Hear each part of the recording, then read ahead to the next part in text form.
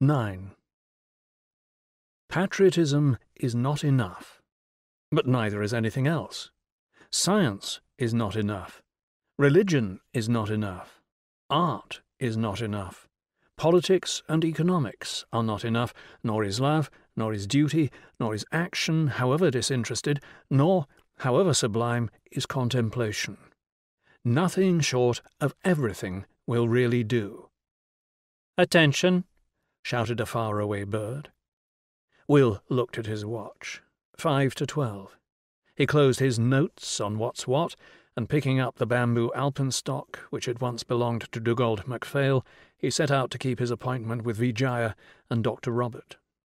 By the short cut, the main building of the experimental station was less than a quarter of a mile from Dr. Robert's bungalow, but the day was oppressively hot, and there were two flights of steps to be negotiated. For a convalescent with his right leg in a splint, it was a considerable journey.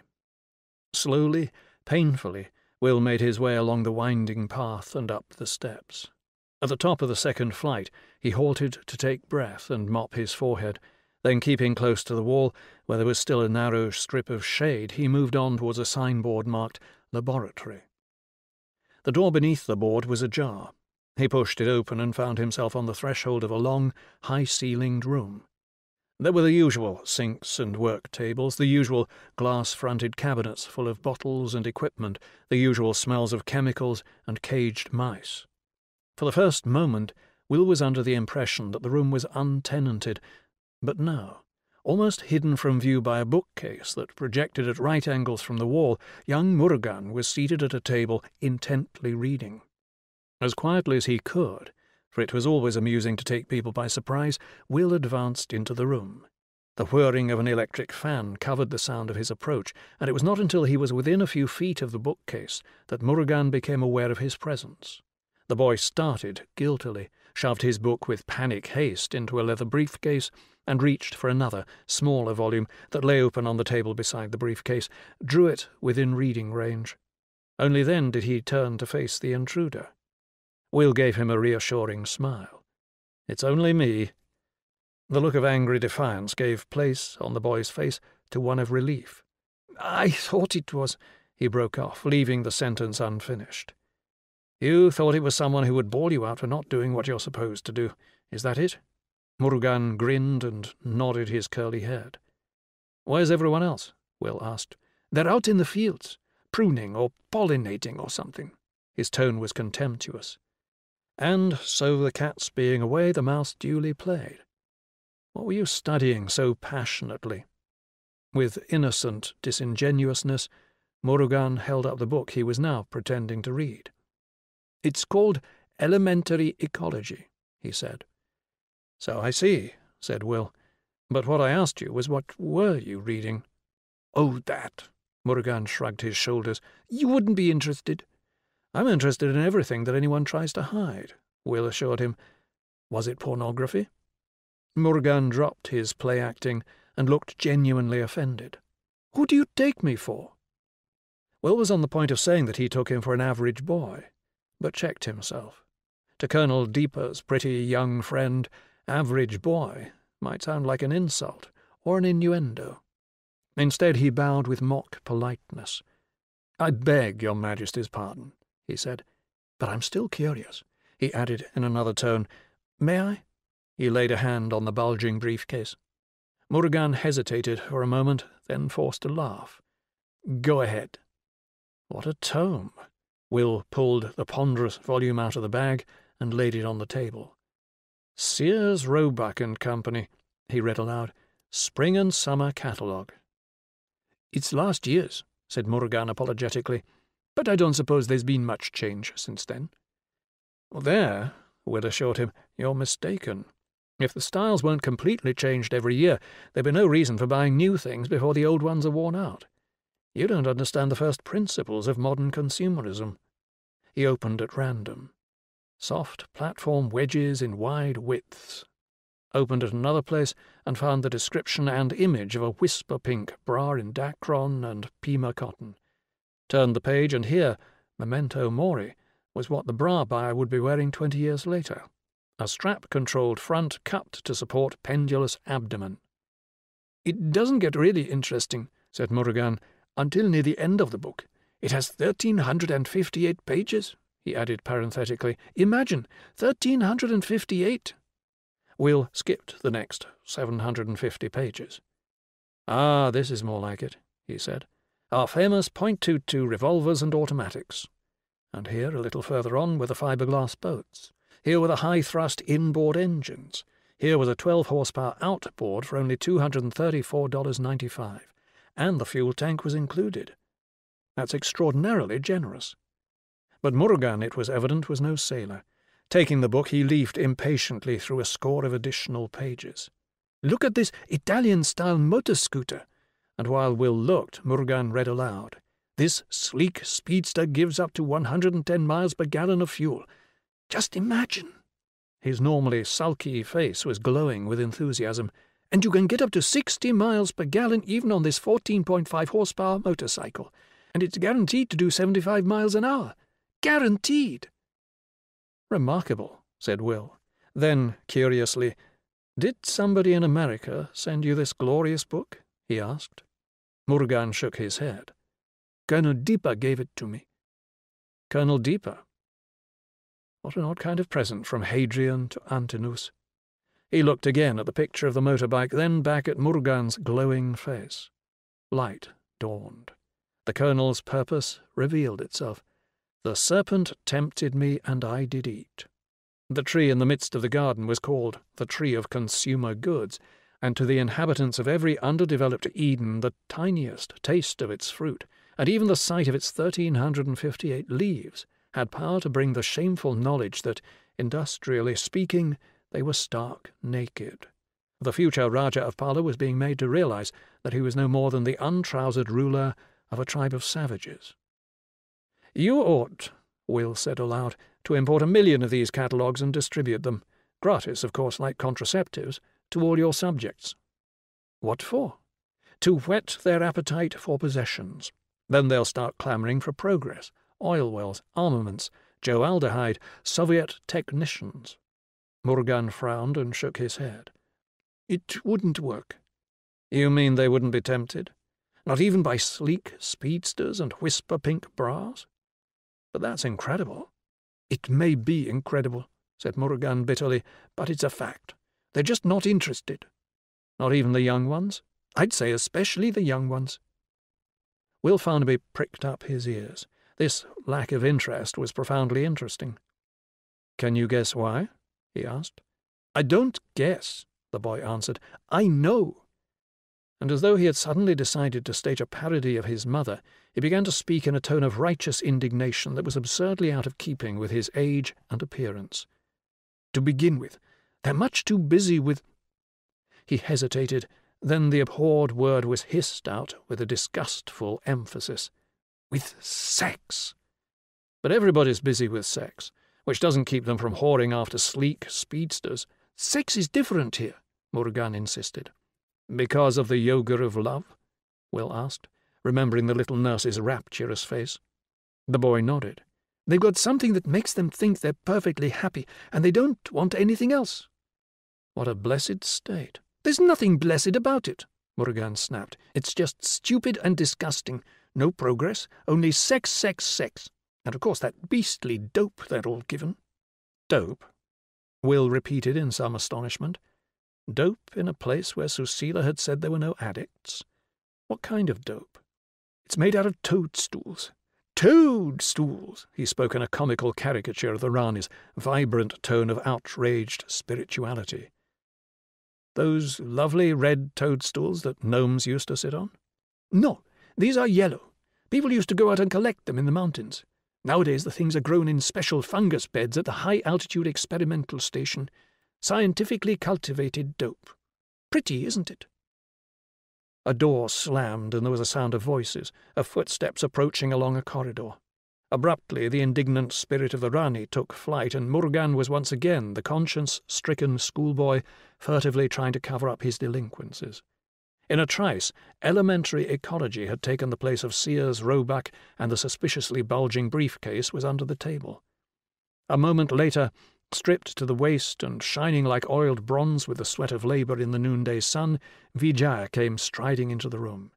Behind him came Dr. Robert with the air of a model student interrupted in the midst of his reading by trespassers from the frivolous outside world, Murugan looked up from his book. Amused, Will threw himself at once wholeheartedly into the part that had been assigned to him.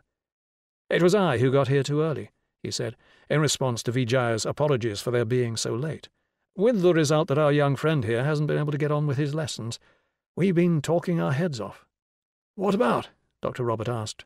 Everything, cabbages, kings, motor scooters, pendulous abdomens. And when you came in, we'd just embarked on toadstools. Murugan was telling me about the fungi that are used here as a source of dope. What's in a name? said Dr. Robert, with a laugh. Answer practically everything. Having had the misfortune to be brought up in Europe, Murugan calls it dope, and feels about it all the disapproval that, by conditioned reflex, the dirty word evokes. We, on the contrary, give the stuff good names, the moksha medicine, the reality revealer, the truth and beauty pill. And we know by direct experience that the good names are deserved, whereas our young friend here has no first-hand knowledge of the stuff and can't be persuaded even to give it a try. For him it's dope, and dope is something that by definition no decent person ever indulges in. What does His Highness say to that? Will asked. Murugan shook his head. All it gives you is a lot of illusions, he muttered. Why should I go out of my way to be made a fool of?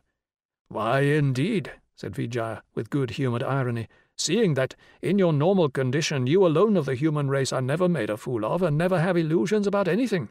I never said that, Murugan protested. All I mean is that I don't want any of your false samadhi. How do you know it's false? Dr. Robert inquired.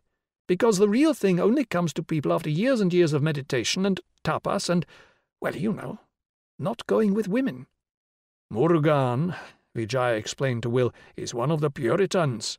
He's outraged by the fact that with 400 milligrams of moksha medicine in their bloodstreams, even beginners, yes, and even boys and girls who make love together, can catch a glimpse of the world as it looks to someone who has been liberated from his bondage to the ego. But it isn't real, Murugan insisted. Not real, Dr. Robert repeated. You might as well say that the experience of feeling well isn't real. You're begging the question, Will objected. An experience can be real in relation to something going on inside your skull, but completely irrelevant to anything outside. Of course, Dr. Robert agreed. Do you know what goes on inside your skull when you've taken a dose of the mushroom? We know a little, and we're trying all the time to find out more, Vijaya added. For example, said Dr. Robert. We found that the people whose EEG doesn't show any alpha wave activity when they're relaxed aren't likely to respond significantly to the Moksha medicine. That means that for about 15% of the population, we have to find other approaches to liberation. Another thing we're just beginning to understand, said Vijaya, is the neurological correlate of these experiences. What's happening in the brain when you're having a vision, and what's happening when you pass from a pre mystical to a genuinely mystical state of mind. Do you know? Will asked. No is a big word. Let's say we're in a position to make some plausible guesses. Angels and New Jerusalems and Madonnas and future Buddhas, they're all related to some kind of unusual stimulation of the brain areas of primary projection, the visual cortex, for example. Just how the moksha medicine produces those unusual stimuli, we haven't yet found out. The important fact is that somehow or other it does produce them. And somehow or other, it also does something unusual to the silent areas of the brain, the areas not specifically concerned with perceiving or moving or feeling. And how do the silent areas respond? Will inquired. Let's start with what they don't respond with. They don't respond with visions or auditions. They don't respond with telepathy or clairvoyance or any other kind of parapsychological performance. None of that amusing pre-mystical stuff.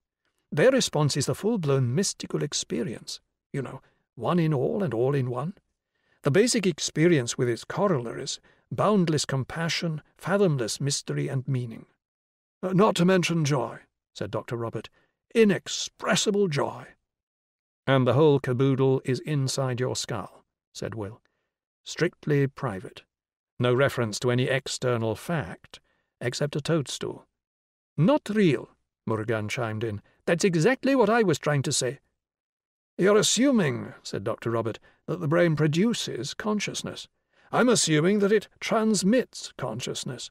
And my explanation is no more far fetched than yours. How on earth can a set of events belonging to one order be experienced as a set of events belonging to an entirely different and incommensurable order? Nobody has the faintest idea. All one can do is to accept the facts and concoct hypotheses and one hypothesis is just about as good, philosophically speaking, as another. You say that the moksha medicine does something to the silent areas of the brain which causes them to produce a set of subjective events to which people have given the name mystical experience. I say that the moksha medicine does something to the silent areas of the brain which opens some kind of neurological sluice and so allows a larger volume of mind, with a large M, to flow into your mind with a small m. You can't demonstrate the truth of your hypothesis, and I can't demonstrate the truth of mine. And even if you could prove that I'm wrong, would it make any practical difference? I'd have thought it would make all the difference, said Will. Do you like music? Dr. Robert asked. More than most things. And what, may I ask, does Mozart's G minor quintet refer to? Does it refer to Allah, or Tao, or the second person of the Trinity, or the Atman Brahman? Will laughed. Let's hope not. But that doesn't make the experience of the G minor quintet any less rewarding. Well, it's the same with the kind of experience that you get with a moksha medicine, or through prayer and fasting and spiritual exercises. Even if it doesn't refer to anything outside itself, it's still the most important thing that ever happened to you. Like music, only incomparably more so. And if you give the experience a chance, if you're prepared to go along with it, the results are incomparably more therapeutic and transforming. So maybe the whole thing does happen inside one's skull. Maybe it is private and there's no unitive knowledge of anything but one's own physiology. Who cares? The fact remains that the experience can open one's eyes and make one blessed and transform one's whole life. There was a long silence. Let me tell you something, he resumed, turning to Murugan, something I hadn't intended to talk about to anybody. But now I feel that perhaps I have a duty, a duty to the throne, a duty to Pala and all its people, an obligation to tell you about this very private experience. Perhaps the telling may help you to be a little more understanding about your country and its ways. He was silent for a moment, then in a quietly matter-of-fact tone, I suppose you know about my wife, he went on. His face still averted, Murugan nodded. I was sorry, he mumbled, to hear she was so ill. It's a matter of a few days now, said Dr. Robert. Four or five at the most. But she's still perfectly lucid, perfectly conscious of what's happening to her. Yesterday she asked me if we could take the Moksha medicine together. We'd taken it together, he added parenthetically, once or twice each year for the last thirty-seven years, ever since we decided to get married. And now once more, for the last time. The last, last time. There was a risk involved because of the damage to the liver, but we decided it was a risk worth taking. And as it turned out, we were right. The Moksha medicine, the dope, as you prefer to call it, hardly upset her at all. All that happened to her was the mental transformation. He was silent, and Will suddenly became aware of the squeak and scrabble of caged rats, and through the open window, the babble of tropical life and the call of a distant mynah bird. Here and now, boys, here and now? You're like that mynah, said Dr. Robert at last, trained to repeat words you don't understand or know the reason for. It isn't real. It isn't real. But if you'd experienced what Lakshmi and I went through yesterday, you'd know better. You'd know it was much more real than what you call reality.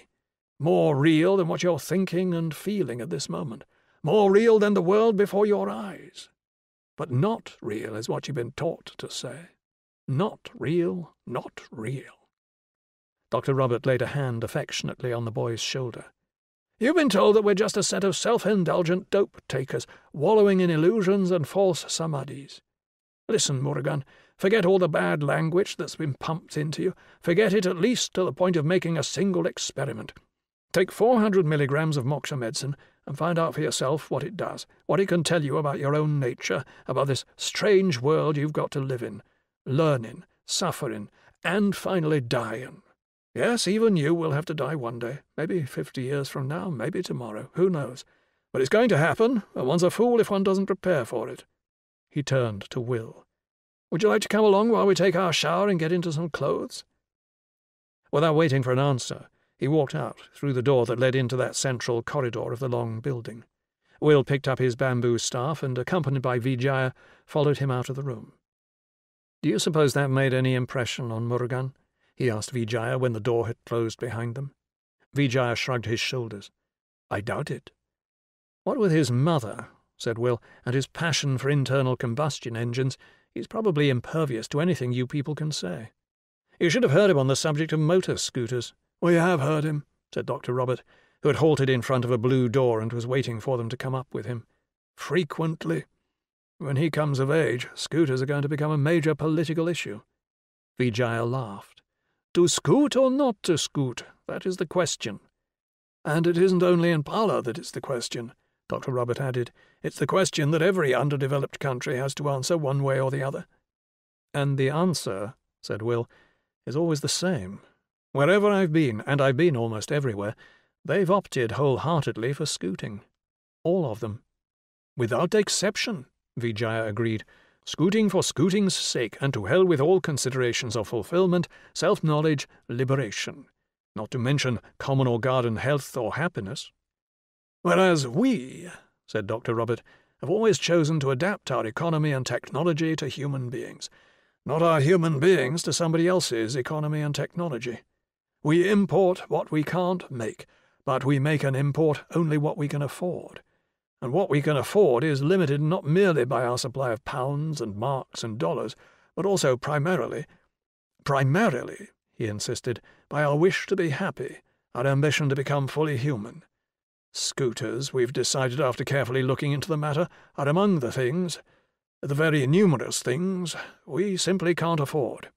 Which is something poor little Murugan will have to learn the hard way, seeing that he hasn't learned and doesn't want to learn the easy way. Which is the easy way? Will asked. Education and reality revealers. Murugan has had neither, or rather he's had the opposite of both. He's had miseducation in Europe, Swiss governesses, English tutors, American movies, everybody's advertisements, and he's had reality eclipsed for him by his mother's brand of spirituality. So it's no wonder he pines for scooters. But his subjects, I gather, do not. Why should they? They've been taught from infancy to be fully aware of the world and to enjoy their awareness.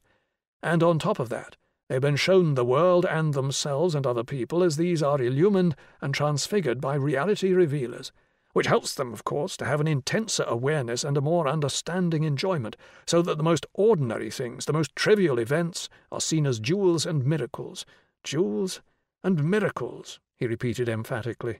So why should we resort to scooters or whiskey or television or Billy Graham or any other of your distractions and compensations? Nothing short of everything will really do, Will quoted. I see now what the old Rajah was talking about. You can't be a good economist unless you're also a good psychologist, or a good engineer without being the right kind of metaphysician. And don't forget all the other sciences, said Dr. Robert pharmacology, sociology, physiology, not to mention pure and applied autology, neurotheology, metachemistry, mycomysticism, and the ultimate science, he said, looking away so as to be more alone with his thoughts of Lakshmi in the hospital, the science that sooner or later we shall all have to be examined in, thanatology. He was silent for a moment. Then, in another tone, Well, let's go and get washed up, he said, and opening the blue door led the way into a long changing room with a row of showers and wash basins at one end, and on the opposite wall tiers of lockers and a large hanging cupboard. Will took a seat and, while his companions lathered themselves at the basins, went on with their conversations. Would it be possible, he asked, for a miseducated alien to try a truth and beauty pill? The answer was another question. Is your liver in good order? Dr. Robert inquired. Excellent. And you don't seem to be more than mildly schizophrenic so I can't see any counterindication. Then I can make the experiment. Whenever you like. He stepped into the nearest shower stall and turned on the water. Vijaya followed suit. Aren't you supposed to be intellectuals? Will asked when the two men had emerged again and were drying themselves. We do intellectual work, Vijaya answered. Then why all this horrible, honest toil? For a very simple reason. This morning I had some spare time. So did I, said Dr. Robert. So you went out into the fields and did a Tolstoy act. Vijaya laughed. You seem to imagine we do it for ethical reasons. Don't you? Certainly not. I do muscular work because I have muscles, and if I don't use my muscles I shall become a bad-tempered sitting addict. With nothing between the cortex and the buttocks, said Dr. Robert, or rather with everything, but in a condition of complete unconsciousness and toxic stagnation. Western intellectuals are all sitting addicts. That's why most of you are so repulsively unwholesome. In the past, even a duke had to do a lot of walking, even a money lender, even a metaphysician. And when they weren't using their legs, they were jogging about on horses. Whereas now, from the tycoon to his typist, from the logical positivist to the positive thinker, you spend nine-tenths of your time on foam rubber. Spongy seats for spongy bottoms. At home, in the office, in cars and bars, in planes and trains and buses. No moving of legs, no struggles with distance and gravity, just lifts and planes and cars, just foam rubber and an eternity of sitting. The life force that used to find an outlet through striped muscle gets turned back on the viscera and the nervous system and slowly destroys them. So you take to digging and delving as a form of therapy? As prevention. To make therapy unnecessary. In Pala, even a professor, even a government official, generally puts in two hours of digging and delving each day. As part of his duties, and as part of his pleasure. Will made a grimace. It wouldn't be part of my pleasure. That's because you weren't taught to use your mind-body in the right way, Vijaya explained. If you'd been shown how to do things with the minimum of strain and the maximum of awareness, you'd enjoy even honest toil. I take it that your children will get this kind of training from the first moment they start doing for themselves. For example, what's the proper way of handling yourself while you're buttoning your clothes? And suiting action to words, Vijaya started to button the shirt he had just slipped into.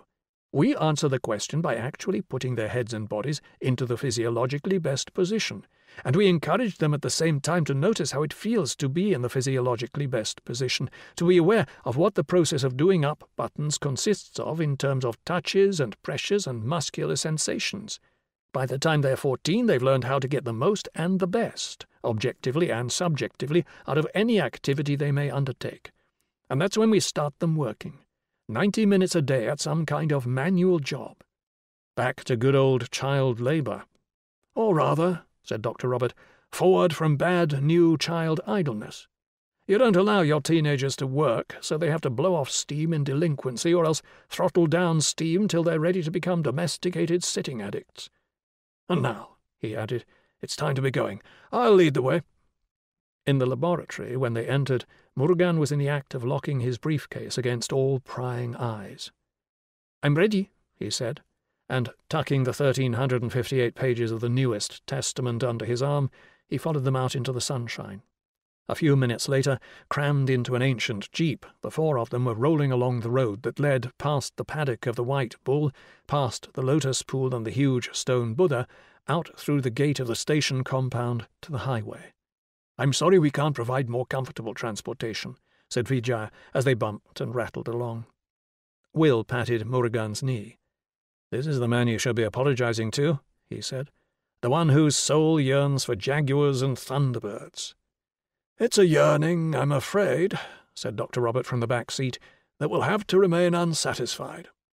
Murugan made no comment, but smiled the secret, contemptuous smile of one who knows better. We can't import toys, Dr. Robert went on. Only essentials. Such as? You'll see in a moment. They rounded a curve, and there beneath them were the thatched roofs and tree shaded gardens of a considerable village. Vijaya pulled up at the side of the road and turned off the motor. You're looking at New Rothamsted, he said, alias Medallia. Rice, vegetables, poultry, fruit. Not to mention two potteries and a furniture factory. Hence those wires. He waved his hand in the direction of the long row of pylons that climbed up the terraced slope behind the village, dipped out of sight over the ridge, and reappeared far away, marching up from the floor of the next valley towards the green belt of mountain jungle and the cloudy peaks beyond and above. That's one of the indispensable imports electrical equipment. And when the waterfalls have been harnessed and you've strung up the transmission lines, here's something else with a high priority. He directed a pointing finger at a windowless block of cement that rose incongruously from among the wooden houses near the upper entrance to the village. What is it? Will asked. Some kind of electric oven? No, the kilns are over on the other side of the village. This is the communal freezer. In the old days, Dr. Robert explained, we used to lose about half of all the perishables we produced. Now we lose practically nothing. Whatever we grow is for us, not for the circumambient bacteria. So now you have enough to eat. More than enough. We are better than any other country in Asia, and there's a surplus for export. Lenin used to say that electricity plus socialism equals communism. Our equations are rather different. Electricity minus heavy industry plus birth control equals democracy and plenty. Electricity plus heavy industry minus birth control equals misery, totalitarianism, and war. Incidentally, Will asked, who owns all this? Are you capitalists or state socialists? Neither. Most of the time we're co-operators. Palanese agriculture has always been an affair of terracing and irrigation, but terracing and irrigation call for pooled efforts and friendly agreements. Cutthroat competition isn't compatible with rice growing in a mountainous country. Our people found it quite easy to pass from mutual aid in a village community to streamlined cooperative techniques for buying and selling and profit sharing and financing. Even cooperative financing? Dr. Robert nodded.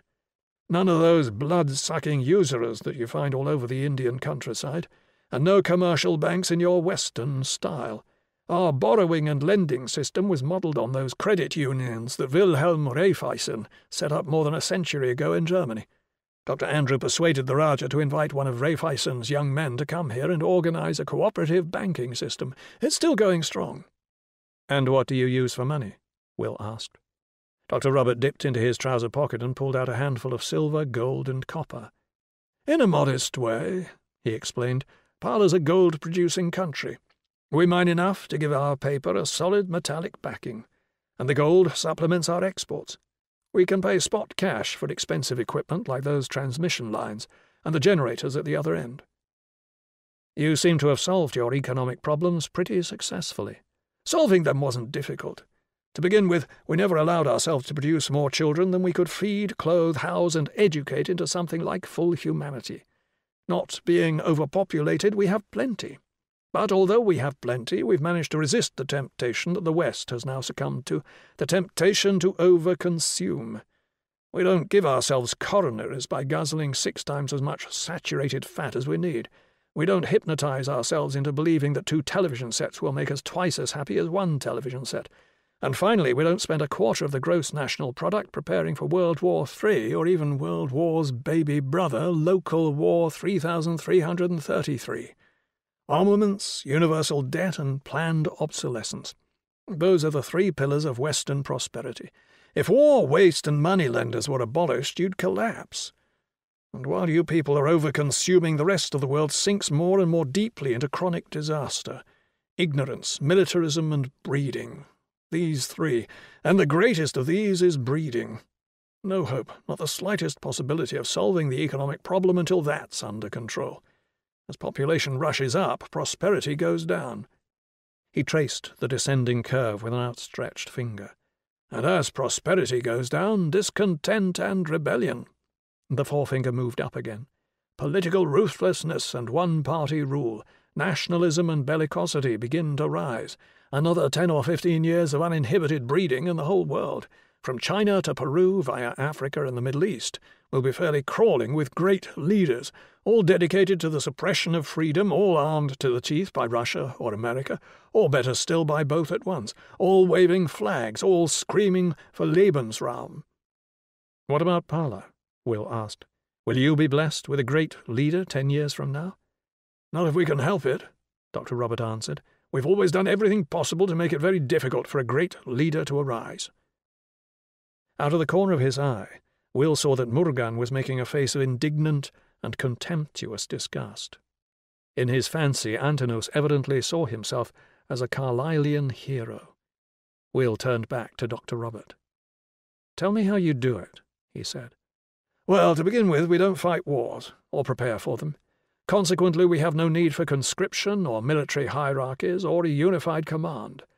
Then there's our economic system. It doesn't permit anybody to become more than four or five times as rich as the average. That means that we don't have any captains of industry or omnipotent financiers. Better still, we have no omnipotent politicians or bureaucrats. Pala is a federation of self governing units, geographical units, professional units, economic units, so there's plenty of scope for small scale initiative and democratic leaders, but no place for any kind of dictator at the head of a centralized government. Another point we have no established church, and our religion stresses immediate experience and deplores belief in unverifiable dogmas and the emotions which that belief inspires. So we're preserved from the plagues of popery on the one hand and fundamentalist revivalism on the other. And along with transcendental experience, we systematically cultivate skepticism, discouraging children from taking words too seriously, teaching them to analyze whatever they hear or read. This is an integral part of the school curriculum. Result? The eloquent rabble rouser like Hitler or our neighbour across the strait, Colonel Dipa, just doesn't have a chance here in Pala. This was too much for Murugan. Unable to contain himself, but look at the energy Colonel Dipa generates in his people, he burst out. Look at all the devotion and self sacrifice. We don't have anything like that here. Thank God, said Dr. Robert devoutly. Thank God, Vijaya echoed. But these things are good, the boy protested. I admire them. I admire them too, said Dr. Robert. Admire them in the same way as I admire a typhoon. Unfortunately, that kind of energy and devotion and self-sacrifice happens to be incompatible with liberty, not to mention reason and human decency. But decency, reason, and liberty are what Pala has been working for, ever since the time of your namesake, Murugan the Reformer. From under his seat, Vijay pulled out a tin box and, lifting the lid, distributed a first round of cheese and avocado sandwiches. We'll have to eat as we go. He started the motor, and with one hand, the other being busy with his sandwich, swung the little car onto the road. Tomorrow, he said to Will, I will show you the sights of the village and the still more remarkable sight of my family eating their lunch. Today we have an appointment in the mountains. Near the entrance to the village, he turned the jeep into a side road that went winding steeply up between terraced fields of rice and vegetables, interspersed with orchards and here and there, plantations of young trees, destined, Dr. Robert explained, to supply the pulp mills of Shivapuram with their raw material. How many papers does Pala support? Will inquired, and was surprised to learn that there was only one. Who enjoys the monopoly? The government? The party in power? The local Joe Aldehyde? Nobody enjoys a monopoly, Dr. Robert assured him. There's a panel of editors representing half a dozen different parties and interests. Each of them gets his allotted space for comment and criticism. The reader's in a position to compare their arguments and make up his own mind. I remember how shocked I was the first time I read one of your big circulation newspapers. The bias of the headlines, the systematic one-sidedness of the reporting and the commentaries, the catchwords and slogans instead of argument. No serious appeal to reason. Instead, a systematic effort to install conditioned reflexes in the minds of the voters, and for the rest, crime, divorce, anecdotes, twaddle, anything to keep them distracted, anything to prevent them from thinking. The car climbed on, and now they were on a ridge between two headlong descents, with a tree-fringed lake down at the bottom of a gorge to their left, and to the right a broader valley where, between two tree-shaded villages, like an incongruous piece of pure geometry, sprawled a huge factory. Cement? Will questioned. Dr. Robert nodded. One of the indispensable industries. We produce all we need and a surplus for export. And those villages supply the manpower? In the intervals of agriculture and work in the forest and the sawmills? Does that kind of part-time system work well? It depends what you mean by well. It doesn't result in maximum efficiency. But then in Pala, maximum efficiency isn't the categorical imperative that it is with you. You think first of getting the biggest possible output in the shortest possible time. We think first of human beings and their satisfactions. Changing jobs doesn't make for the biggest output in the fewest days. But most people like it better than doing one kind of job all their lives. If it's a choice between mechanical efficiency and human satisfaction, we choose satisfaction. When I was twenty, Vijaya now volunteered. I put in four months at that cement plant, and after that ten weeks making superphosphates, and then six months in the jungle, as a lumberjack. All this ghastly honest toil. Twenty years earlier, said Dr. Robert, I did a stint at the copper smelters, after which I had a taste of the sea on a fishing boat, sampling all kinds of work. It's part of everybody's education. One learns an enormous amount that way, about things and skills and organizations about all kinds of people and their ways of thinking. Will shook his head. I'd still rather get it out of a book. But what you can get out of a book is never it. At bottom, Dr. Robert added, all of you are still Platonists. You worship the word and abhor matter. Tell that to the clergymen, said Will. They're always reproaching us with being crass materialists. Crass? Dr. Robert agreed, but crass precisely because you're such inadequate materialists. Abstract materialism, that's what you profess, whereas we make a point of being materialists concretely, materialistic on the wordless levels of seeing and touching and smelling, of tensed muscles and dirty hands. Abstract materialism is as bad as abstract idealism. It makes immediate spiritual experience almost impossible. Sampling different kinds of work in concrete materialism is the first indispensable step in our education for concrete spirituality. But even the most concrete materialism, Vijaya qualified, won't get you very far unless you're fully conscious of what you're doing and experiencing. You've got to be completely aware of the bits of matter you're handling, the skills you're practicing, the people you work with. Quite right, said Dr. Robert. I ought to have made it clear that concrete materialism is only the raw stuff of a fully human life. It's through awareness, complete and constant awareness, that we transform it into concrete spirituality. Be fully aware of what you're doing, and work becomes the yoga of work. Play becomes the yoga of play. Everyday living becomes the yoga of everyday living. Will thought of Ranga and the little nurse. And what about love? Dr. Robert nodded. That, too. Awareness transfigures it, turns love-making into the yoga of love-making. Murugan gave an imitation of his mother, looking shocked. Psychophysical means to a transcendental end, said Vijaya, raising his voice against the grinding screech of the low gear into which he had just shifted. That primarily is what all these yogas are. But they're also something else. They're also devices for dealing with the problems of power. He shifted back to a quieter gear and lowered his voice to its normal tone.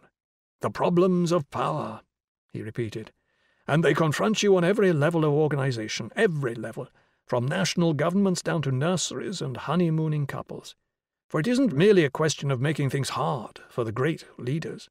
There are all the millions of small scale tyrants and persecutors, all the mute, inglorious Hitlers, the village Napoleons, the Calvins and Torquemadas of the family not to mention all the brigands and bullies stupid enough to get themselves labeled as criminals. How does one harness the enormous power these people generate and set it to work in some useful way, or at least prevent it from doing harm? That's what I want you to tell me, said Will. Where do you start? We start everywhere at once, Vijay answered, but since one can't say more than one thing at a time, let's begin by talking about the anatomy and physiology of power. Tell him about your biochemical approach to the subject, Dr. Robert. It started, said Dr. Robert, nearly forty years ago, while I was studying in London. Started with prison visiting on weekends and reading history whenever I had a free evening. History and prisons, he repeated. I discovered that they were closely related. The record of the crimes, follies, and misfortunes of mankind that's Gibbon, isn't it? And the place where unsuccessful crimes and follies are visited with a special kind of misfortune. Reading my books and talking to my jailbirds, I found myself asking questions. What kind of people became dangerous delinquents? The grand delinquents of the history books, the little ones of Pentonville and Wormwood Scrubs? What kinds of people are moved by the lust for power, the passion to bully and domineer? and the ruthless ones, the men and women who know what they want and have no qualms about hurting and killing in order to get it, the monsters who hurt and kill not for profit, but gratuitously because hurting and killing are such fun. Who are they? I used to discuss these questions with the experts doctors, psychologists, social scientists, teachers. Mantegazza and Galton had gone out of fashion, and most of my experts assured me that the only valid answers to these questions were answers in terms of culture, economics, and the family.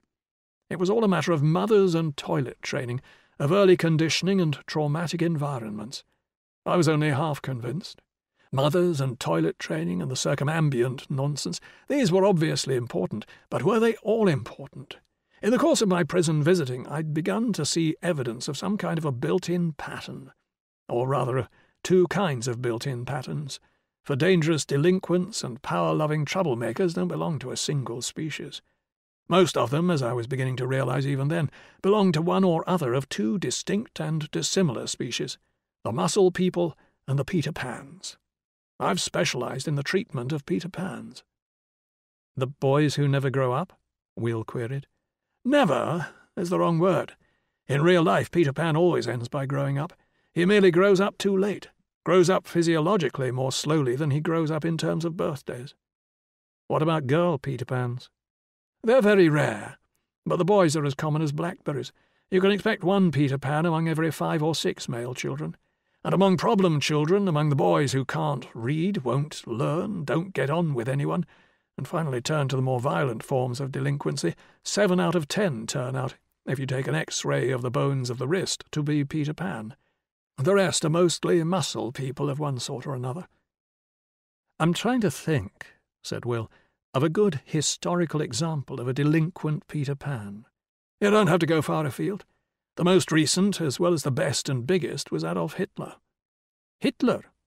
Murugan's tone was one of shocked astonishment. Hitler was evidently one of his heroes. Read the Fuhrer's biography, said Dr. Robert. A Peter Pan, if ever there was one.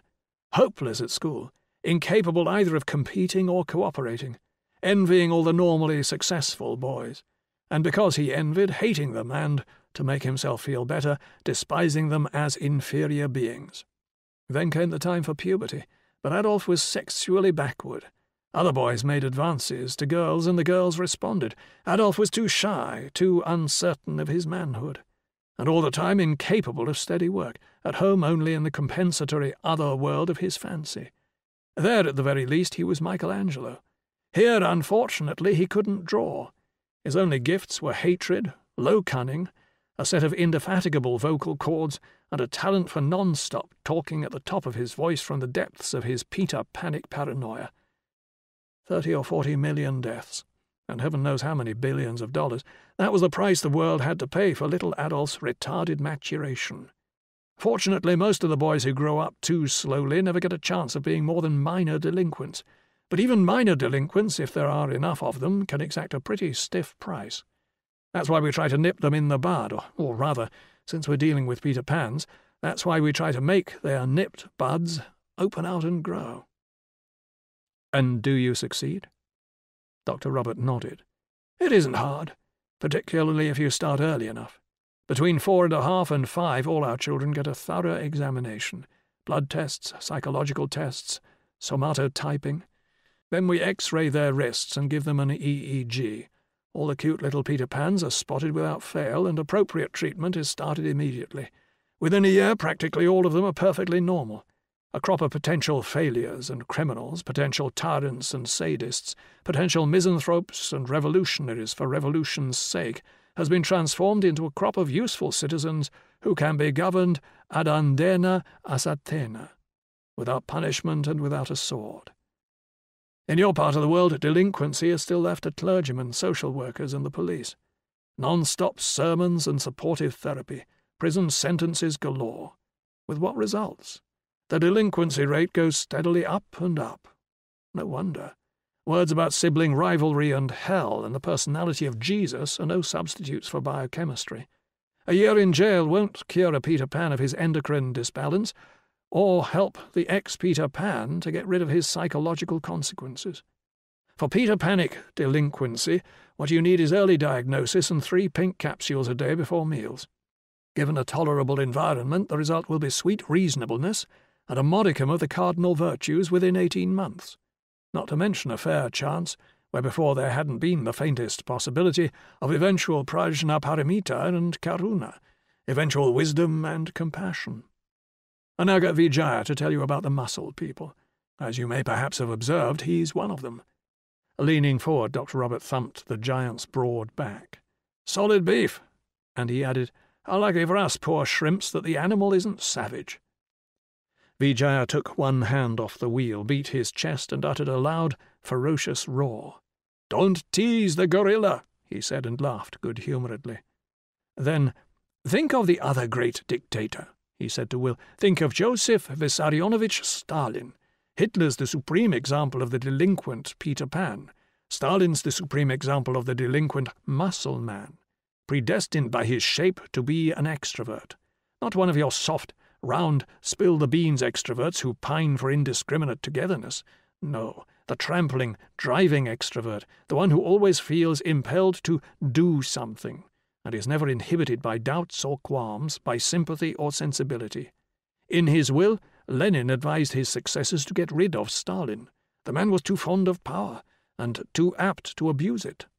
But the advice came too late. Stalin was already so firmly entrenched that he couldn't be ousted. Ten years later, his power was absolute. Trotsky had been scotched, all his old friends had been bumped off. Now, like God among the choiring angels, he was alone in a cosy little heaven peopled only by flatterers and yes-men. And all the time he was ruthlessly busy liquidating kulaks, organizing collectives, building an armament industry, shifting reluctant millions from farm to factory working with a tenacity, a lucid efficiency of which the German Peter Pan, with his apocalyptic fantasies and his fluctuating moods, was utterly incapable. And in the last phase of the war, compare Stalin's strategy with Hitler's. Cool calculation pitted against compensatory daydreams, clear eyed realism against the rhetorical nonsense that Hitler had finally talked himself into believing two monsters equal in delinquency but profoundly dissimilar in temperament, in unconscious motivation, and finally inefficiency. Peter Pans are wonderfully good at starting wars and revolutions, but it takes muscle men to carry them through to a successful conclusion.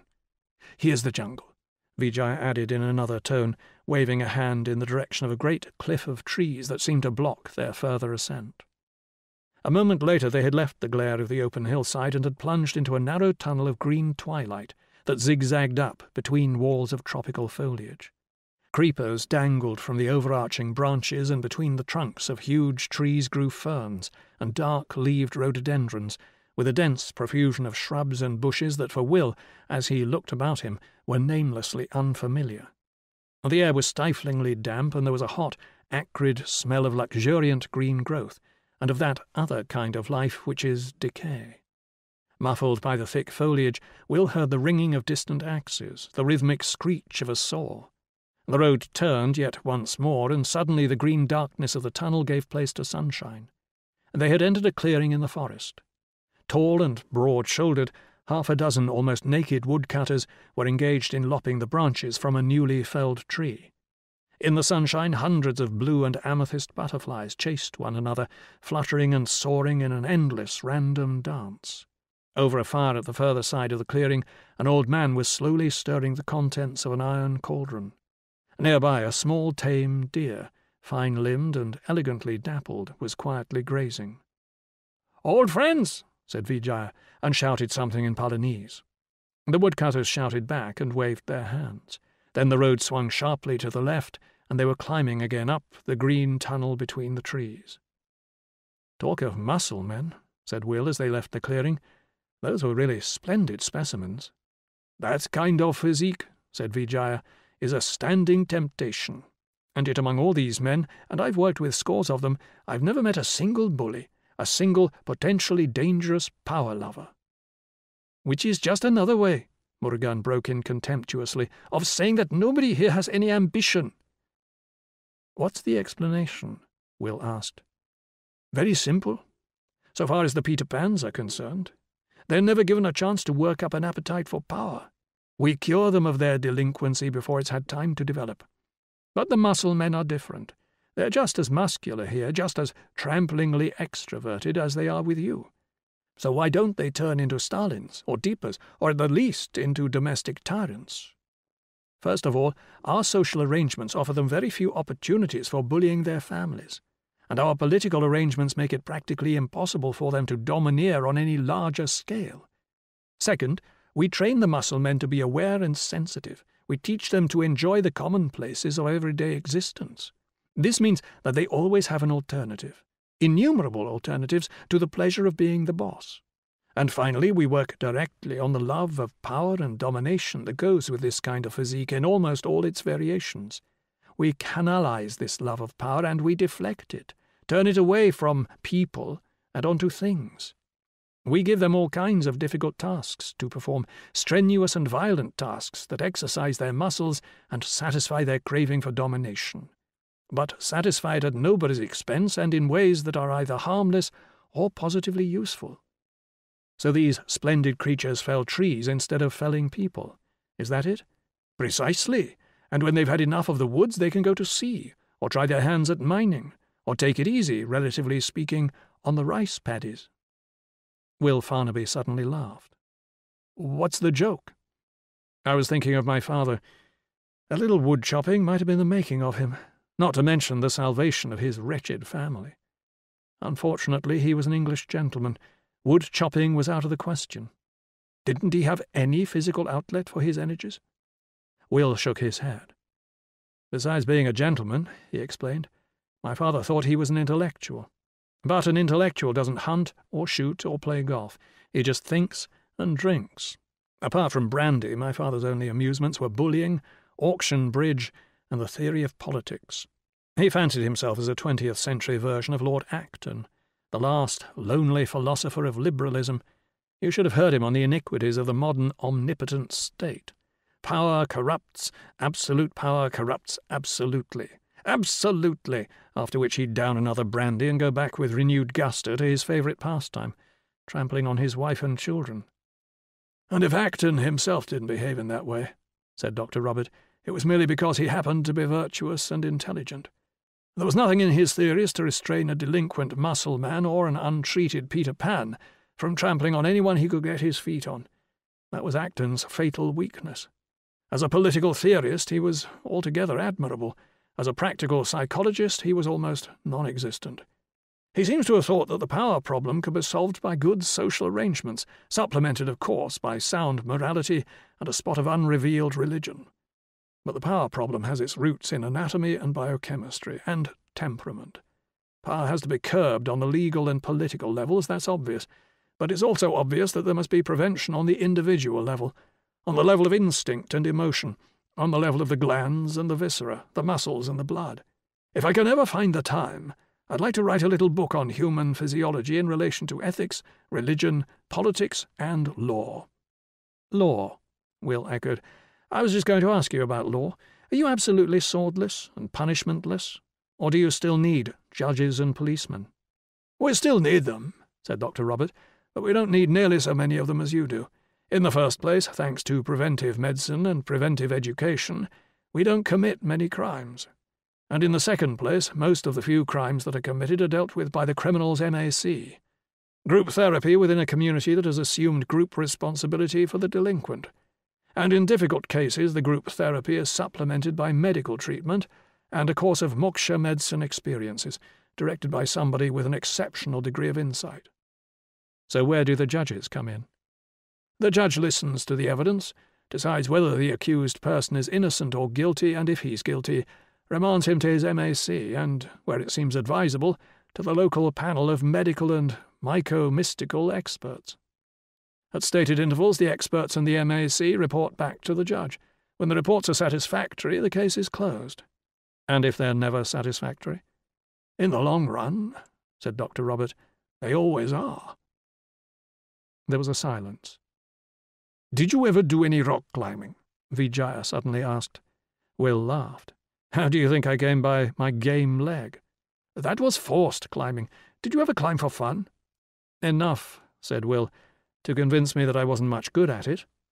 Vijaya glanced at Murugan. What about you, while you were in Switzerland? The boy blushed deeply and shook his head. You can't do any of those things, he muttered, if you have a tendency to TB. What a pity, said Vijaya. It would have been so good for you. Will asked, Do people do a lot of climbing in these mountains? Climbing's an integral part of the school curriculum. For everybody? A little for everybody with more advanced rock work for the full blown muscle people, and that's about one in 12 of the boys and one in 27 of the girls. We shall soon be seeing some youngsters tackling their first post elementary climb. The green tunnel widened, brightened, and suddenly they were out of the dripping forest on a wide shelf of almost level ground, walled in on three sides by red rocks that towered up 2,000 feet and more into a succession of jagged crests and isolated pinnacles. There was a freshness in the air, and as they passed from sunshine into the shadow of a floating island of cumulus, it was almost cool. Dr. Robert leaned forward and pointed through the windshield at a group of white buildings on a little knoll near the centre of the plateau. That's the high altitude station, he said, 7,000 feet up, with more than 5,000 acres of good flat land where we can grow practically anything that grows in southern Europe wheat and barley, green peas and cabbages, lettuce and tomatoes. The fruit won't set where night temperatures are over 68. Gooseberries, strawberries, walnuts, greengages, peaches, apricots, plus all the valuable plants that are native to high mountains at this latitude, including the mushrooms that our young friend here so violently disapproves of. Is this the place we're bound for? Will asked. No, we're going higher. Dr. Robert pointed to the last outpost of the range, a ridge of dark red rock from which the land sloped down on one side to the jungle, and on the other mounted precipitously towards an unseen summit lost in the clouds. Up to the old Shiva temple, where the pilgrims used to come every spring and autumn equinox. It's one of my favourite places in the whole island. When the children were small, we used to go up there for picnics, Lakshmi and I, almost every week. How many years ago? A note of sadness had come into his voice, he sighed and, leaning back in his seat, closed his eyes. They turned off the road that led to the high altitude station and began to climb again. Entering the last worst lap, said Vijaya. Seven hairpin turns and half a mile of unventilated tunnel. He shifted into first gear, and conversation became impossible. Ten minutes later, they had arrived. 10. Cautiously maneuvering his immobilized leg, Will climbed out of the car and looked about him. Between the red, soaring crags to the south and the headlong descents in every other direction, the crest of the ridge had been levelled, and at the midpoint of this long, narrow terrace stood the temple, a great red tower of the same substance as the mountains, massive, four sided, vertically ribbed a thing of symmetry and contrast with the rocks, but regular, not as Euclidean abstractions are regular, regular with the pragmatic geometry of a living thing. Yes, of a living thing. For all the temple's richly textured surfaces, all its bounding contours against the sky curved organically inwards, narrowing as they mounted towards a ring of marble, above which the red stone swelled out again, like the seed capsule of a flowering plant, into a flattened, many-ribbed dome that crowned the whole. Built about fifty years before the Norman conquest, said Dr. Robert. And looks, Will commented, as though it hadn't been built by anybody, as though it had grown out of the rock, grown like the bud of an agave, on the point of rocketing up into a twelve foot stalk and an explosion of flowers. Vijaya touched his arm. Look, he said, a party of elementaries coming down. Will turned towards the mountain and saw a young man in nailed boots and climbing clothes working his way down a chimney in the face of the precipice. At a place where the chimney offered a convenient resting place, he halted and, throwing back his head, gave utterance to a loud alpine yodel. Fifty feet above him, a boy came out from behind a buttress of rock, lowered himself from the ledge on which he was standing, and started down the chimney. Does it tempt you? Vijaya asked, turning to Murugan. Heavily overacting the part of the bored, sophisticated adult who has something better to do than watch the children at play, Murugan shrugged his shoulders. Not in the slightest. He moved away and sitting down on the weather-worn carving of a lion, pulled a gaudily bound American magazine out of his pocket and started to read. What's the literature? Vijaya asked. Science fiction. There was a ring of defiance in Murugan's voice. Dr. Robert laughed. Anything to escape from fact? Pretending not to have heard him, Murgan turned a page and went on reading. He's pretty good, said Vijaya, who had been watching the young climber's progress. They have an experienced man at each end of the rope, he added. You can't see the number one man. He's behind that buttress in a parallel chimney thirty or forty feet higher up. There's a permanent iron spike up there where you can belay the rope. The whole party could fall, and they'd be perfectly safe. Spread-eagled between footholds in either wall of the narrow chimney, the leader kept shouting up instructions and encouragement. Then, as the boy approached, he yielded his place, climbed down another twenty feet, and halting, yodeled again. Booted and trousered, a tall girl with her hair in pigtails appeared from behind the buttress and lowered herself into the chimney. Excellent, said Vijaya, approvingly as he watched her. Meanwhile, from a low building at the foot of the cliff, the tropical version evidently of an alpine hut, a group of young people had come out to see what was happening.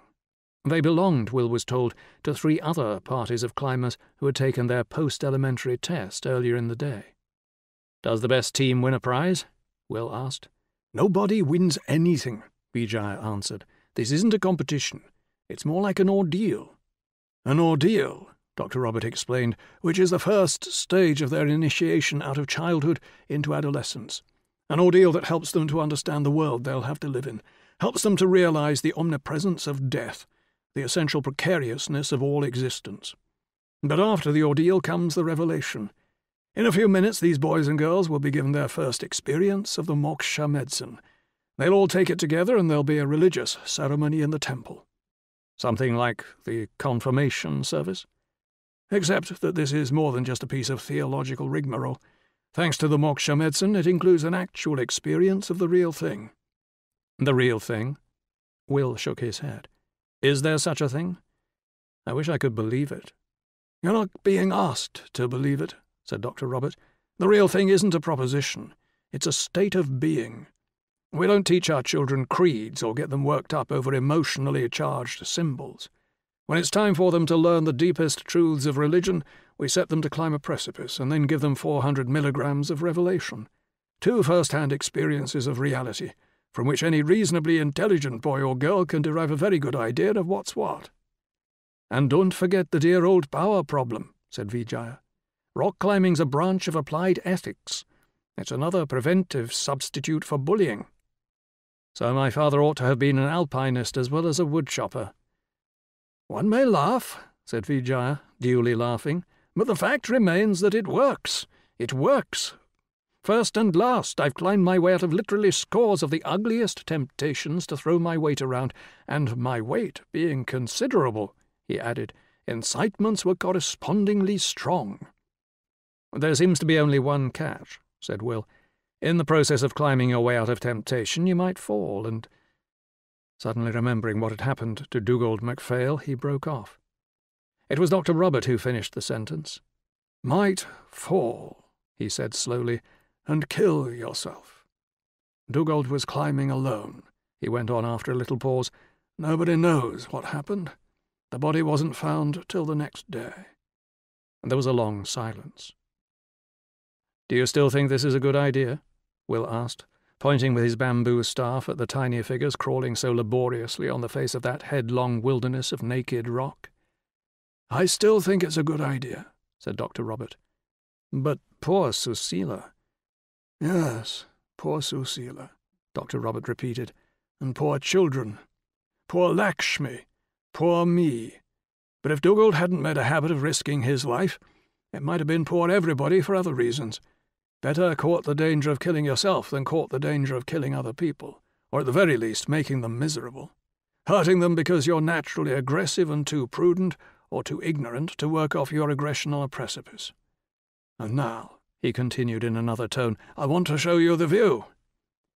And I'll go and talk to those boys and girls. Vijaya walked away towards the group at the foot of the red crags. Leaving Murugan to his science fiction, Will followed Dr. Robert through a pillared gateway and across the wide stone platform that surrounded the temple.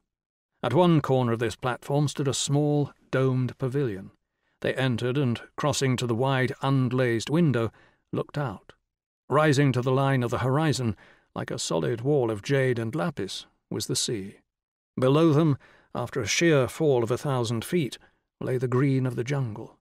Beyond the jungle, folded vertically into combe and buttress, terraced horizontally into a huge man-made staircase of innumerable fields, the lower slopes went steeply down into a wide plain, at whose furthest verge, between the market gardens and the palm-fringed beach, stretched a considerable city. Seen from this high vantage point in its shining completeness, it looked like the tiny meticulous painting of a city in a medieval book of hours. There's Shivapuram, said Dr. Robert, and that complex of buildings on the hill beyond the river, that's the great Buddhist temple. A little earlier than Borobudur, and the sculpture is as fine as anything in further India. There was a silence. This little summer house, he resumed, is where we used to eat our picnics when it was raining. I shall never forget the time when Dugald, it must have been about ten, amused himself by climbing up here on the window ledge and standing on one leg in the attitude of the dancing Shiva. Poor Lakshmi, she was scared out of her wits, but Dugald was a born steeplejack, which only makes the accident even more incomprehensible. He shook his head. Then, after another silence, The last time we all came up here, he said, was eight or nine months ago. Dugald was still alive, and Lakshmi wasn't yet too weak for a day's outing with her grandchildren. He did that Shiva stunt again for the benefit of Tom Krishna and Mary Sarojini. On one leg, and he kept his arms moving so fast that one could have sworn there were four of them. Dr. Robert broke off. Picking up a flake of mortar from the floor, he tossed it out of the window. Down, down, down. Empty space. Pascal avait son gouffre. How strange that this should be at once the most powerful symbol of death and the most powerful symbol of the fullest, intensest life. Suddenly his face lighted up. Do you see that hawk? A hawk? Dr. Robert pointed to where, halfway between their eyrie and the dark roof of the forest, a small brown incarnation of speed and rapine lazily wheeled on unmoving wings. It reminds me of a poem that the old Rajah once wrote about this place. Dr. Robert was silent for a moment, then started to recite. Up here, you ask me, up here aloft where Shiva dances above the world, what the devil do I think I'm doing? No answer, friend, except that hawk below us turning, those black and arrowy swifts trailing long silver wires across the air, the shrillness of their crying. How far, you say, from the hot plains? How far reproachfully from all my people? and yet how close! For here between the cloudy sky and the sea below, suddenly visible, I read their luminous secret and my own. And the secret, I take it, is this empty space. Or rather, what this empty space is the symbol of, the Buddha nature in all our perpetual perishing. Which reminds me, he looked at his watch. What's next on the programme? Will asked as they stepped out into the glare. The service in the temple, Dr. Robert answered. The young climbers will offer their accomplishment to Shiva. In other words, to their own suchness visualized as God, after which they'll go on to the second part of their initiation, the experience of being liberated from themselves. By means of the moksha medicine? Dr. Robert nodded. Their leaders give it them before they leave the climbing association's hut. Then they come over to the temple. The stuff starts working during the service. Incidentally, he added, the service is in Sanskrit, so you won't understand a word of it. Vijaya's address will be in English. He speaks in his capacity as president of the Climbing Association. So will mine. And of course, the young people will mostly talk in English. Inside the temple, there was a cool, cavernous darkness, tempered only by the faint daylight filtering in through a pair of small, latticed windows and by the seven lamps that hung like a halo of yellow quivering stars above the head of the image on the altar. It was a copper statue, no taller than a child, of Shiva, surrounded by flame fringed glory, his forearms gesturing, his braided hair wildly flying, his right foot treading down a dwarfish figure of the most hideous malignity, his left foot gracefully lifted, the god stood there, frozen in mid ecstasy no longer in their climbing dress, but sandaled, bare breasted, and in shorts or brightly coloured skirts, a score of boys and girls, together with the six young men who had acted as their leaders and instructors, were sitting cross legged on the floor. Above them, on the highest of the altar steps, an old priest, shaven and yellow robed, was intoning something sonorous and incomprehensible. Leaving Will installed on a convenient ledge, Dr. Robert tiptoed over to where Vijaya and Murugan were sitting and squatted down beside them. The splendid rumble of Sanskrit gave place to a high nasal chant, and the chanting in due course was succeeded by a litany, priestly utterance alternating with congregational response. And now incense was burned in a brass thurible. The old priest held up his two hands for silence, and through a long, pregnant time of the most perfect stillness, the thread of grey incense smoke rose straight and unwavering before the god. Then, as it met the draught from the windows, broke and was lost to view in an invisible cloud that filled the whole dim space with the mysterious fragrance of another world. Will opened his eyes and saw that, alone of all the congregation, Murugan was restlessly fidgeting. And not merely fidgeting, making faces of impatient disapproval. He himself had never climbed, therefore climbing was merely silly. He himself had always refused to try the moksha medicine, therefore those who used it were beyond the pale. His mother believed in the ascended masters, and chatted regularly with Koot Hoomi. Therefore the image of Shiva was a vulgar idol. What an eloquent pantomime, Will thought, as he watched the boy. But alas for poor little Murugan, nobody was paying the slightest attention to his antics. Shiva Yanama, said the old priest, breaking the long silence and again, Shiva Yanama. He made a beckoning gesture. Rising from her place, the tall girl whom Will had seen working her way down the precipice mounted the altar steps. Standing on tiptoe, her oiled body gleaming like a second copper statue in the light of the lamps, she hung a garland of pale yellow flowers on the uppermost of Shiva's two left arms. Then Laying palm to palm, she looked up into the god's serenely smiling face, and in a voice that faltered at first, but gradually grew steadier, began to speak. O oh, you the creator, you the destroyer, you who sustain and make an end, who in the sunlight dance among the birds and the children at their play, who at midnight dance among corpses in the burning grounds, you Shiva, you dark and terrible Bhairava, you suchness and illusion, the void and all things, you are the Lord of life, and therefore I have brought you flowers. You are the Lord of death, and therefore I have brought you my heart, this heart that is now your burning ground. Ignorance there and self shall be consumed with fire, that you may dance, Bhairava, among the ashes, that you may dance, Lord Shiva, in a place of flowers, and I dance with you. Raising her arms, the girl made a gesture that hinted at the ecstatic devotion of a hundred generations of dancing worshippers, then turned away and walked back into the twilight. Shiva Yanama! somebody cried out. Murugan snorted contemptuously as the refrain was taken up by other young voices. Shiva Yanama, Shiva Yanama. The old priest started to intone another passage from the scripture. Halfway through his recitation, a small grey bird with a crimson head flew in through one of the latticed windows, fluttered wildly around the altar lamps, then, chattering in loud, indignant terror, darted out again. The chanting continued, swelled to a climax, and ended in the whispered prayer for peace Shanti, Shanti, Shanti. The old priest now turned towards the altar, picked up a long taper, and borrowing flame from one of the lamps above Shiva's head, proceeded to light several other lamps that hung within a deep niche beneath the slab on which the dancer stood. Glinting on polished convexities of metal, their light revealed another statue, this time of Shiva and Parvati, of the arch-yogin, seated and, while two of his four hands held aloft the symbolic drum and fire, caressing with a second pair the amorous goddess, with her twining legs and arms, by whom in this eternal embrace of bronze he was best ridden. The old priest waved his hand. This time it was a boy, dark-skinned and powerfully muscled, who stepped into the light. Bending down, he hung the garland he was carrying about Parvati's neck, then, twisting the long flower chain, dropped a second loop of white orchids over Shiva's head. Each is both, he said. Each is both, the chorus of young voices repeated. Murugan violently shook his head.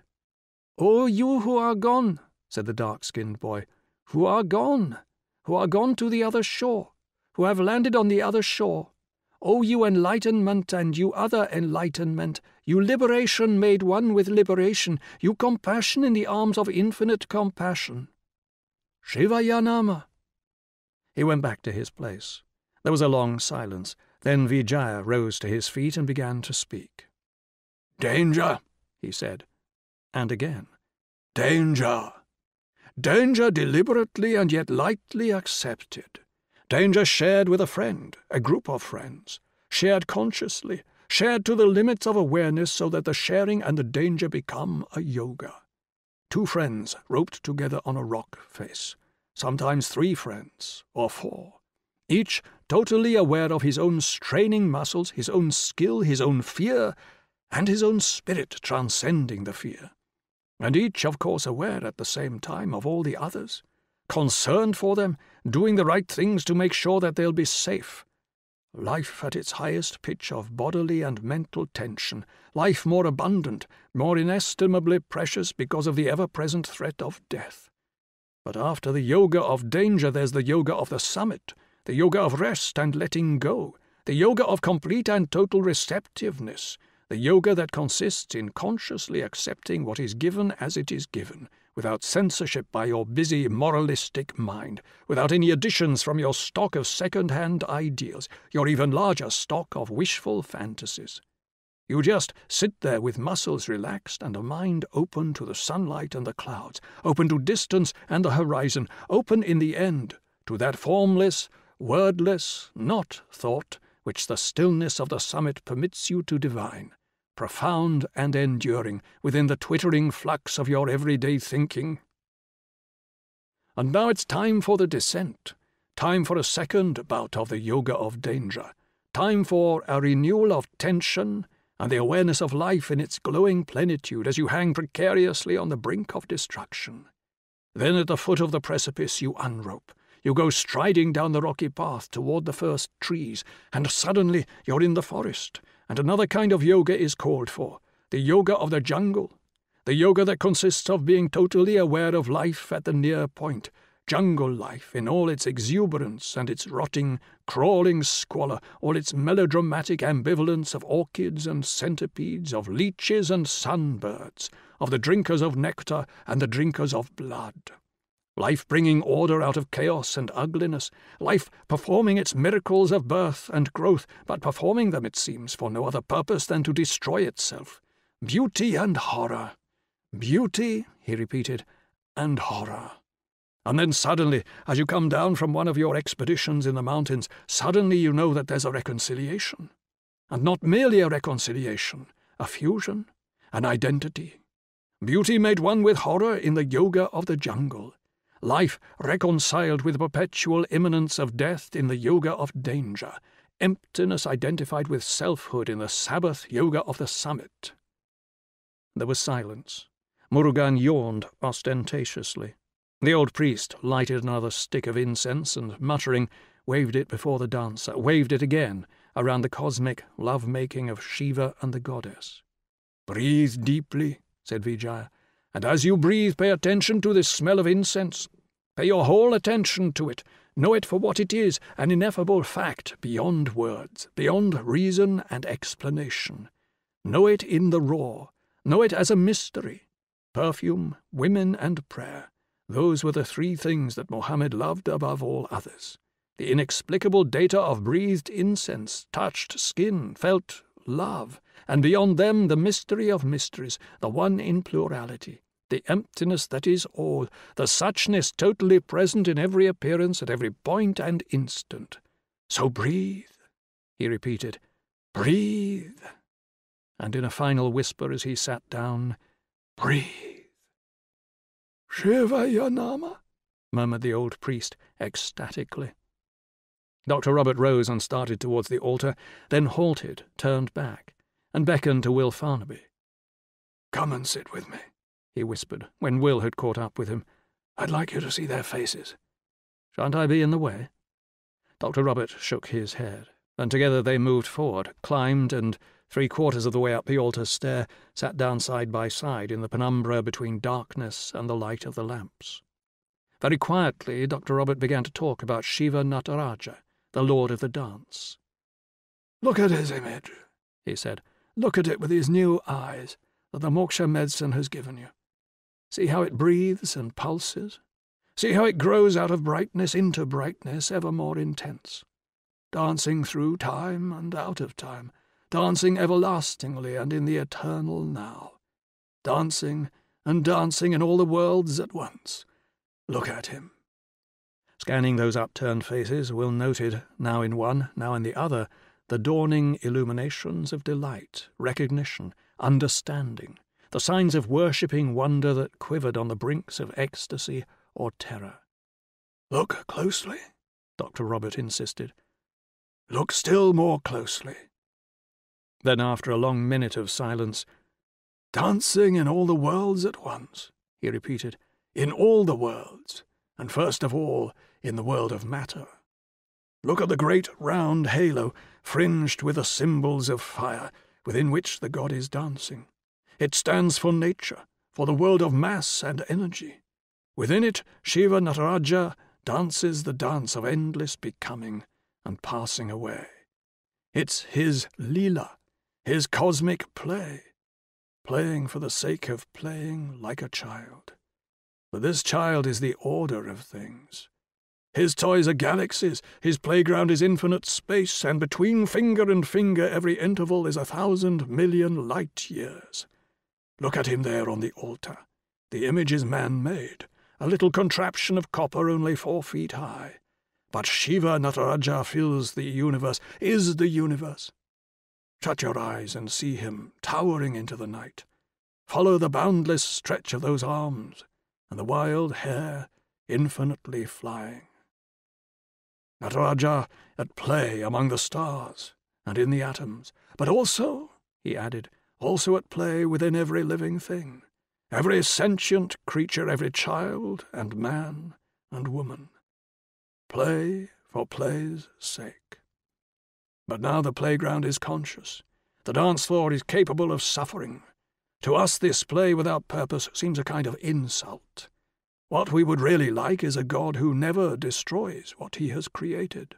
Or if there must be pain and death, let them be meted out by a God of righteousness, who will punish the wicked and reward the good with everlasting happiness.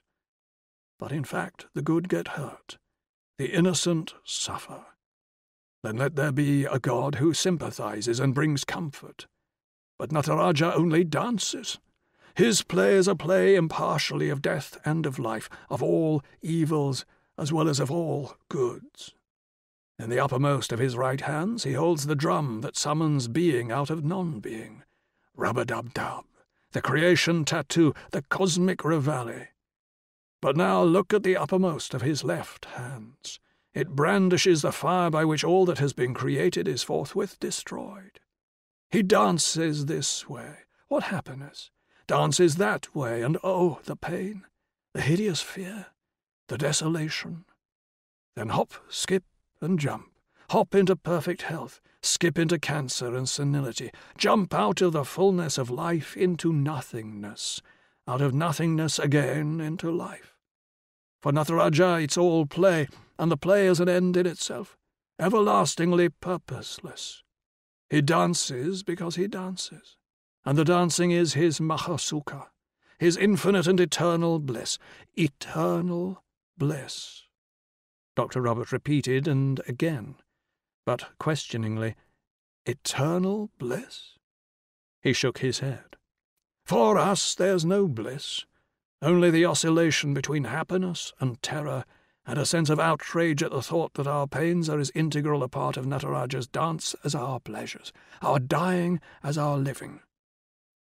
Let's quietly think about that for a little while. The seconds passed. The silence deepened. Suddenly, startlingly, one of the girls began to sob. Vijaya left his place and, kneeling down beside her, laid a hand on her shoulder. The sobbing died down. Suffering and sickness, Dr. Robert resumed at last. Old age, decrepitude, death. I show you sorrow. But that wasn't the only thing the Buddha showed us. He also showed us the ending of sorrow. Shiva Yanama, the old priest cried triumphantly. Open your eyes again and look at Nataraja up there on the altar. Look closely. In his upper right hand, as you've already seen, he holds the drum that calls the world into existence, and in his upper left hand he carries the destroying fire. Life and death, order and disintegration, impartially. But now look at Shiva's other pair of hands. The lower right hand is raised and the palm is turned outwards. What does that gesture signify? It signifies, don't be afraid, it's all right. But how can anyone in his senses fail to be afraid? How can anyone pretend that evil and suffering are all right when it's so obvious that they're all wrong? Nataraja has the answer. Look now at his lower left hand. He's using it to point down at his feet. And what are his feet doing? Look closely, and you'll see that the right foot is planted squarely on a horrible little subhuman creature, the demon Muyalaka, a dwarf, but immensely powerful in his malignity. Muyalaka is the embodiment of ignorance, the manifestation of greedy, possessive selfhood. Stamp on him, break his back.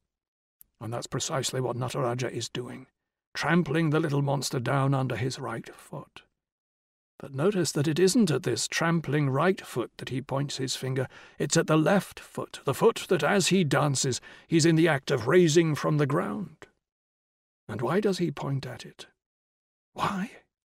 That lifted foot, that dancing defiance of the force of gravity, it's the symbol of release, of moksha, of liberation. Nataraja dances in all the worlds at once, in the world of physics and chemistry, in the world of ordinary, all too human experience, in the world, finally, of suchness, of mind, of the clear light. And now, Dr. Robert went on after a moment of silence, I want you to look at the other statue, the image of Shiva and the goddess. Look at them there in their little cave of light, and now shut your eyes and see them again, shining, alive, glorified. How beautiful!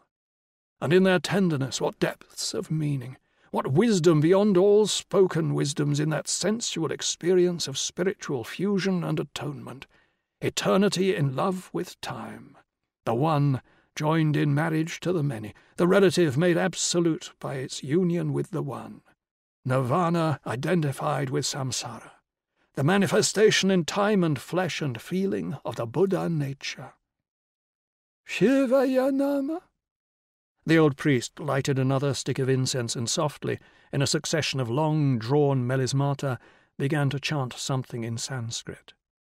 On the young faces before him, Will could read the marks of a listening serenity, the hardly perceptible, ecstatic smile that welcomes a sudden insight, a revelation of truth or of beauty. In the background, meanwhile, Murugan sat wearily slumped against a pillar, picking his exquisitely Grecian nose. Liberation, Dr. Robert began again. The ending of sorrow, ceasing to be what you ignorantly think you are and becoming what you are in fact. For a little while, thanks to the Moksha medicine, you will know what it's like to be what in fact you are, what in fact you always have been. What a timeless bliss. But, like everything else, this timelessness is transient. Like everything else, it will pass. And when it has passed, what will you do with this experience? What will you do with all the other similar experiences that the moksha medicine will bring you in the years to come? Will you merely enjoy them as you would enjoy an evening at the puppet show, and then go back to business as usual, back to behaving like the silly delinquents you imagine yourselves to be? Or having glimpsed, will you devote your lives to the business, not at all as usual, of being what you are in fact? all that we older people can do with our teachings, all that Pala can do for you with its social arrangements is to provide you with techniques and opportunities, and all that moksha medicine can do is to give you a succession of beatific glimpses, an hour or two, every now and then, of enlightening and liberating grace. It remains for you to decide whether you'll cooperate with the grace and take those opportunities. But that's for the future. Here and now, all you have to do is to follow the mynah bird's advice. Attention. Pay attention and you'll find yourself gradually or suddenly becoming aware of the great primordial facts behind these symbols on the altar. Shiva Nama? The old priest waved his stick of incense. At the foot of the altar steps the boys and girls sat motionless as statues. A door creaked. There was a sound of footsteps. Will turned his head and saw a short, thick-set man picking his way between the young contemplatives. He mounted the steps and, bending down, murmured something in Dr. Robert's ear, then turned and walked back towards the door. Dr. Robert laid a hand on Will's knee. It's a royal command, he whispered, with a smile and a shrug of the shoulders. That was the man in charge of the Alpine hut. The Rani has just telephoned to say that she has to see Murugan as soon as possible. It's urgent. Laughing noiselessly, he rose and helped Will to his feet. 11. Will Farnaby had made his own breakfast, and when Dr. Robert returned from his early morning visit to the hospital, was drinking his second cup of Palanese tea and eating toasted breadfruit with pumelo marmalade. Not too much pain in the night, was Dr. Robert's response to his inquiries. Lakshmi had four or five hours of good sleep, and this morning she was able to take some broth. They could look forward, he continued, to another day of respite. And so, since it tired the patient to have him there all the time, and since life, after all, had to go on and be made the best of, he had decided to drive up to the high altitude station and put in a few hours' work on the research team in the pharmaceutical laboratory. Work on the moksha medicine? Dr. Robert shook his head. That's just a matter of repeating a standard operation. Something for technicians, not for researchers. They're busy with something new. And he began to talk about the indoles recently isolated from the ololiuqui seeds that had been brought in from Mexico last year, and were now being grown in the station's botanic garden. At least three different indoles, of which one seemed to be extremely potent. Animal experiments indicated that it affected the reticular system. Left to himself, Will sat down under the overhead fan and went on with his reading of the notes on What's What. We cannot reason ourselves out of our basic irrationality. All we can do is to learn the art of being irrational in a reasonable way. In Pala, after three generations of reform, there are no sheep-like flocks and no ecclesiastical good shepherds to shear and castrate. There are no bovine or swinish herds, and no licensed drovers, royal or military, capitalistic or revolutionary, to brand, confine, and butcher. There are only voluntary associations of men and women on the road to full humanity. Tunes or pebbles, processes or substantial things. Tunes answer Buddhism and modern science, pebbles say the classical philosophers of the West. Buddhism and modern science think of the world in terms of music. The image that comes to mind when one reads the philosophers of the West is a figure in a Byzantine mosaic, rigid, symmetrical, made up of millions of little squares of some stony material and firmly cemented to the walls of a windowless basilica.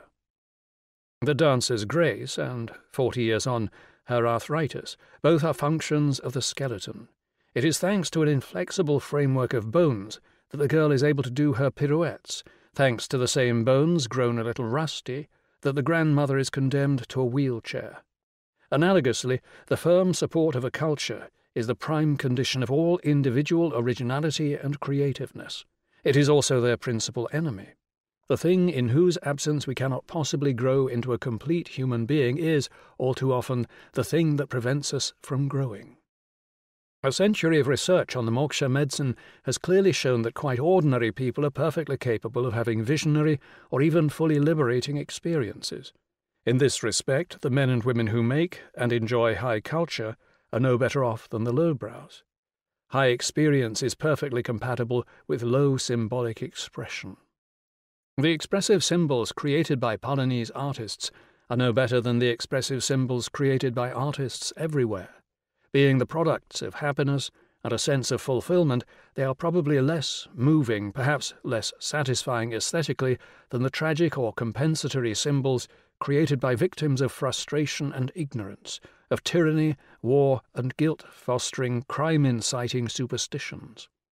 Pala's superiority does not lie in symbolic expression, but in an art which, though higher and far more valuable than all the rest, can yet be practised by everyone, the art of adequately experiencing, the art of becoming more intimately acquainted with all the worlds that, as human beings, we find ourselves inhabiting.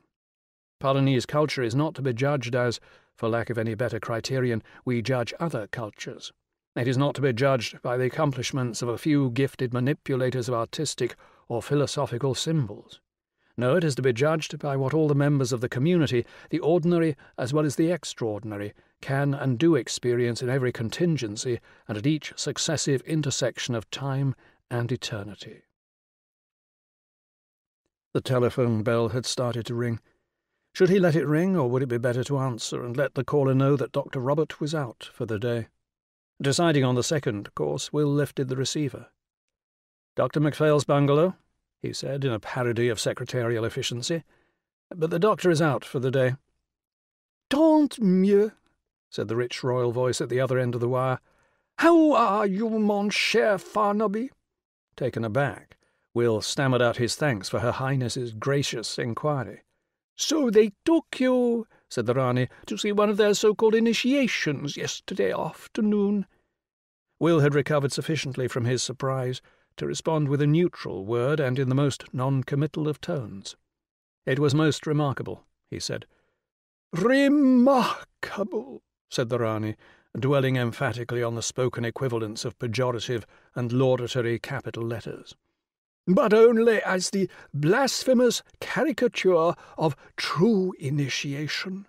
They've never learned to make the elementary distinction between the natural order and the supernatural. Quite, Will murmured. Quite. What did you say? the voice at the other end of the line demanded. Quite, Will repeated more loudly. I'm glad you agree, but I didn't call you, the Rani went on, to discuss the difference between the natural and the supernatural.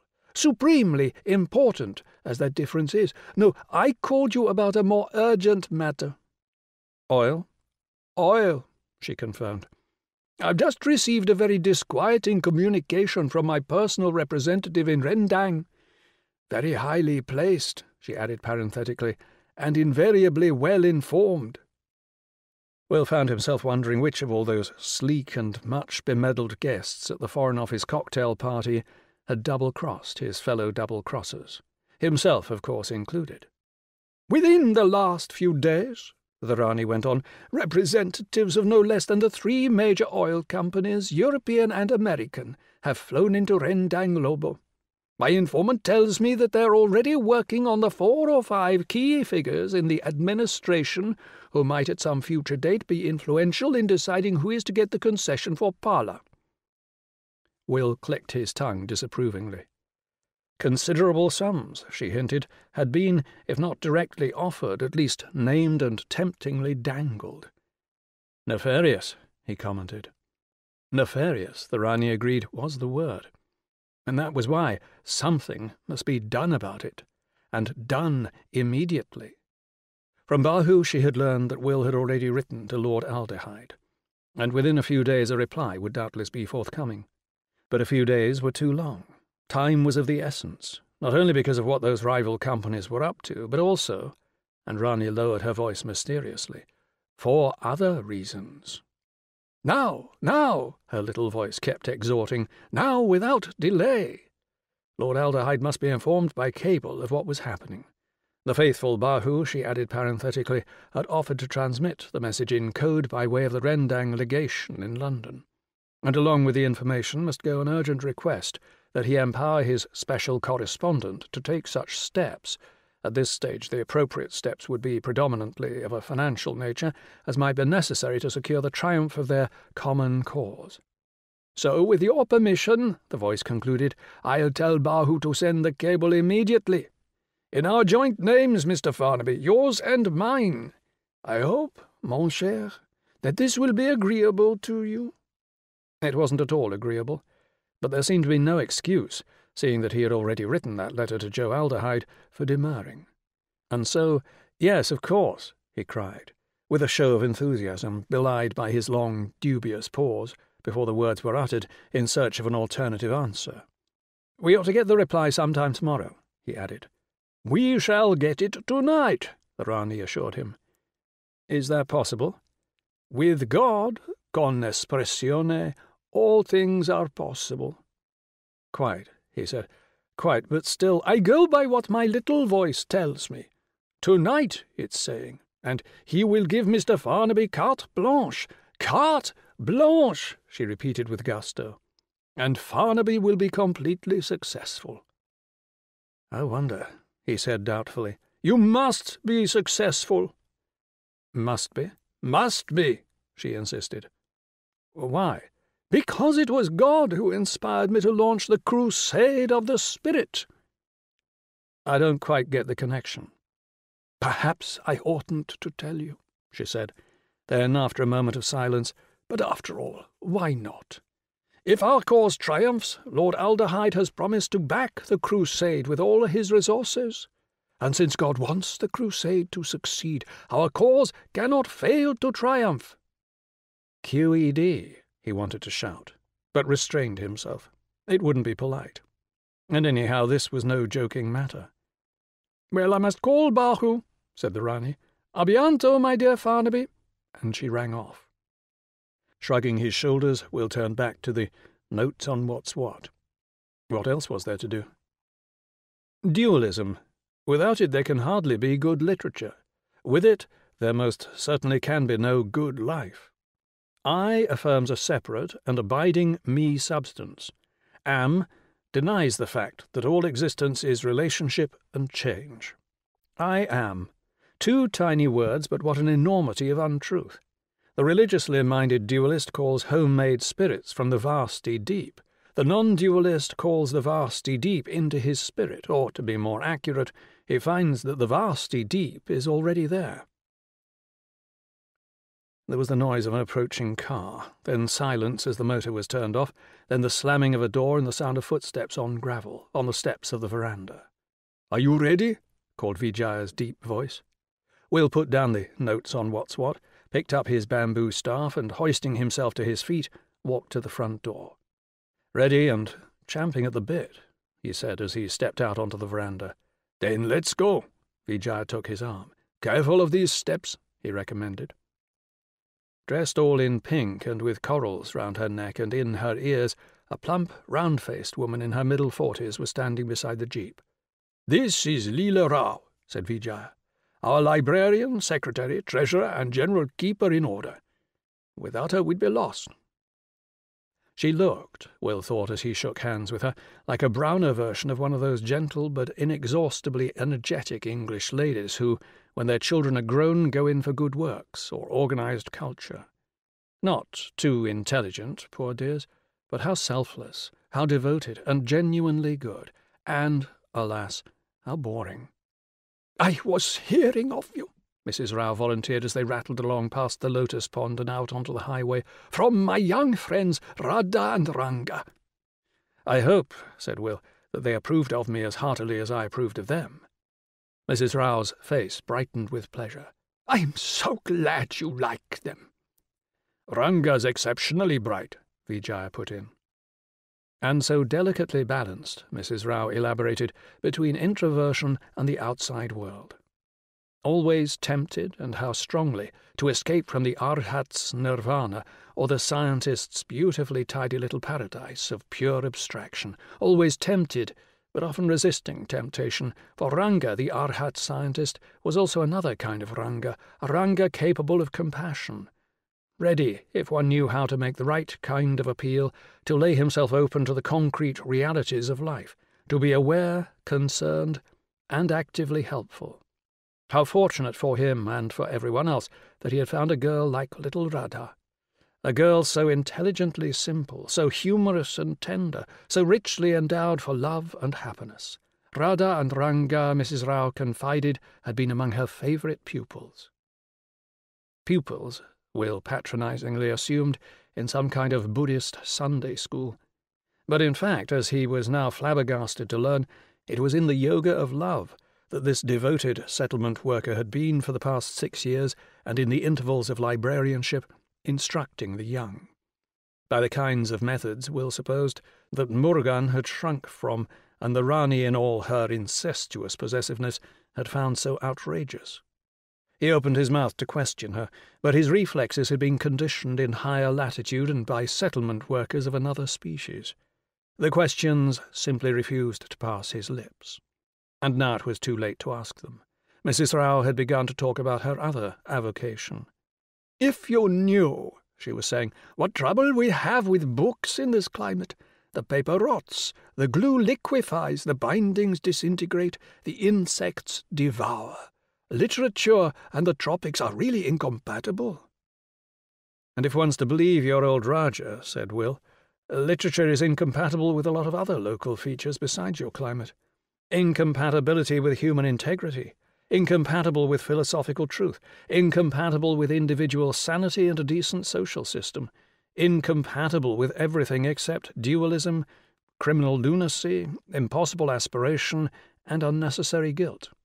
But never mind, he grinned ferociously. Colonel Dipa will put everything right. After Pala has been invaded and made safe for war and oil and heavy industry, you'll undoubtedly have a golden age of literature and theology. I'd like to laugh, said Vijaya. The only trouble is that you're probably right.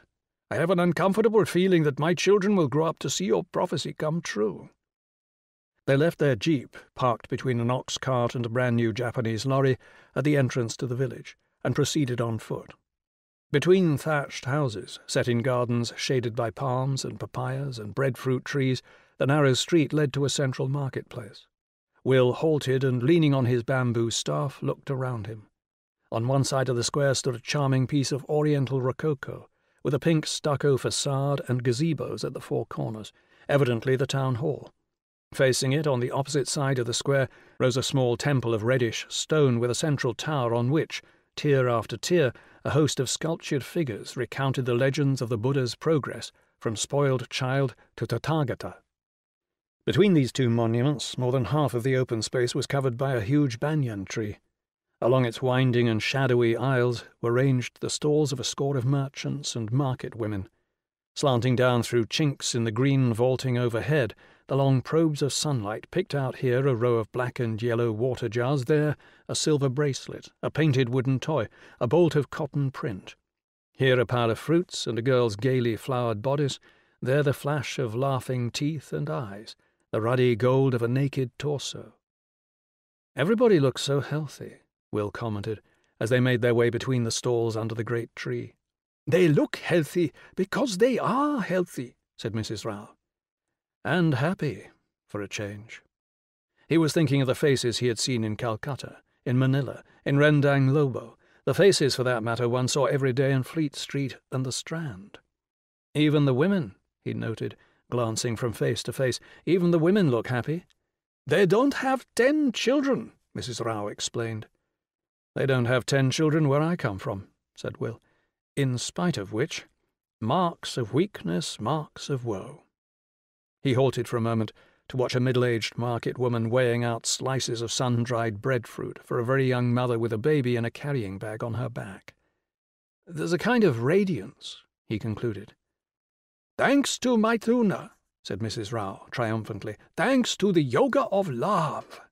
Her face shone with a mixture of religious fervour and professional pride. They walked out from under the shade of the banyan, across a stretch of fierce sunlight, up a flight of worn steps, and into the gloom of the temple.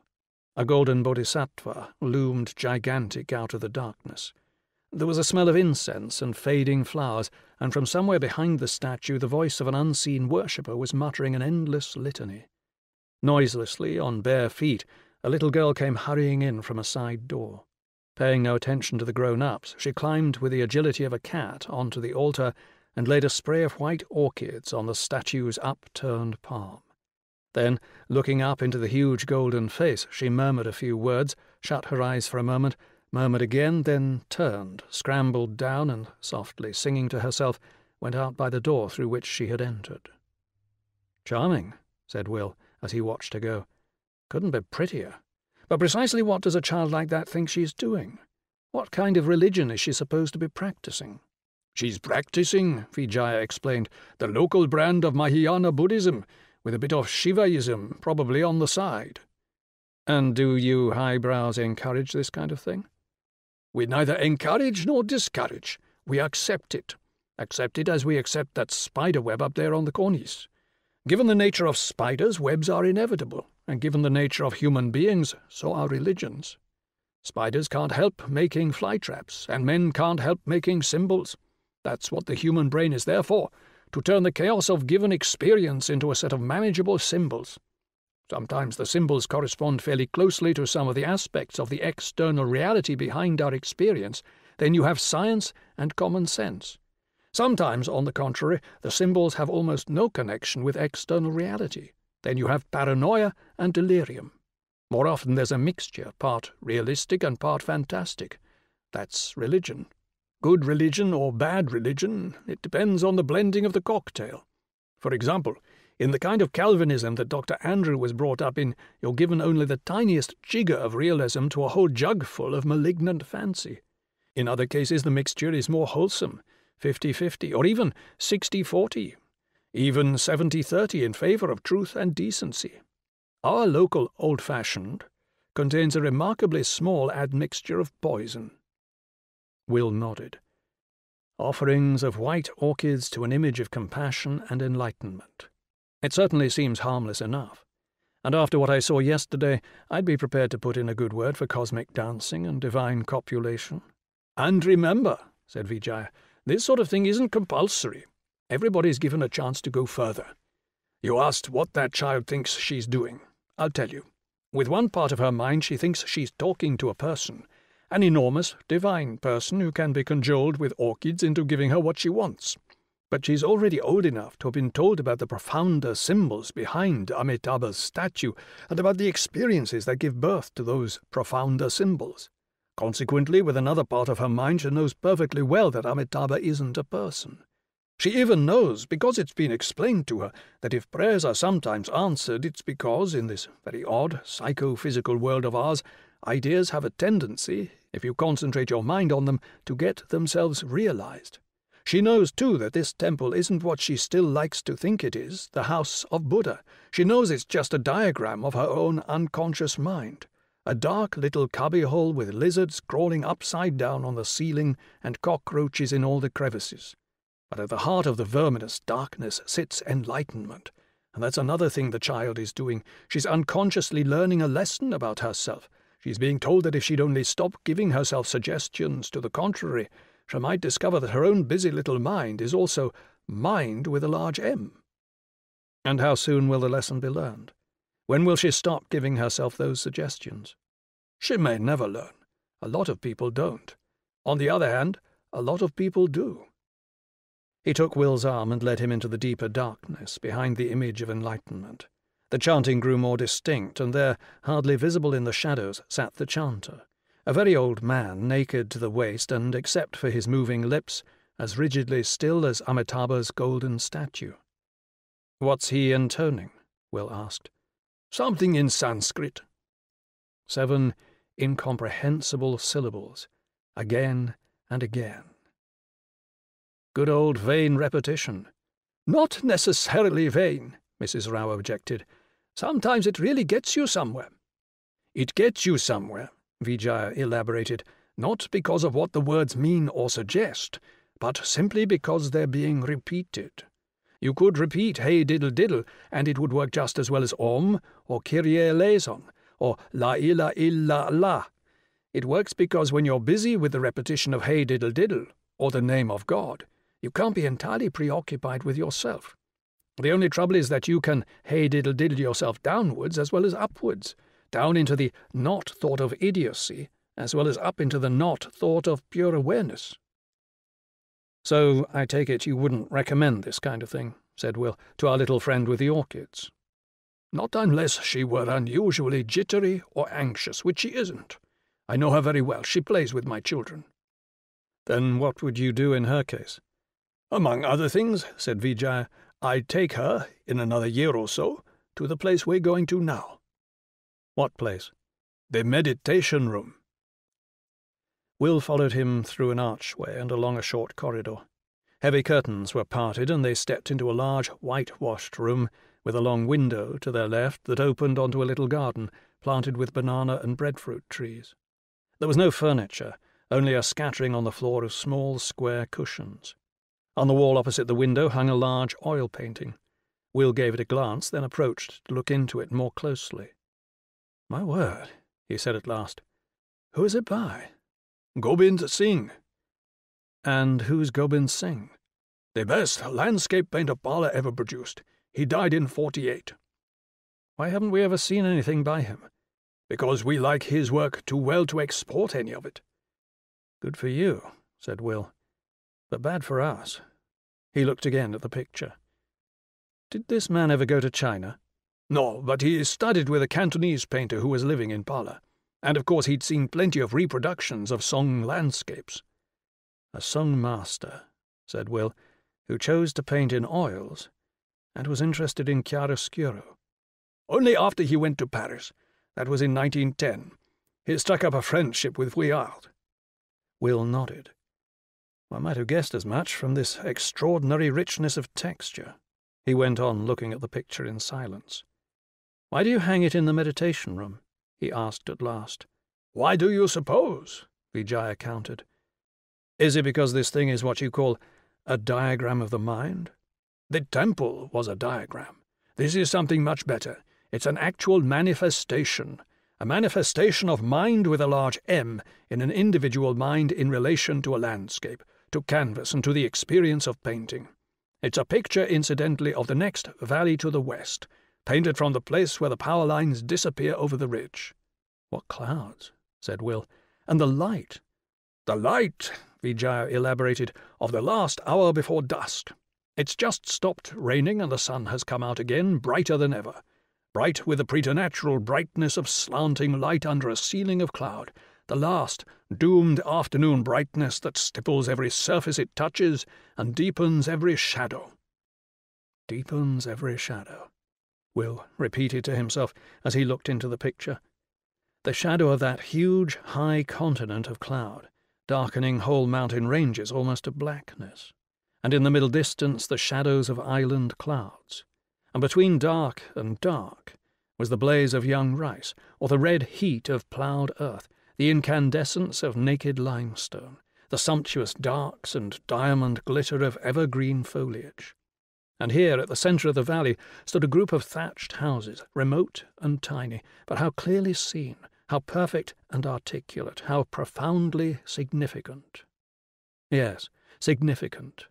But when you asked yourself, of what? You found no answer.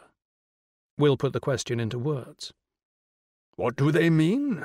Vijaya repeated. They mean precisely what they are. And so do the mountains, so do the clouds, so do the lights and darks. And that's why this is a genuinely religious image.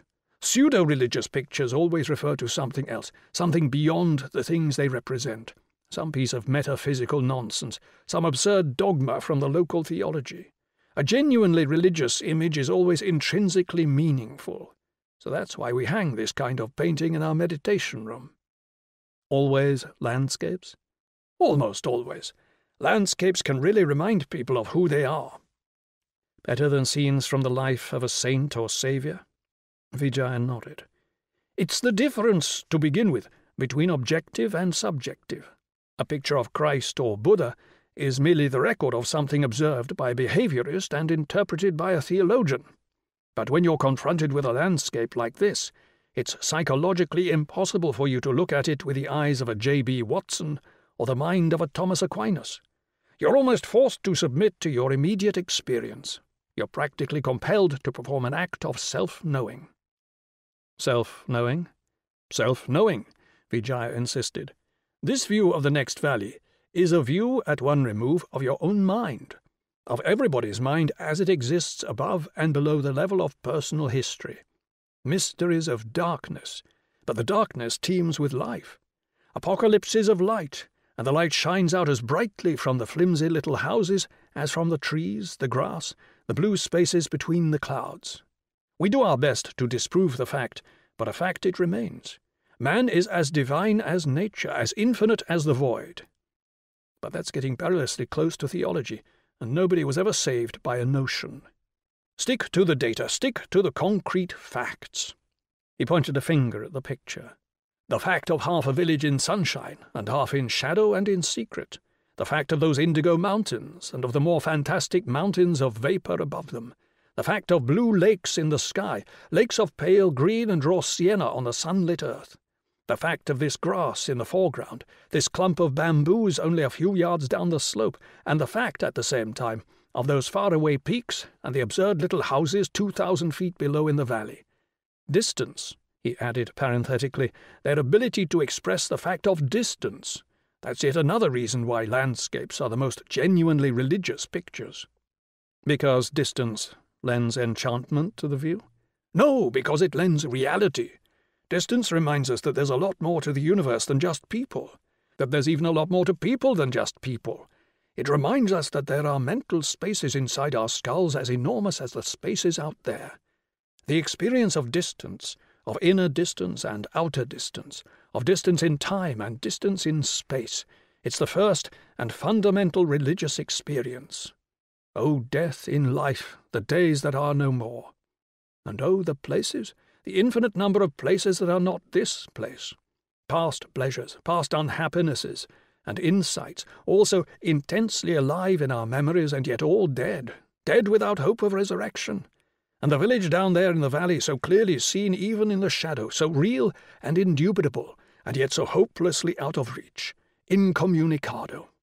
A picture like this is the proof of man's capacity to accept all the deaths in life, all the yawning absences surrounding every presence.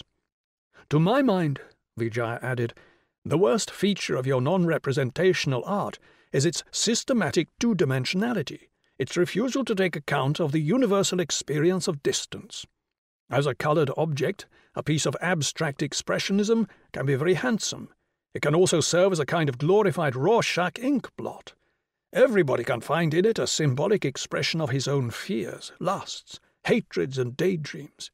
But can one ever find in it those more than human, or should one say those other than all too human facts that one discovers in oneself when the mind is confronted by the outer distances of nature, or by the simultaneously inner and outer distances of a painted landscape like this one we're looking at? All I know is that in your abstractions I don't find the realities that reveal themselves here, and I doubt if anyone else can. Which is why this fashionable, abstract, non objective expressionism of yours is so fundamentally irreligious. And also, I may add, why even the best of it is so profoundly boring, so bottomlessly trivial. Do you come here often? Will asked after a silence. Whenever I feel like meditating in a group rather than alone. How often is that? Once every week or so. But of course, some people like to do it oftener and some much more rarely, or even never. It depends on one's temperament. Take our friend Susila, for example. She needs big doses of solitude, so she hardly ever comes to the meditation room, whereas Ashanta, that's my wife, likes to look in here almost every day. So do I, said Mrs. Rao, but that's only to be expected, she added with a laugh. Fat people enjoy company, even when they're meditating. And do you meditate on this picture? Will asked. Not on it, from it, if you see what I mean, or rather parallel with it. I look at it and the other people look at it, and it reminds us all of who we are and what we aren't, and how what we aren't might turn into who we are. Is there any connection, Will asked, between what you've been talking about and what I saw up there in the Shiva temple? Of course there is, she answered. The moksha medicine takes you to the same place as you get to in meditation. So why bother to meditate? You might as well ask, why bother to eat your dinner? But according to you, the moksha medicine is dinner. It's a banquet, she said emphatically. And that's precisely why there has to be meditation. You can't have banquets every day. They're too rich and they last too long. Besides, banquets are provided by a caterer. You don't have any part in the preparation of them. For your everyday diet, you have to do your own cooking. The moksha medicine comes as an occasional treat. In theological terms, said Vijaya, the moksha medicine prepares one for the reception of gratuitous graces, pre-mystical visions or the full-blown mystical experiences. Meditation is one of the ways in which one cooperates with those gratuitous graces. How? By cultivating the state of mind that makes it possible for the dazzling, ecstatic insights to become permanent and habitual illuminations. By getting to know oneself to the point where one won't be compelled by one's unconscious to do all the ugly, absurd, self stultifying things that one so often finds oneself doing. You mean it helps one to be more intelligent? Not more intelligent in relation to science or logical argument more intelligent on the deeper level of concrete experiences and personal relationships. More intelligent on that level, said Mrs. Rao, even though one may be very stupid upstairs. She patted the top of her head. I'm too dumb to be any good at the things that Dr. Robert and Vijaya are good at genetics and biochemistry and philosophy and all the rest. And I'm no good at painting, or poetry, or acting. No talents and no cleverness so I ought to feel horribly inferior and depressed. But in fact I don't. Thanks entirely to the moksha medicine and meditation. No talents or cleverness. But when it comes to living, when it comes to understanding people and helping them, I feel myself growing more and more sensitive and skilful. And when it comes to what Vijaya calls gratuitous graces, she broke off. You could be the greatest genius in the world, but you wouldn't have anything more than what I've been given. Isn't that true, Vijaya? Perfectly true. She turned back to Will. So you see, Mr. Farnaby, Pala's the place for stupid people. The greatest happiness of the greatest number. And we stupid ones are the greatest number. People like Dr. Robert and Vijaya and my darling Ranga. We recognize their superiority. We know very well that their kind of intelligence is enormously important. But we also know that our kind of intelligence is just as important, and we don't envy them, because we're given just as much as they are, sometimes even more. Sometimes, Vijaya agreed, even more, for the simple reason that a talent for manipulating symbols tempts its possessors into habitual symbol manipulation, and habitual symbol manipulation is an obstacle in the way of concrete experiencing and the reception of gratuitous graces. So you see, said Mrs. Rao, you don't have to feel too sorry for us. She looked at her watch. Goodness, I shall be late for Dilip's dinner if I don't hurry. She started briskly towards the door. Time, time, time, Will mocked. Time, even in this place of timeless meditation. Time for dinner breaking incorrigibly into eternity, he laughed. Never take yes for an answer. The nature of things is always no. Mrs. Rao halted for a moment and looked back at him. But sometimes, she said with a smile, it's eternity that miraculously breaks into time, even into dinner time. Goodbye. She waved her hand and was gone. Which is better? Will wondered aloud as he followed Vijaya through the dark temple out into the noonday glare. Which is better? To be born stupid into an intelligent society, or intelligent into an insane one? 12. Here we are, said Vijay, when they had reached the end of the short street that led downhill from the marketplace. He opened a wicket gate and ushered his guest into a tiny garden, at the further end of which, on its low stilts, stood a small thatched house. From behind the bungalow, a yellow mongrel dog rushed out and greeted them with a frenzy of ecstatic yelps and jumps and tail waggings. A moment later, a large green parrot with white cheeks and a bill of polished jet, came swooping down from nowhere and landed with a squawk and a noisy fluttering of wings on Vijaya's shoulder. Parrots for you, said Will. Mynahs for little Mary Sarojini. You people seem to be on remarkably good terms with the local fauna. Vijaya nodded. Pala is probably the only country in which an animal theologian would have no reason for believing in devils. For animals everywhere else, Satan, quite obviously is Homo sapiens. They climbed the steps to the veranda and walked through the open front door into the bungalow's main living room. Seated on a low chair near the window, a young woman in blue was nursing her baby son. She lifted a heart shaped face that narrowed down from a broad forehead to a delicately pointed chin and gave them a welcoming smile. I've brought Will Farnaby, said Vijaya as he bent down to kiss her. Shanta held out her free hand to the stranger. I hope Mr. Farnaby doesn't object to nature in the raw, she said. As though to give point to her words, the baby withdrew his mouth from the brown nipple and belched. A white bubble of milk appeared between his lips, swelled up and burst. He belched again, then resumed his sucking. Even at eight months, she added, Rama's table manners are still rather primitive. A fine specimen, said Will politely. He was not much interested in babies and had always been thankful for those repeated miscarriages which had frustrated all Molly's hopes and longings for a child. Who's he going to look like? You or Vijaya? Shanta laughed, and Vijaya joined in, enormously, an octave lower. He certainly won't look like Vijaya, she answered. Why not? For the sufficient reason, said Vijaya, that I'm not genetically responsible. In other words, the baby isn't Vijay's son. Will looked from one laughing face to the other, then shrugged his shoulders. I give up. Four years ago, Shanta explained, we produced a pair of twins who are the living image of Vijay. This time we thought it would be fun to have a complete change. We decided to enrich the family with an entirely new physique and temperament. Did you ever hear of Gobind Singh? Vijay has just been showing me his painting in your meditation room. Well, that's the man we chose for Rama's father. But I understood he was dead. Shanta nodded. But his soul goes marching along. What do you mean? DF and AI? DF and AI, deep freeze, and artificial insemination. Oh, I see. Actually, said Vijaya, we developed the techniques of AI about 20 years before you did. But of course we couldn't do much with it until we had electric power and reliable refrigerators. We got those in the late 20s.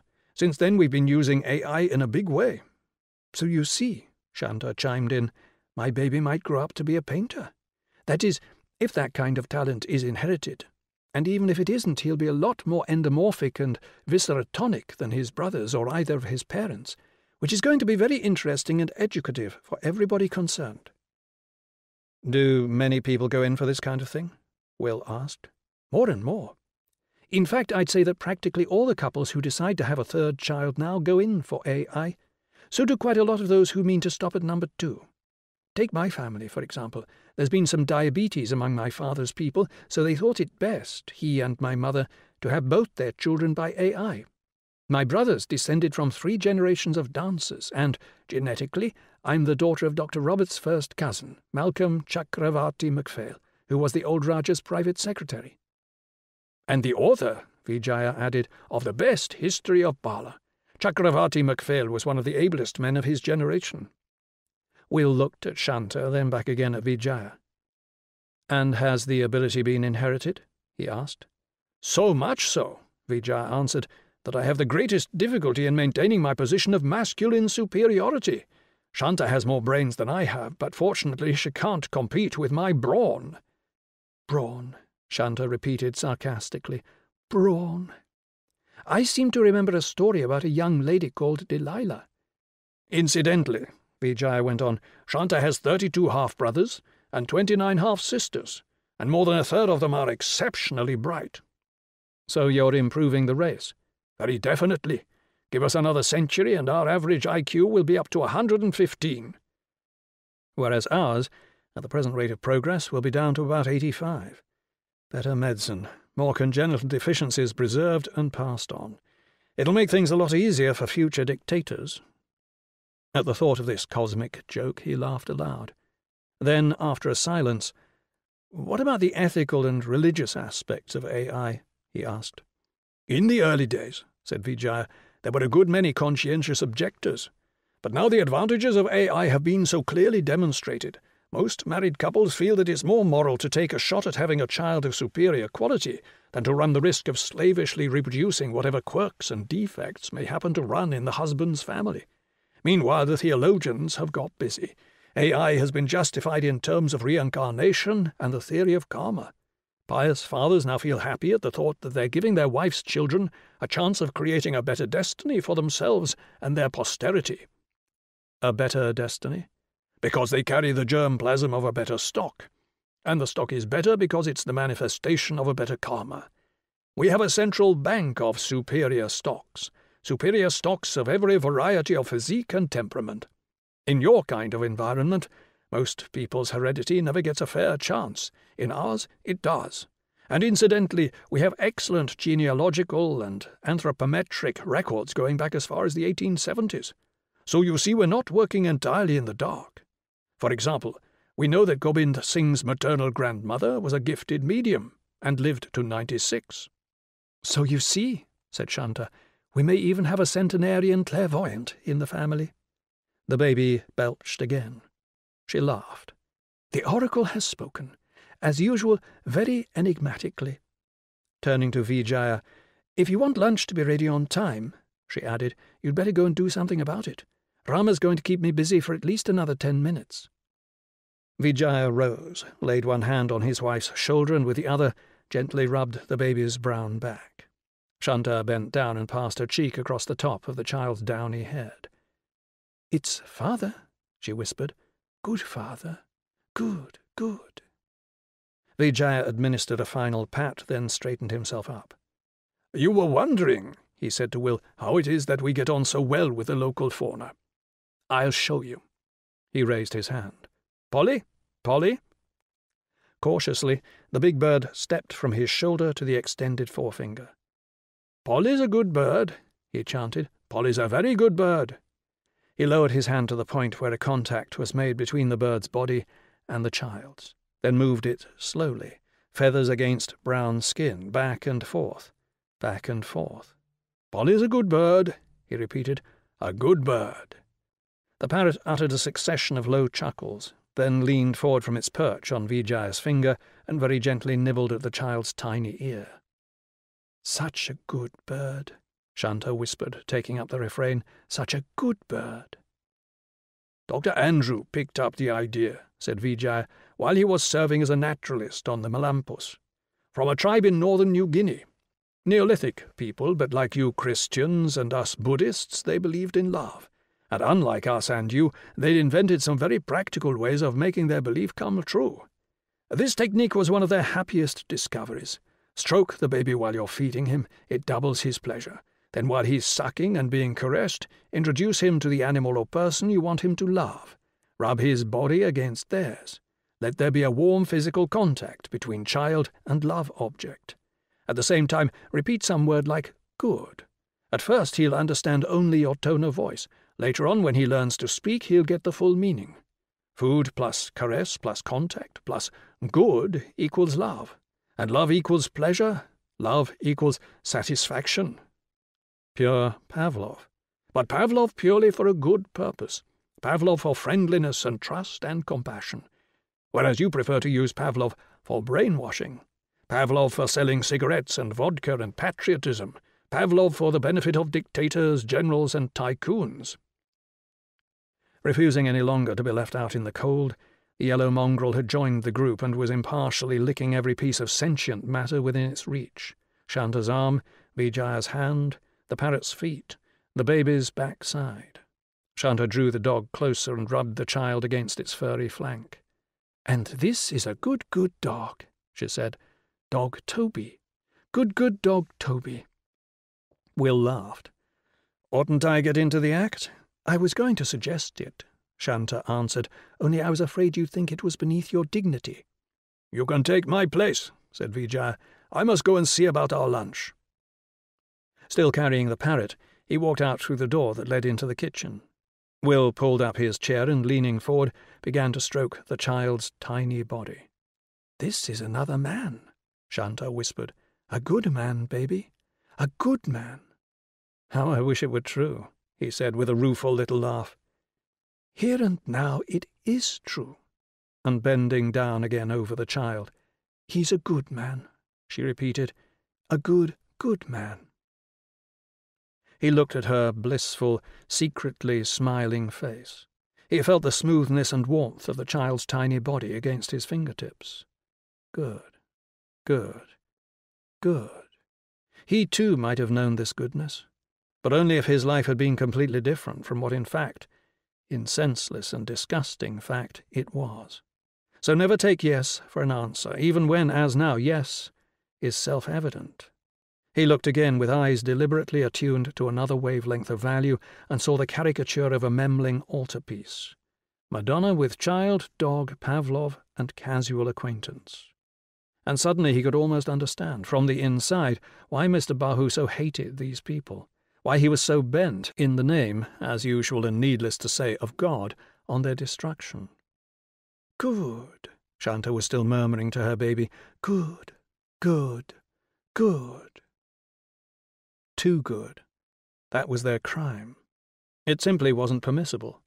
And yet how precious it was, and how passionately he wished that he might have had a part in it. Pure sentimentality, he said to himself, and then aloud, Good, good, good, he echoed ironically.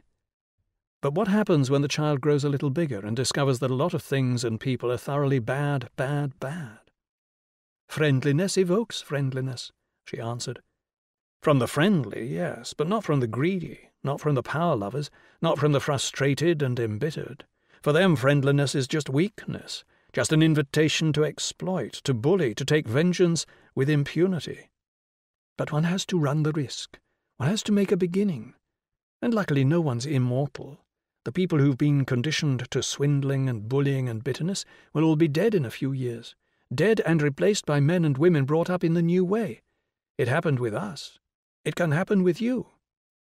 It can happen, he agreed. But in the context of H bombs and nationalism and 50 million more people every single year, it almost certainly won't. You can't tell till you try. And we shan't try as long as the world is in its present state. And of course, it will remain in its present state until we do try. Try and What's more, succeed at least as well as you've succeeded, which brings me back to my original question. What happens when good, good, good discovers that even in Pala there's a lot of bad, bad, bad? Don't the children get some pretty unpleasant shocks? We try to inoculate them against those shocks. How? By making things unpleasant for them while they're still young? Not unpleasant. Let's say real. We teach them love and confidence but we expose them to reality, reality in all its aspects, and then give them responsibilities. They're made to understand that Pala isn't Eden or the land of Cockaigne. It's a nice place, all right, but it will remain nice only if everybody works and behaves decently. And meanwhile, the facts of life are the facts of life even here. What about the facts of life in those blood curdling snakes I met halfway up the precipice? You can say good, good, good as much as you like, but snakes will still bite. You mean they still can bite? But will they in fact make use of their ability? Why shouldn't they? Look over there, said Shanta. He turned his head and saw that what she was pointing at was a niche in the wall behind him. Within the niche was a stone Buddha, about half life size, seated upon a curiously grooved cylindrical pedestal and surmounted by a kind of lead shaped canopy that tapered down behind him into a broad pillar. It's a small replica, she went on, of the Buddha in the station compound. You know, the huge figure by the lotus pool. Which is a magnificent piece of sculpture, he said, and the smile really gives one an inkling of what the beatific vision must be like. But what has it got to do with snakes? Look again. He looked. I don't see anything specially significant. Look harder. The seconds passed. Then, with a shock of surprise, he noticed something strange and even disquieting. What he had taken for an oddly ornamented cylindrical pedestal had suddenly revealed itself as a huge coiled snake, and that downward tapering canopy under which the Buddha was sitting was the expanded hood, with a flattened head at the centre of its leading edge, of a giant cobra. My God, he said, I hadn't noticed. How unobservant can one be? Is this the first time you've seen the Buddha in this context? The first time. Is there some legend? She nodded. One of my favourites. You know about the Bodhi tree, of course? Yes, I know about the Bodhi tree. Well, that wasn't the only tree that Gautama sat under at the time of his enlightenment. After the Bodhi tree, he sat for seven days under a banyan, called the Tree of the Goatherd and after that he moved on to the tree of Mucalinda. Who was Mucalinda? Mucalinda was the king of the snakes, and being a god, he knew what was happening. So when the Buddha sat down under his tree, the snake king crawled out of his hole, yards and yards of him, to pay nature's homage to wisdom. Then a great storm blew up from the west. The divine cobra wrapped its coils round the more than divine man's body, spread its hood over his head, and, for the seven days his contemplation lasted, shelter the Tathagata from the wind and rain. So there he sits to this day, with Cobra beneath him, Cobra above him, conscious simultaneously of Cobra and the clear light and their ultimate identity. How ah, very different, said Will, from our view of snakes. And your view of snakes is supposed to be God's view. Remember Genesis? I will put enmity between thee and the woman, he quoted, and between her seed and thy seed. But wisdom never puts enmity anywhere. All those senseless, pointless cockfights between man and nature, between nature and God, between the flesh and the spirit, wisdom doesn't make those insane separations. Nor does science. Wisdom takes science in its stride and goes a stage further. What about totemism? Will went on. What about the fertility cults? They didn't make any separations. Were they wisdom? Of course they were. Primitive wisdom, wisdom on the Neolithic level, but after a time, people begin to get self conscious, and the old dark gods come to seem disreputable. So the scene changes. Enter the gods of light, enter the prophets, enter Pythagoras and Zoroaster, enter the Jains and the early Buddhists. Between them, they usher in the age of the cosmic cockfight Ormuzd versus Ahriman, Jehovah versus Satan, and the Baalim.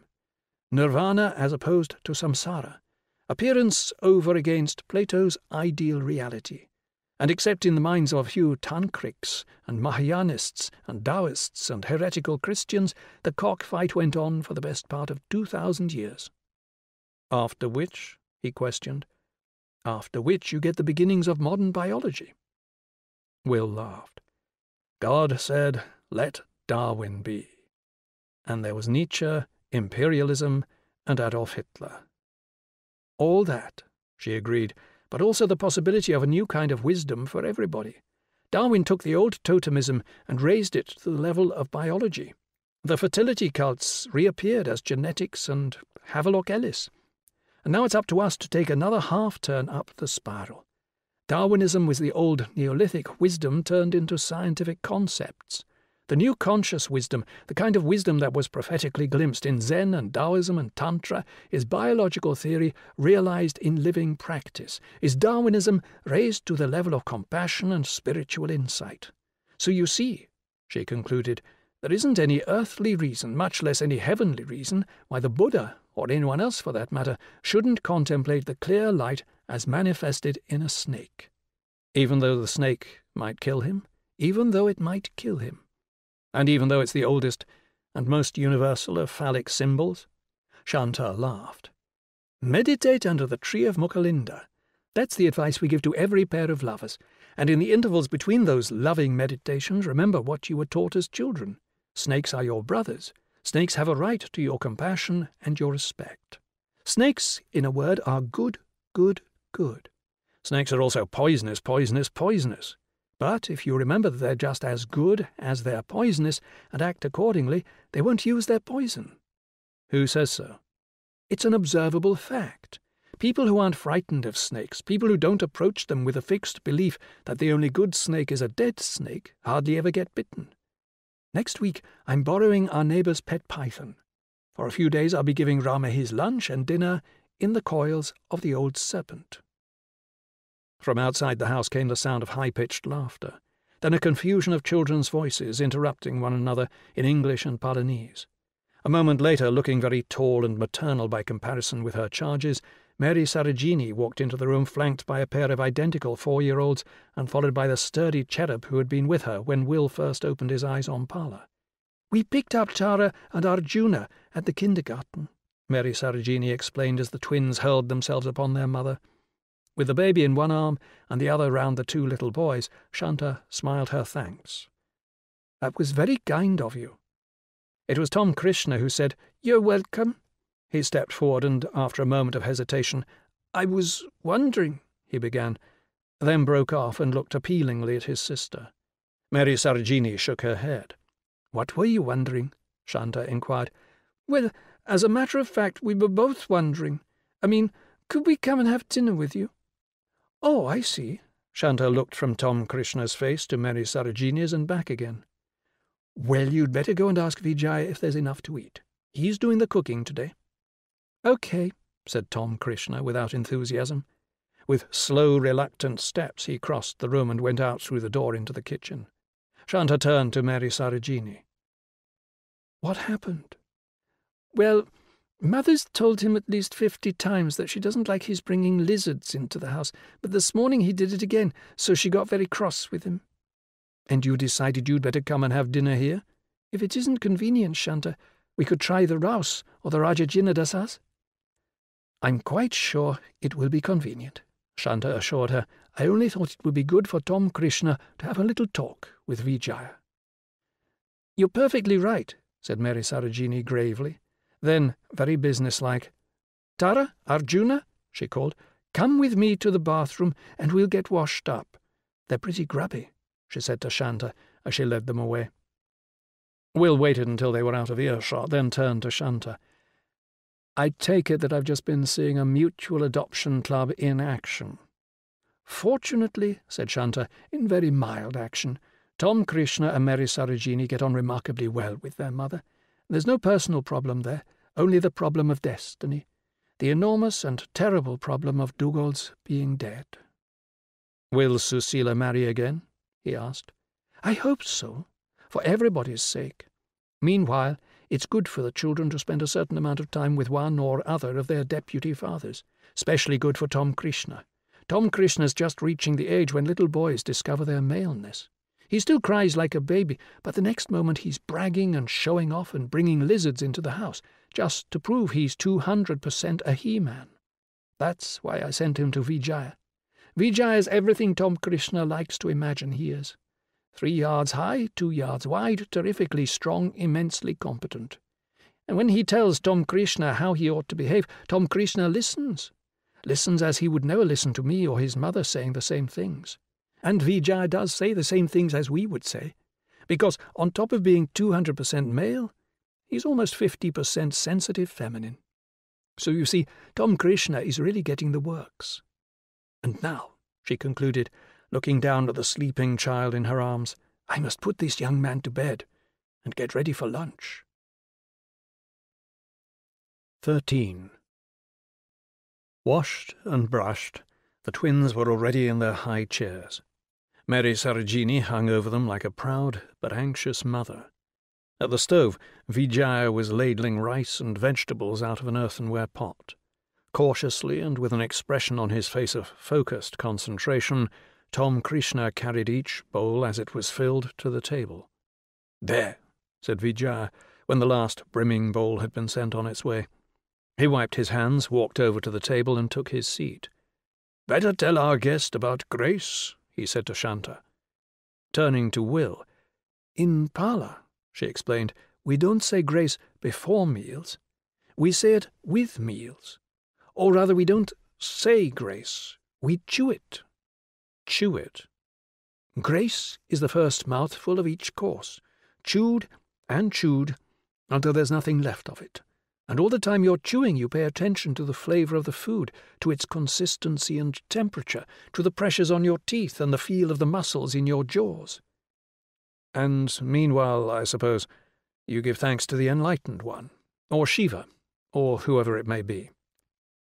Shanta shook her head emphatically. That would distract your attention, and attention is the whole point.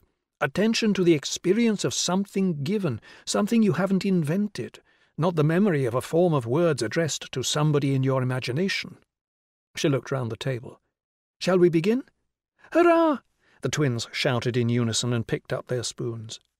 For a long minute there was a silence, broken only by the twins who had not yet learned to eat without smacking their lips. May we swallow now? asked one of the little boys at last. Shanta nodded. Everyone swallowed.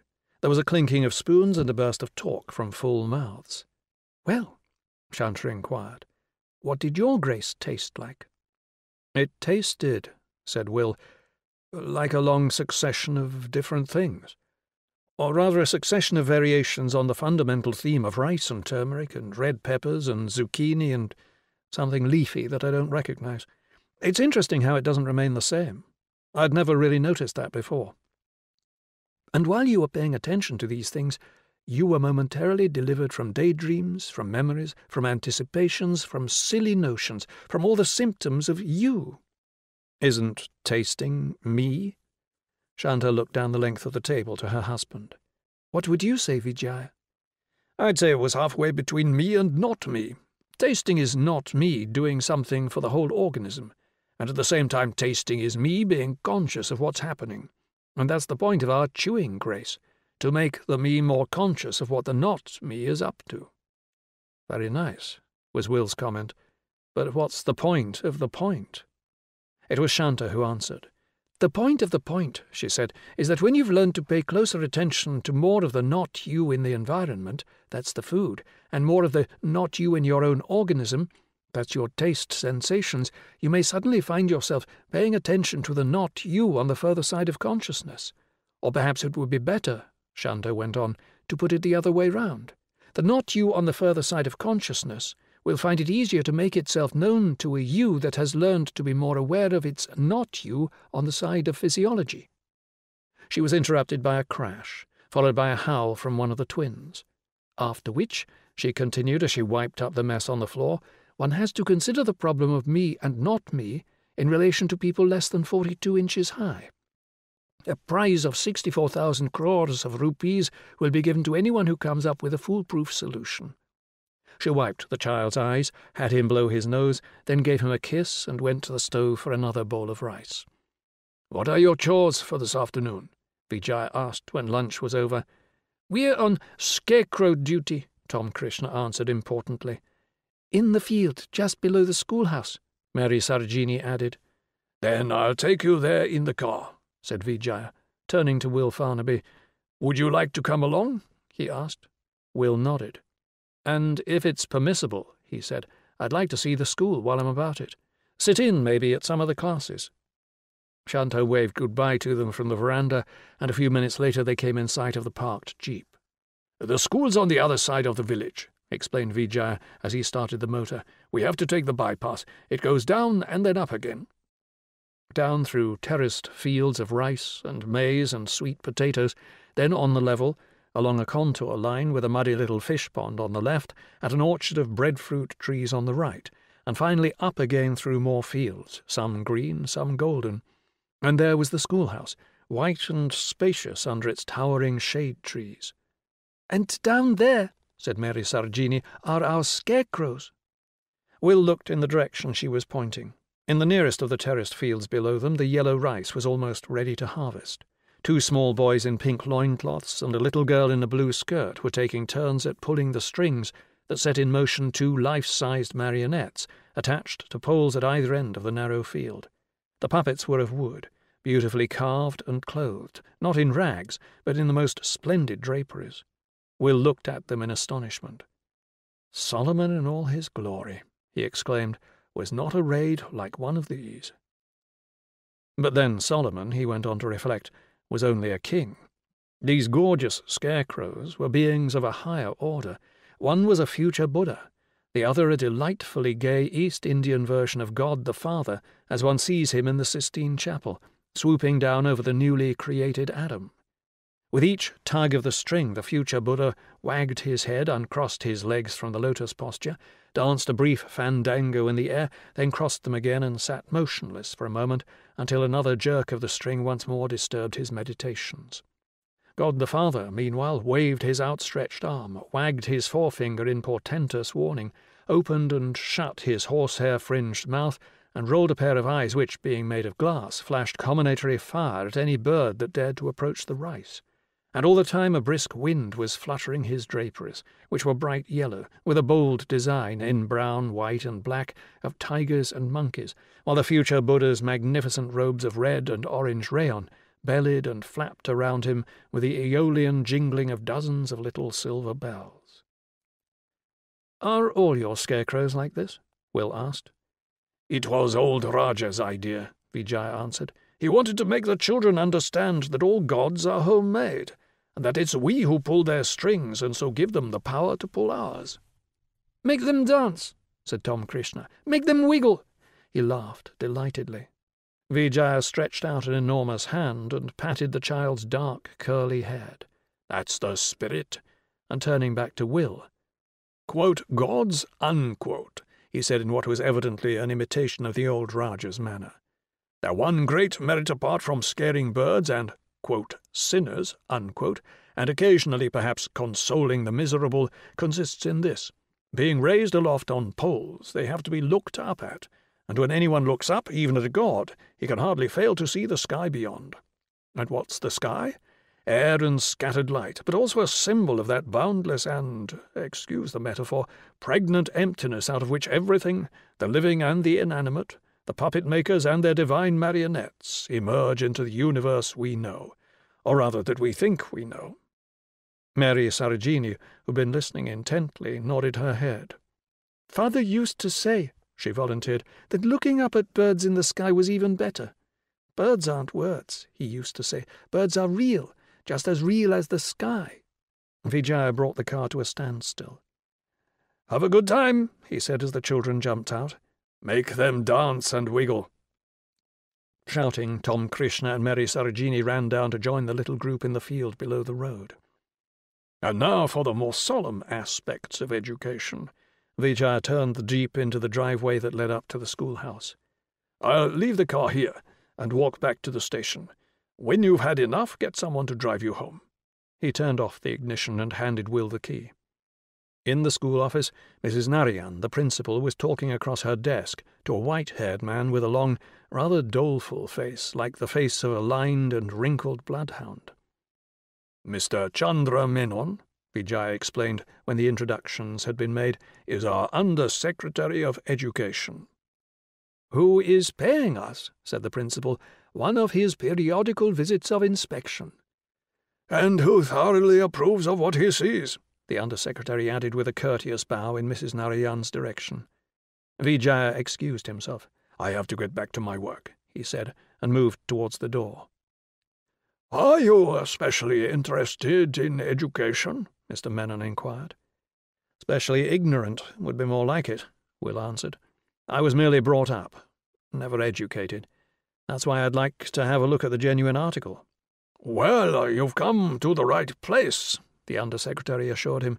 New Rothamsted is one of our best schools. What's your criterion of a good school? Will asked.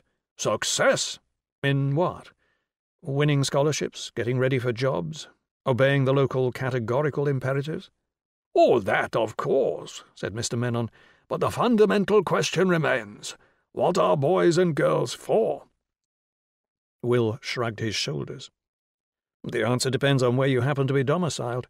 For example, what are boys and girls for in America? Answer, from mass consumption. And the corollaries of mass consumption are mass communications, mass advertising, mass opiates in the form of television, reprobate, positive thinking, and cigarettes. And now that Europe has made the breakthrough into mass production, what will its boys and girls be for? For mass consumption and all the rest. Just like the boys and girls in America. Whereas in Russia, there's a different answer. Boys and girls are for strengthening the national state. Hence, all those engineers and science teachers, not to mention 50 divisions ready for instant combat and equipped with everything from tanks to H bombs and long range rockets. And in China, it's the same, but a good deal more so. What are boys and girls for there? For cannon fodder, industry fodder, agriculture fodder, road building fodder. So East is East and West is West, for the moment. But the twain may meet in one or other of two ways. West may get so frightened of East that it will give up thinking that boys and girls are for mass consumption and decide instead that they are for cannon fodder and strengthening the state. Alternatively, East may find itself under such pressure from the appliance hungry masses who long to go Western that it will have to change its mind and say that boys and girls are really for mass consumption. But that's for the future. As for now, the current answers to your question are mutually exclusive. And both of the answers, said Mr. Menon, are different from ours. What are Palanese boys and girls for? Neither for mass consumption nor for strengthening the state. The state has to exist, of course, and there has to be enough for everybody, that goes without saying. It's only on those conditions that boys and girls can discover what in fact they are for. Only on those conditions that we can do anything about it. And what in fact are they for? for actualization, for being turned into full blown human beings. Will nodded. Notes on what's what, he commented. Become what you really are. The old Raja, said Mr. Menon, was mainly concerned with what people really are on the level that's beyond individuality. And of course, we're just as much interested in that as he was. But our first business is elementary education, and elementary education has to deal with individuals in all their diversity of shape, size, temperament, gifts, and deficiencies. Individuals in their transcendent unity are the affair of higher education. That begins in adolescence and is given concurrently with advanced elementary education. Begins, I take it, said Will, with the first experience of the Moksha medicine.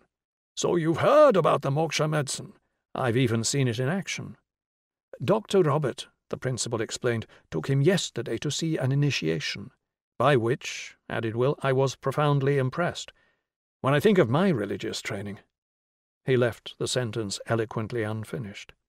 Well, as I was saying, Mr. Menon continued, adolescents get both kinds of education concurrently.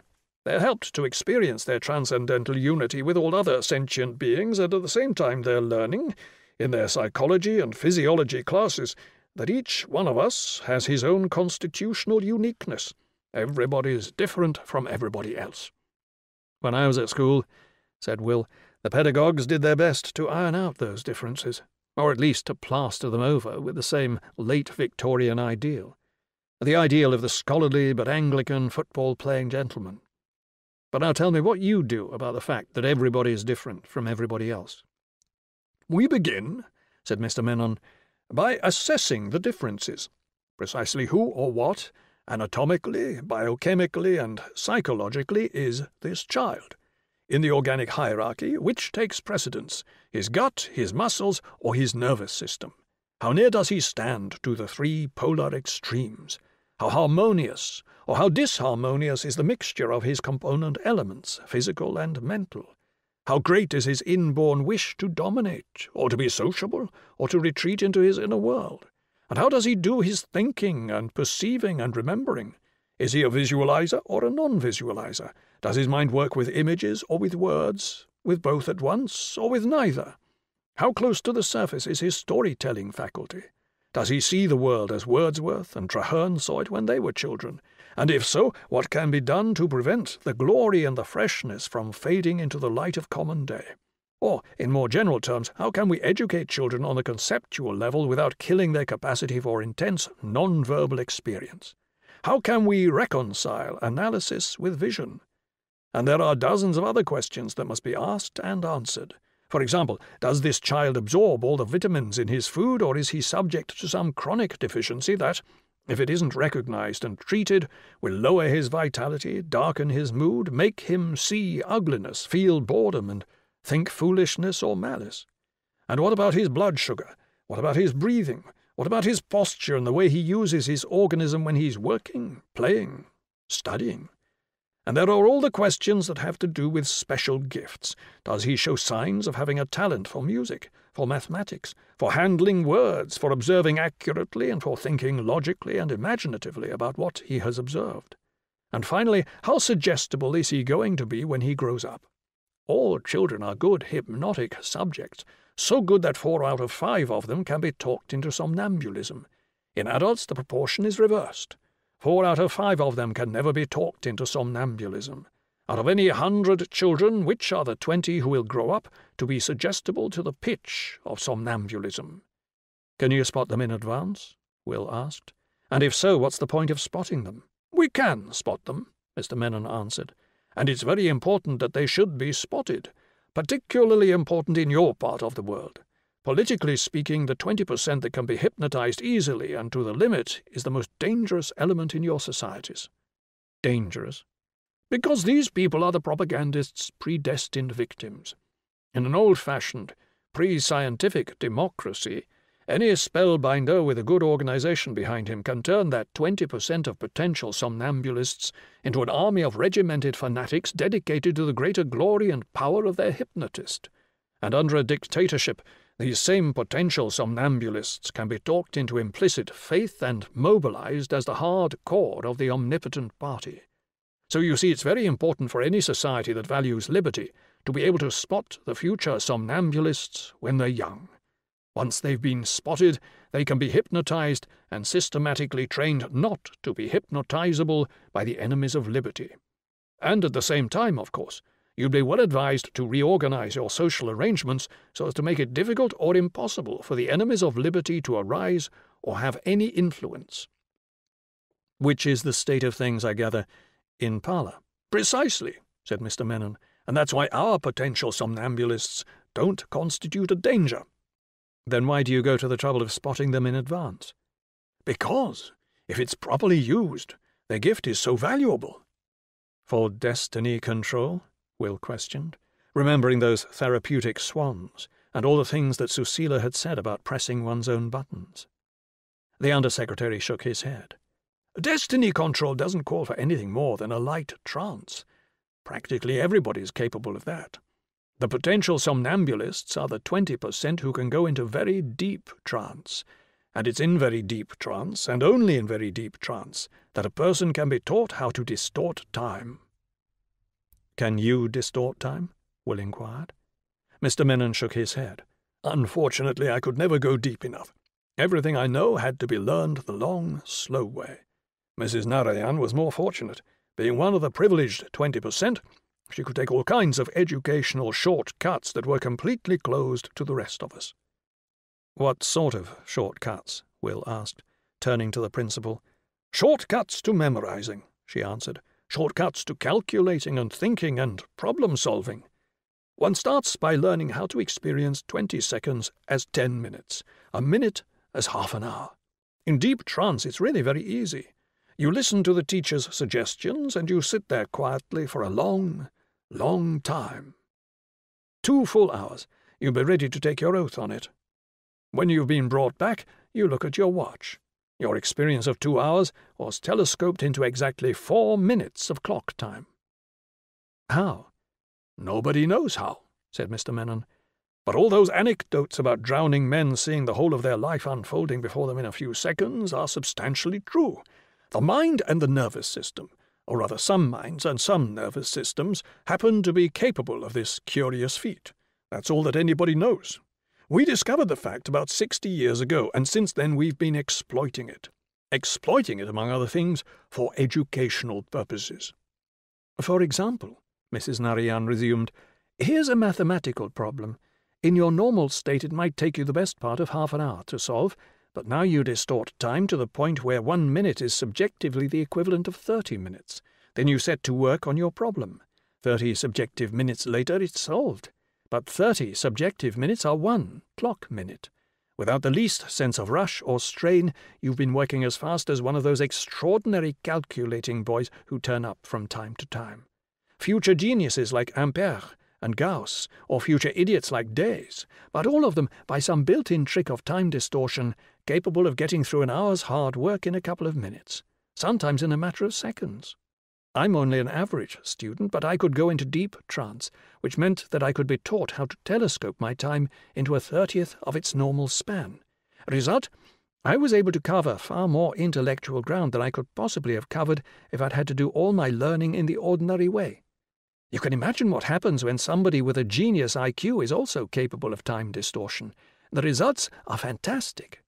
Unfortunately, said Mr. Menon, they're not very common. In the last two generations, we've had precisely two time distorters of real genius, and only five or six runners up. But what Pala owes to those few is incalculable, so it's no wonder that we keep a sharp lookout for potential somnambulists. Well, you certainly ask plenty of searching questions about your little pupils, Will concluded after a brief silence. What do you do when you found the answers? We start educating accordingly, said Mr. Menon. For example, we ask questions about every child's physique and temperament. When we have the answers, we sort out all the shyest, tensest, and most over-responsive and introverted children, and assemble them in a single group. Then, little by little, the group is enlarged, First, a few children with tendencies towards indiscriminate sociability are introduced, then one or two little muscle men and muscle women, children with tendencies towards aggressiveness and love of power. It's the best method we've found for getting little boys and girls at the three polar extremes to understand and tolerate one another. After a few months of carefully controlled mixing, they're ready to admit that people with a different kind of hereditary makeup have just as good a right to exist as they have. And the principle said Mrs. Narayan, is explicitly taught as well as progressively applied. In the lower forms, we do the teaching in terms of analogies with familiar animals. Cats like to be by themselves. Sheep like being together. Martens are fierce and can't be tamed. Guinea pigs are gentle and friendly. Are you a cat person or a sheep person, a guinea pig person or a marten person? talk about it in animal parables, and even very small children can understand the fact of human diversity and the need for mutual forbearance, mutual forgiveness. And later on, said Mr. Menon, when they come to read the Gita, we tell them about the link between constitution and religion. Sheep people and guinea pig people love ritual and public ceremonies and revivalistic emotion.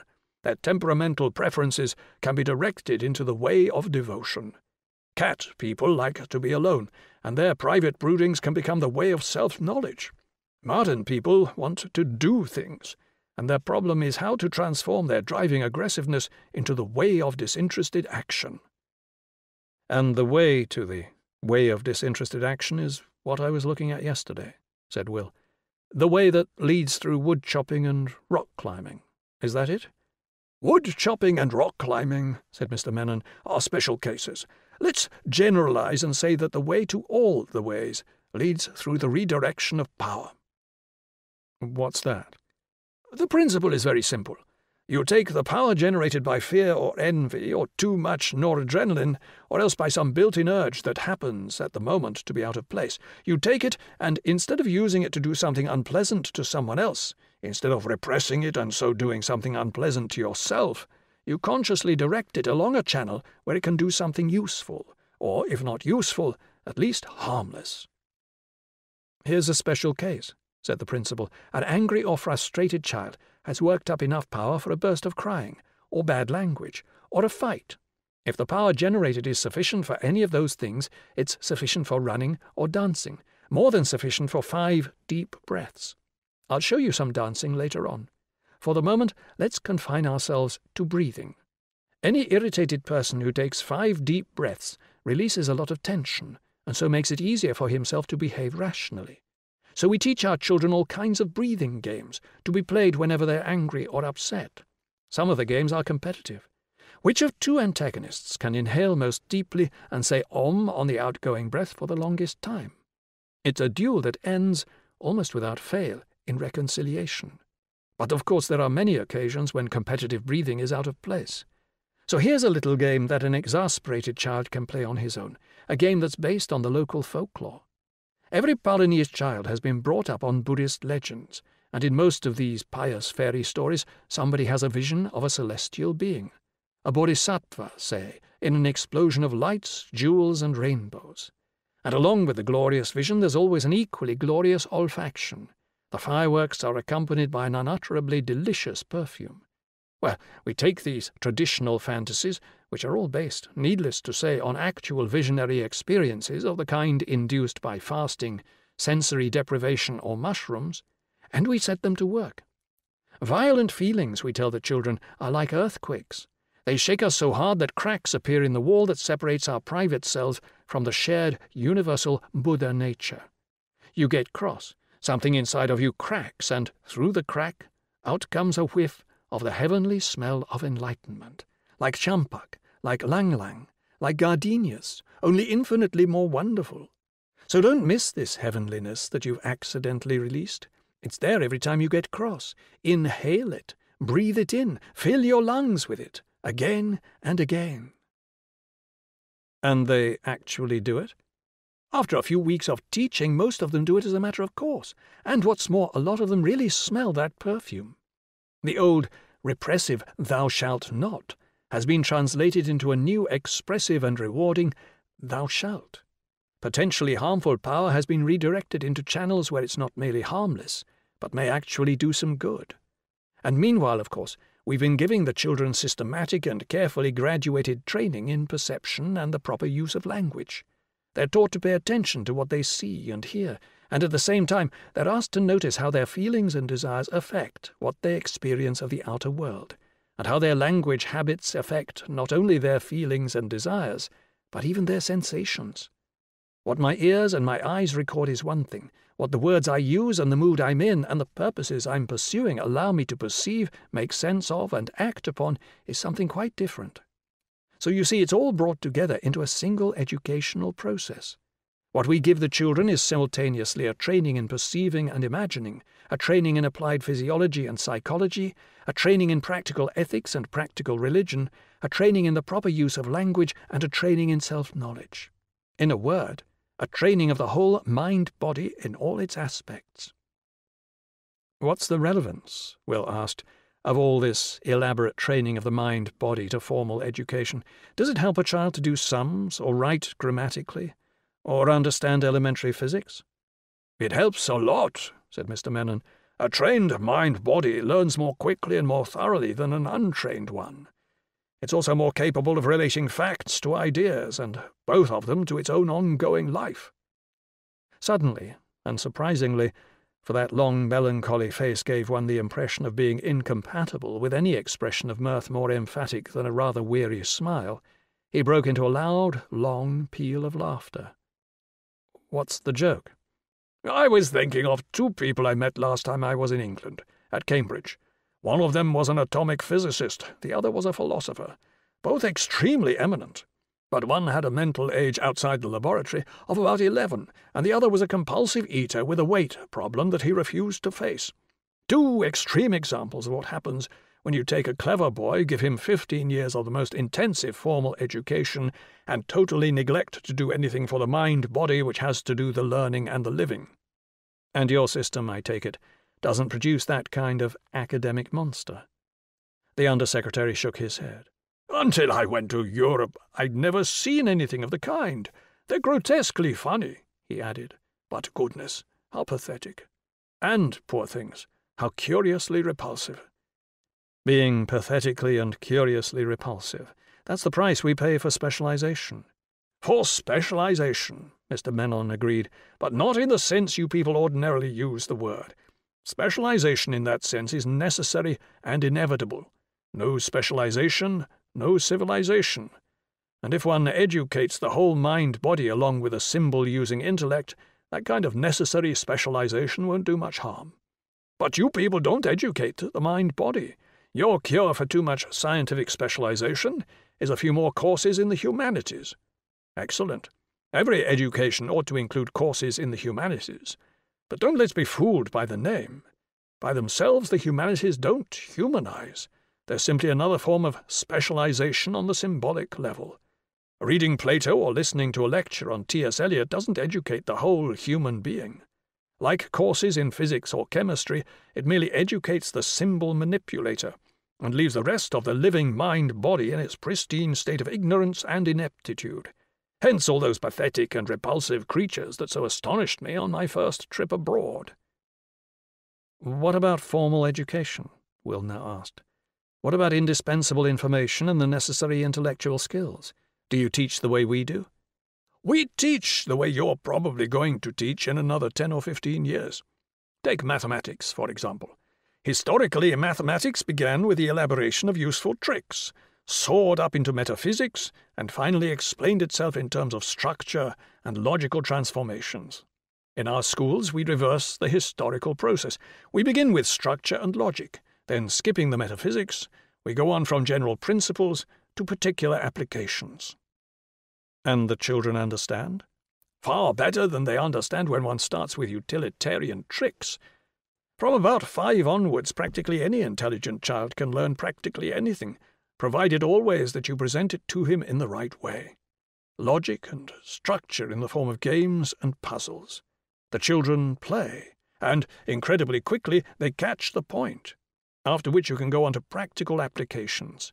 Taught in this way, most children can learn at least three times as much, four times as thoroughly, in half the time. Or consider another field where one can use games to implant an understanding of basic principles. All scientific thinking is in terms of probability. The old eternal verities are merely a high degree of likeliness. The immutable laws of nature are just statistical averages. How does one get these profoundly unobvious notions into children's heads? By playing roulette with them, by spinning coins and drawing lots, by teaching them all kinds of games with cards and boards and dice. Evolutionary snakes and ladders. That's the most popular game with the little ones, said Mrs. Narayan. Another great favourite is Mendelian happy families.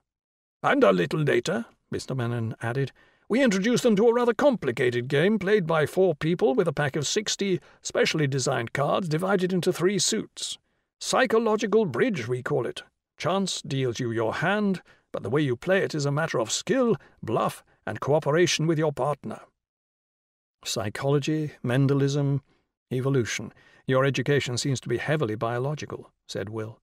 It is, Mr. Menon agreed. Our primary emphasis isn't on physics and chemistry. It's on the sciences of life. Is that a matter of principle? Not entirely. It's also a matter of convenience and economic necessity. We don't have the money for large-scale research in physics and chemistry, and we don't really have any practical need for that kind of research. No heavy industries to be made more competitive, no armaments to be made more diabolical, not the faintest desire to land on the backside of the moon. Only the modest ambition to live as fully human beings in harmony with the rest of life on this island, at this latitude, on this planet. We can take the results of your researches in physics and chemistry and apply them, if we want to or can afford it, to our own purposes. Meanwhile, we'll concentrate on the research which promises to do us the greatest good, in the sciences of life and mind. If the politicians in the newly independent countries had any sense, he added, they'd do the same. But they want to throw their weight around. They want to have armies. They want to catch up with the motorized television addicts of America and Europe. You people have no choice, he went on.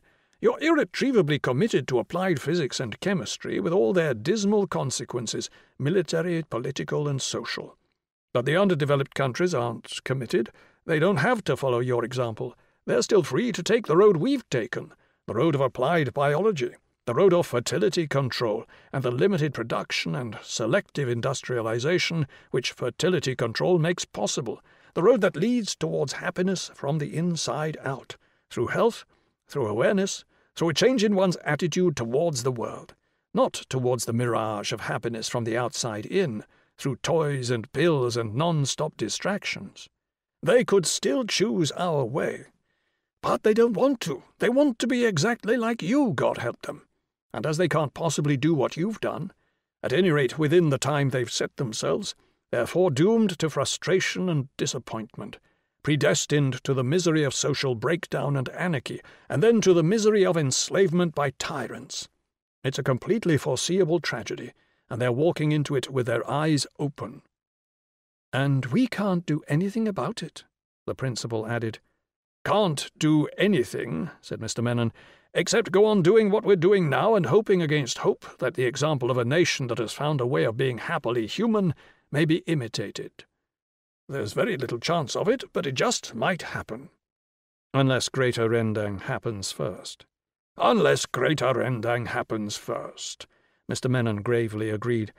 Meanwhile, we have to get on with our job, which is education. Is there anything more that you'd like to hear about, Mr. Farnaby? Lots more said Will. For example, how early do you start your science teaching? We start it at the same time we start multiplication and division.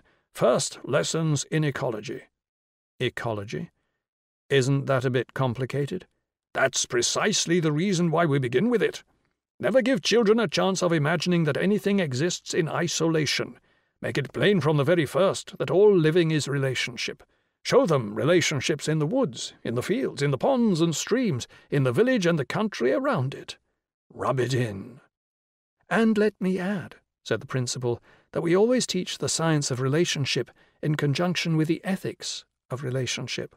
Balance, give and take, no excesses. It's the rule in nature, and, translated out of fact into morality, it ought to be the rule among people.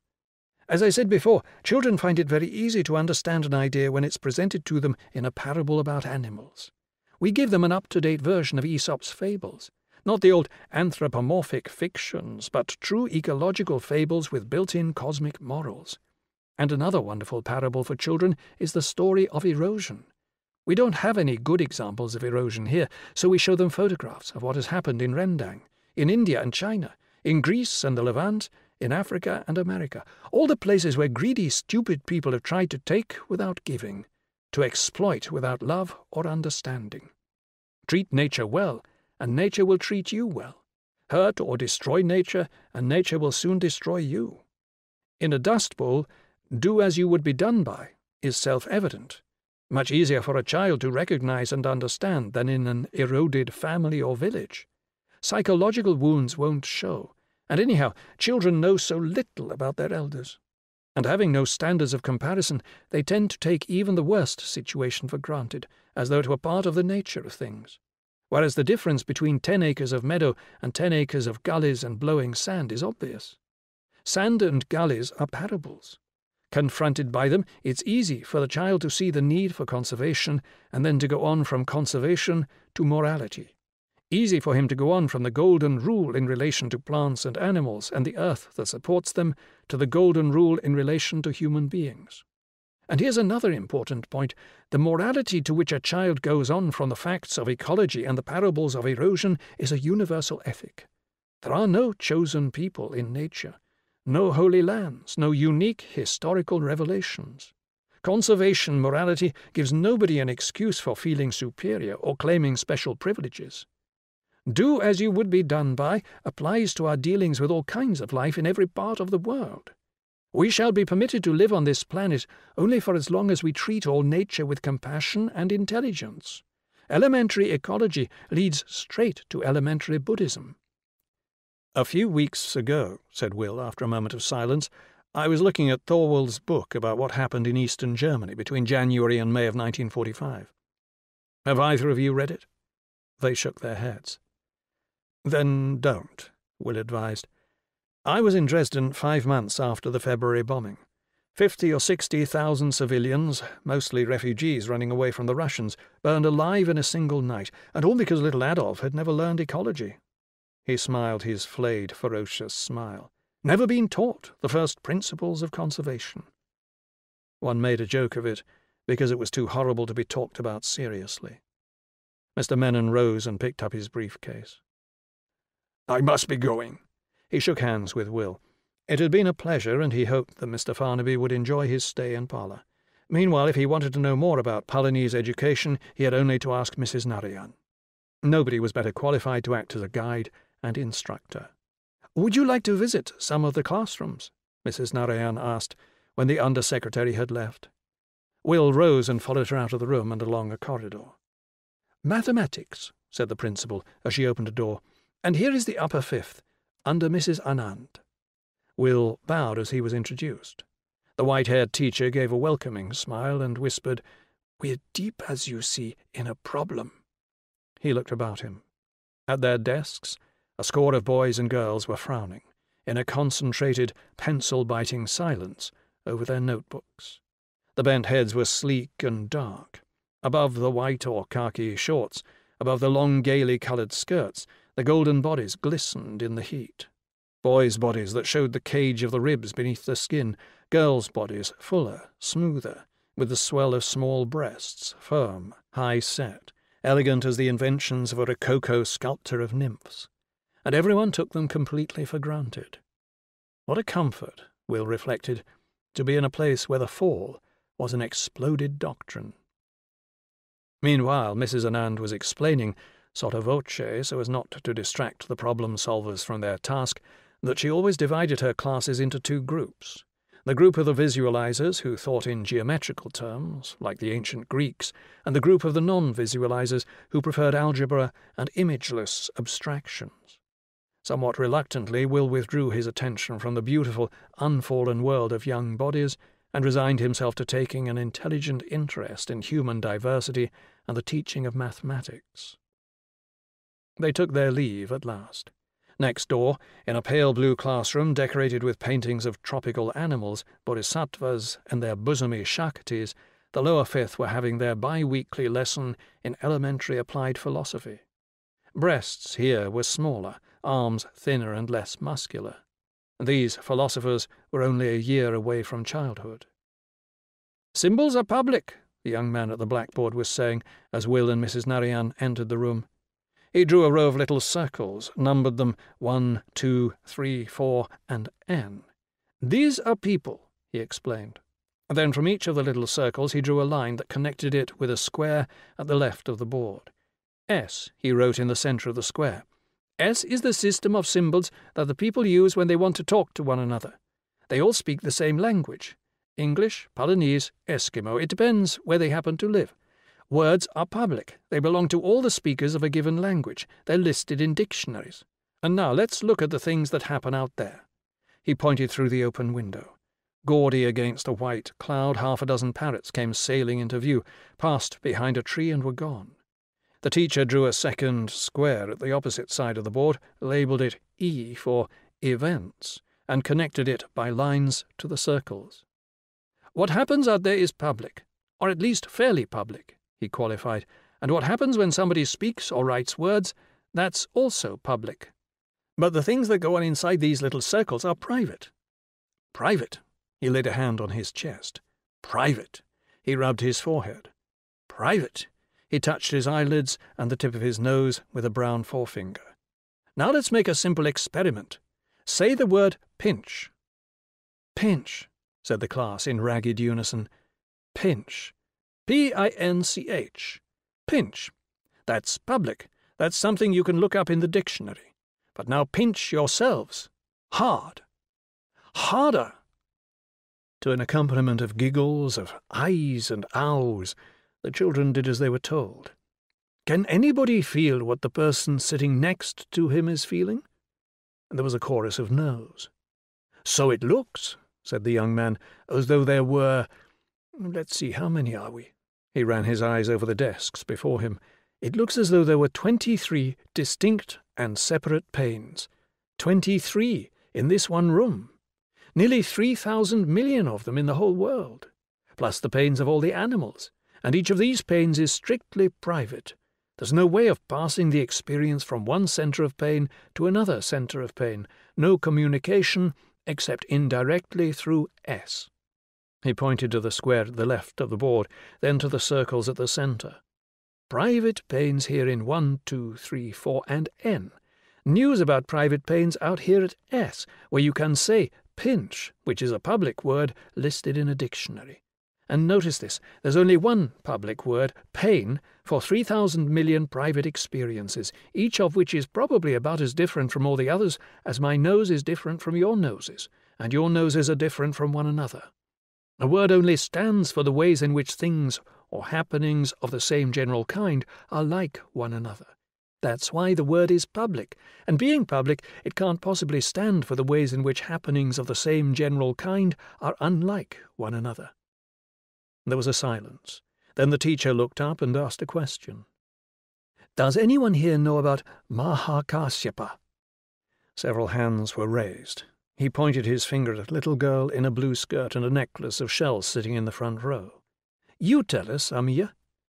Breathlessly and with a lisp, Amia began. Mahakarthyepa, she said, was the only one of the disciples that understood what the Buddha was talking about. And what was he talking about? He wasn't talking. That's why they didn't understand. But Mahakasyapa understood what he was talking about, even though he wasn't talking. Is that it? The little girl nodded. That was it exactly. They thought he was going to breathe a sermon, she said, but he didn't. He just picked a flower and held it up for everybody to look at. And that was the sermon! shouted a small boy in a yellow loin cloth, who had been wriggling in his seat, hardly able to contain his desire to impart what he knew. But nobody could understand that kind of a sermon. nobody but Mahakasyapa. So what did Mahakasyapa say when the Buddha held up that flower? Nothing, the yellow loincloth shouted triumphantly. He just smiled, Amya elaborated, and that showed the Buddha that he understood what it was all about. So he smiled back, and they just sat there, smiling and smiling. Very good, said the teacher. And now, he turned to the yellow loincloth. Let's hear what you think it was that Mahakasyapa understood. There was a silence.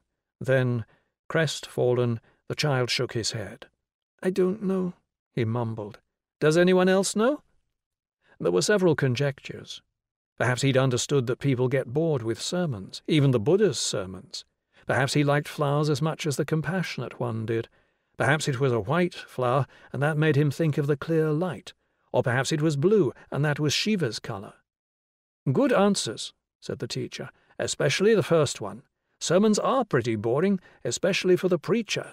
But here's a question. If any of your answers had been what Mahakasyapa understood when Buddha held up the flower, why didn't he come out with it in so many words?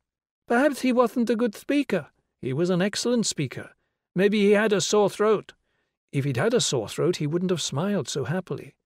You tell us, called a shrill voice from the back of the room. Yes, you tell us, a dozen other voices chimed in. The teacher shook his head. If Mahakasyapa and the Compassionate One couldn't put it into words, how can I? Meanwhile, let's take another look at these diagrams on the blackboard. Public words, more or less public events, and then people, completely private centres of pain and pleasure. Completely private? he questioned. But perhaps that isn't quite true. Perhaps, after all, there is some kind of communication between the circles, not in the way I'm communicating with you now, through words, but directly. And maybe that was what the Buddha was talking about when his wordless flower sermon was over. I have the treasure of the unmistakable teachings, he said to his disciples, the wonderful mind of nirvana, the true form without form, beyond all words, the teaching to be given and received outside of all doctrines. This I have now handed to Mahakasyapa. Picking up the chalk again, he traced a rough ellipse that enclosed within its boundaries all the other diagrams on the board the little circles representing human beings, the square that stood for events, and the other square that stood for words and symbols. All separate, he said, and yet all one. People, events, words. They're all manifestations of mind, of suchness, of the void. What Buddha was implying and what Mahakasyapa understood was that one can't speak these teachings, one can only be them, which is something you'll all discover when the moment comes for your initiation. Time to move on, the principal whispered, and when the door had closed behind them and they were standing again in the corridor, we use this same kind of approach, she said to Will, in our science teaching, beginning with botany. Why with botany? because it can be related so easily to what was being talked about just now, the Mahakasyapa story. Is that your starting point? No, we start prosaically with the textbook. The children are given all the obvious, elementary facts, tidily arranged in the standard pigeonholes. Undiluted botany, that's the first stage, six or seven weeks of it, after which they get a whole morning of what we call bridge building, Two and a half hours during which we try to make them relate everything they've learned in the previous lessons to art, language, religion, self-knowledge. Botany and self-knowledge. How do you build that bridge? It's really quite simple, Mrs. Narayan assured him. Each of the children is given a common flower, a hibiscus, for example, or better still, because the hibiscus has no scent, a gardenia. Scientifically speaking, what is a gardenia? What does it consist of? Petals, stamens, pistil, ovary, and all the rest of it. The children are asked to write a full analytical description of the flower illustrated by an accurate drawing. When that's done, there's a short rest period, at the close of which the Mahakasyapa story is read to them and they're asked to think about it. Was Buddha giving a lesson in botany, or was he teaching his disciples something else? And if so, what? What indeed? And of course, as the story makes clear, there's no answer that can be put into words. So we tell the boys and girls to stop thinking and just look. But don't look analytically, we tell them. Don't look as scientists, even as gardeners. Liberate yourselves from everything you know and look with complete innocence at this infinitely improbable thing before you. Look at it as though you'd never seen anything of the kind before, as though it had no name and belonged to no recognizable class. Look at it alertly but passively, receptively, without labeling or judging or comparing and as you look at it, inhale its mystery, breathe in the spirit of sense, the smell of the wisdom of the other shore. All this, Will commented, sounds very like what Dr. Robert was saying at the initiation ceremony. Of course it does, said Mrs. Narayan.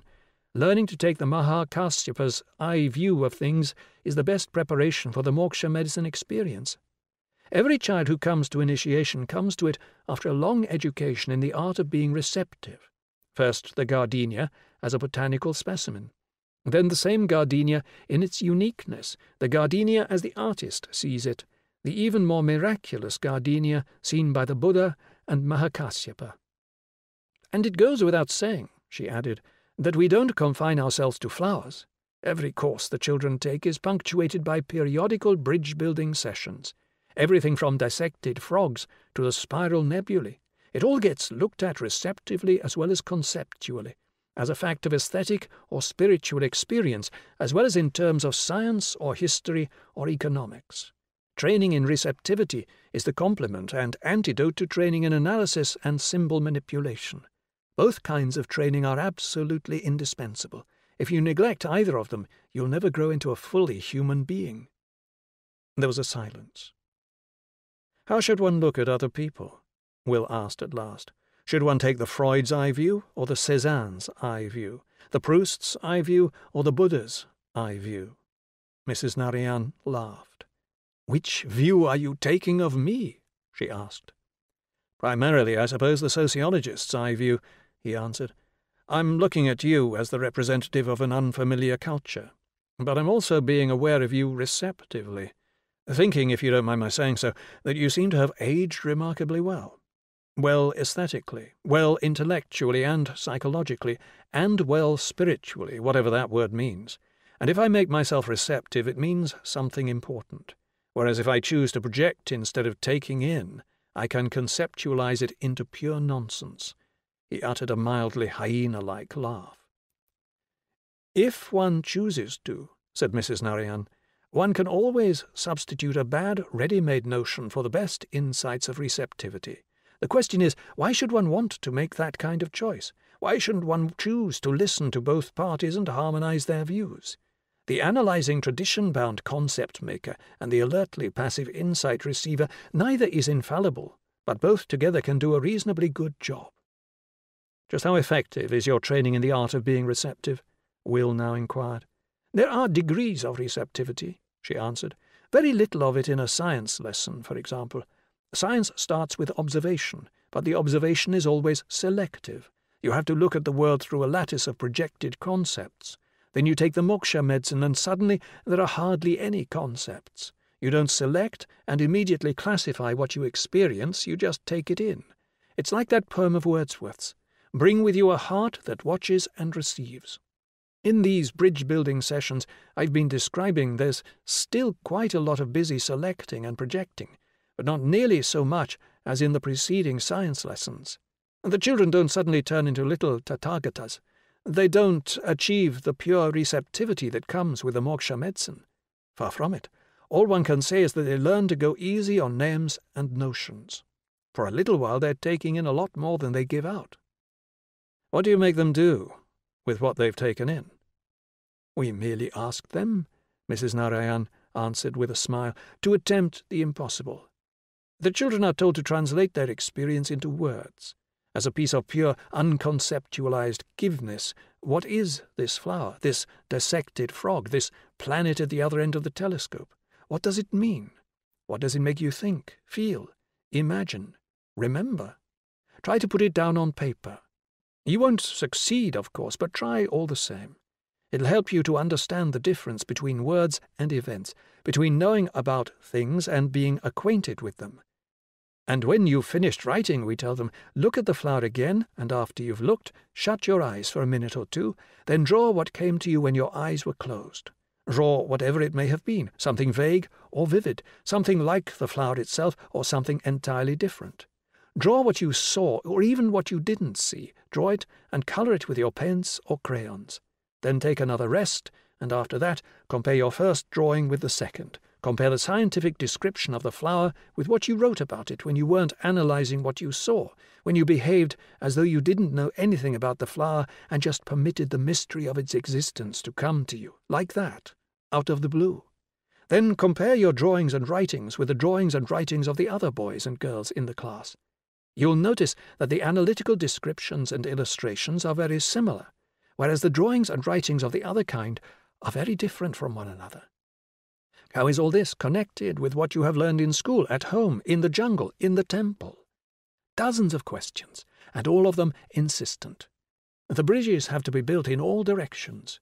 One starts with botany, or any other subject in the school curriculum, and one finds oneself, at the end of a bridge building session, thinking about the nature of language, about different kinds of experience, about metaphysics and the conduct of life, about analytical knowledge and the wisdom of the other shore.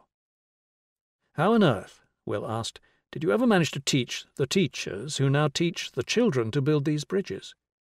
We began teaching teachers a 107 years ago, said Mrs. Narayan. Classes of young men and women who had been educated in the traditional Palanese way.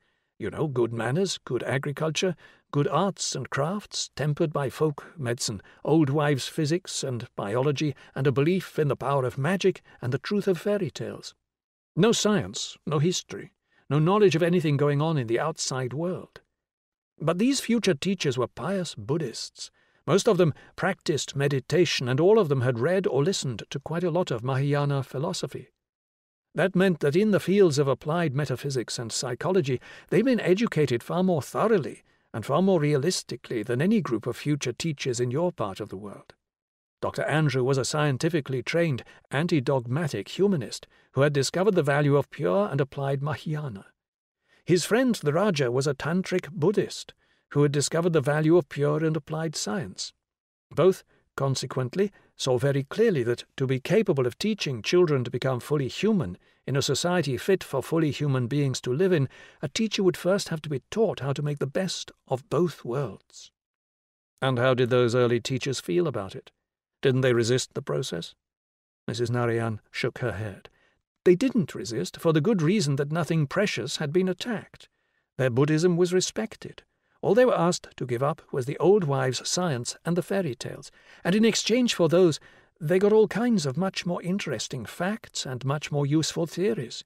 And these exciting things from your Western world of knowledge and power and progress were now to be combined with, and in a sense subordinated to, the theories of Buddhism and the psychological facts of applied metaphysics. There was really nothing in that best of both worlds program to offend the susceptibilities of even the touchiest and most ardent of religious patriots. I'm wondering about our future teachers, said Will after a silence.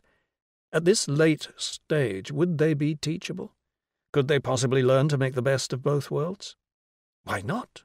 They wouldn't have to give up on any of the things that are really important to them. The non Christian could go on thinking about man, and the Christian could go on worshipping God. No change, except that God would have to be thought of as immanent, and man would have to be thought of as potentially self transcendent. And do you think they'd make those changes without any fuss? Will laughed. You're an optimist. An optimist, said Mrs. Narayan, for the simple reason that if one tackles a problem intelligently and realistically, the results are apt to be fairly good. This island justifies a certain optimism. And now let's go and have a look at the dancing class. They crossed a tree-shaded courtyard and, pushing through a swing door, passed out of silence into the rhythmic beat of a drum and the screech of fifes, repeating over and over again a short pentatonic tune that to Will's ears sounded vaguely Scotch. Live music or canned? he asked. Japanese tape, Mrs. Narayan answered laconically. She opened a second door that gave access to a large gymnasium where two bearded young men and an amazingly agile little old lady in black satin slacks were teaching some twenty or thirty little boys and girls the steps of a lively dance. What's this? Will asked. Fun or education?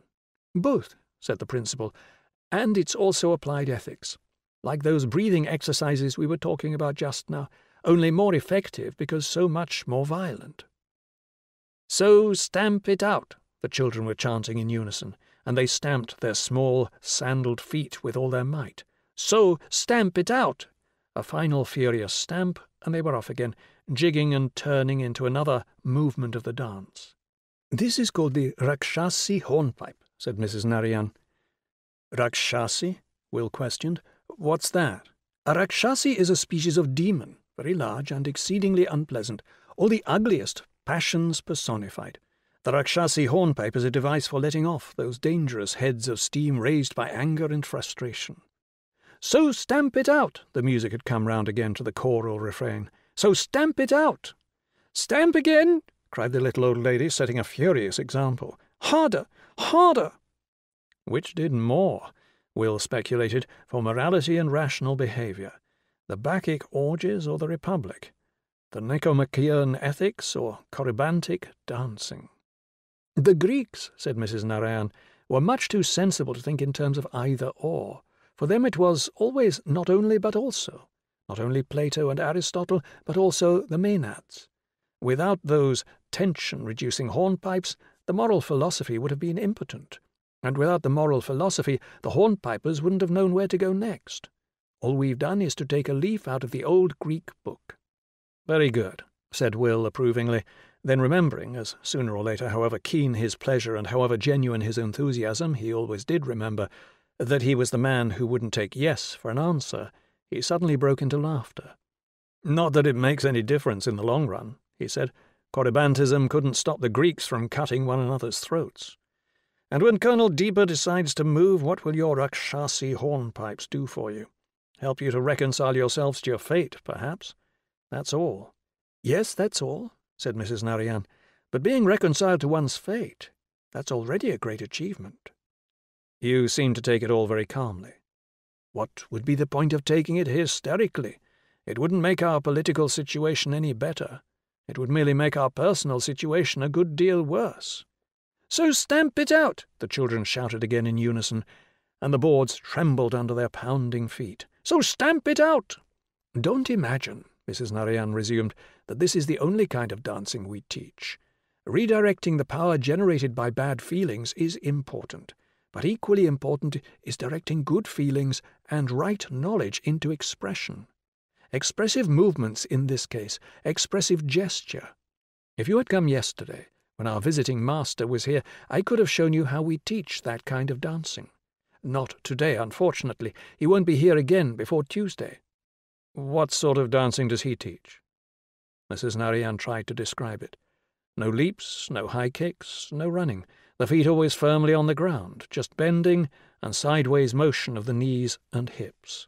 All expression confined to the arms, wrists, and hands, to the neck and head, the face, and above all, the eyes. Movement from the shoulders upwards and outwards, movement intrinsically beautiful and at the same time charged with symbolic meaning, thought taking shape in ritual and stylized gesture. The whole body transformed into a hieroglyph, a succession of hieroglyphs or attitudes modulating from significance to significance like a poem or a piece of music.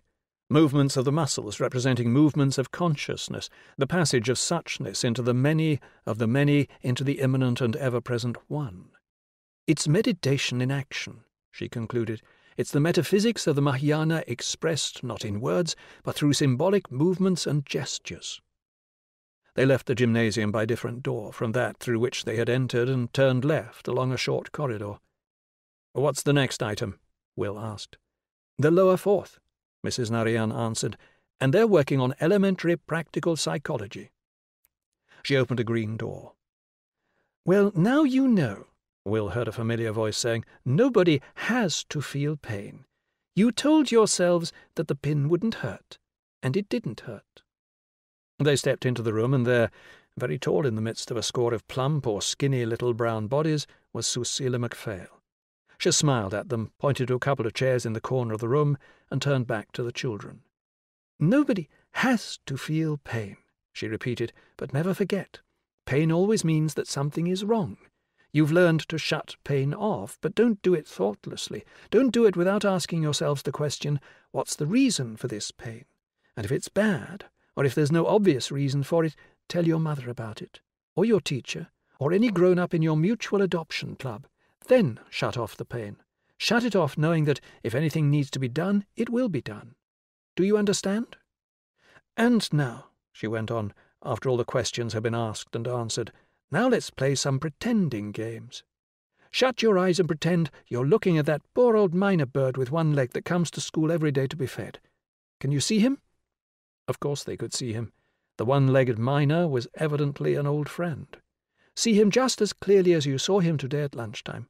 And don't stare at him, don't make any effort, just see what comes to you and let your eyes shift, from his beak to his tail, from his bright little round eye to his one orange leg. I can hear him too, a little girl volunteered. He's saying Karuna, Karuna.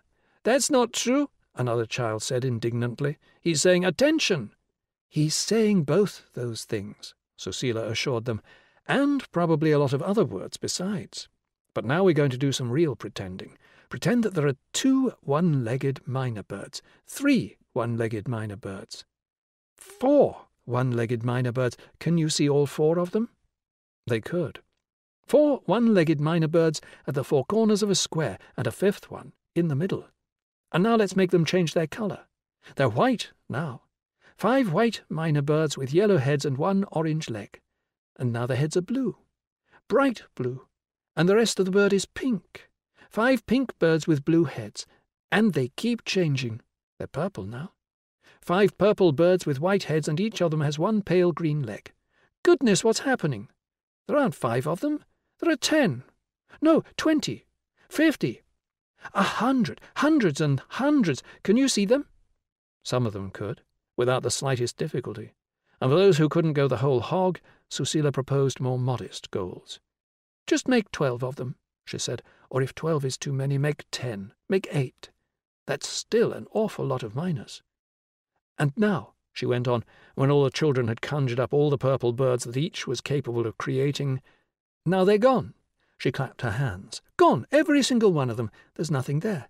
And now you're not going to see mynahs. You're going to see me. One me in yellow. Two me's in green. Three me's in blue with pink spots. Four me's in the brightest red you ever saw. She clapped her hands again. All gone. And this time it's Mrs. Narayan and that funny-looking man with a stiff leg who came in with her. Four of each of them, standing in a big circle in the gymnasium, and now they're dancing the Rakshasi hornpipe. So stamp it out, so stamp it out.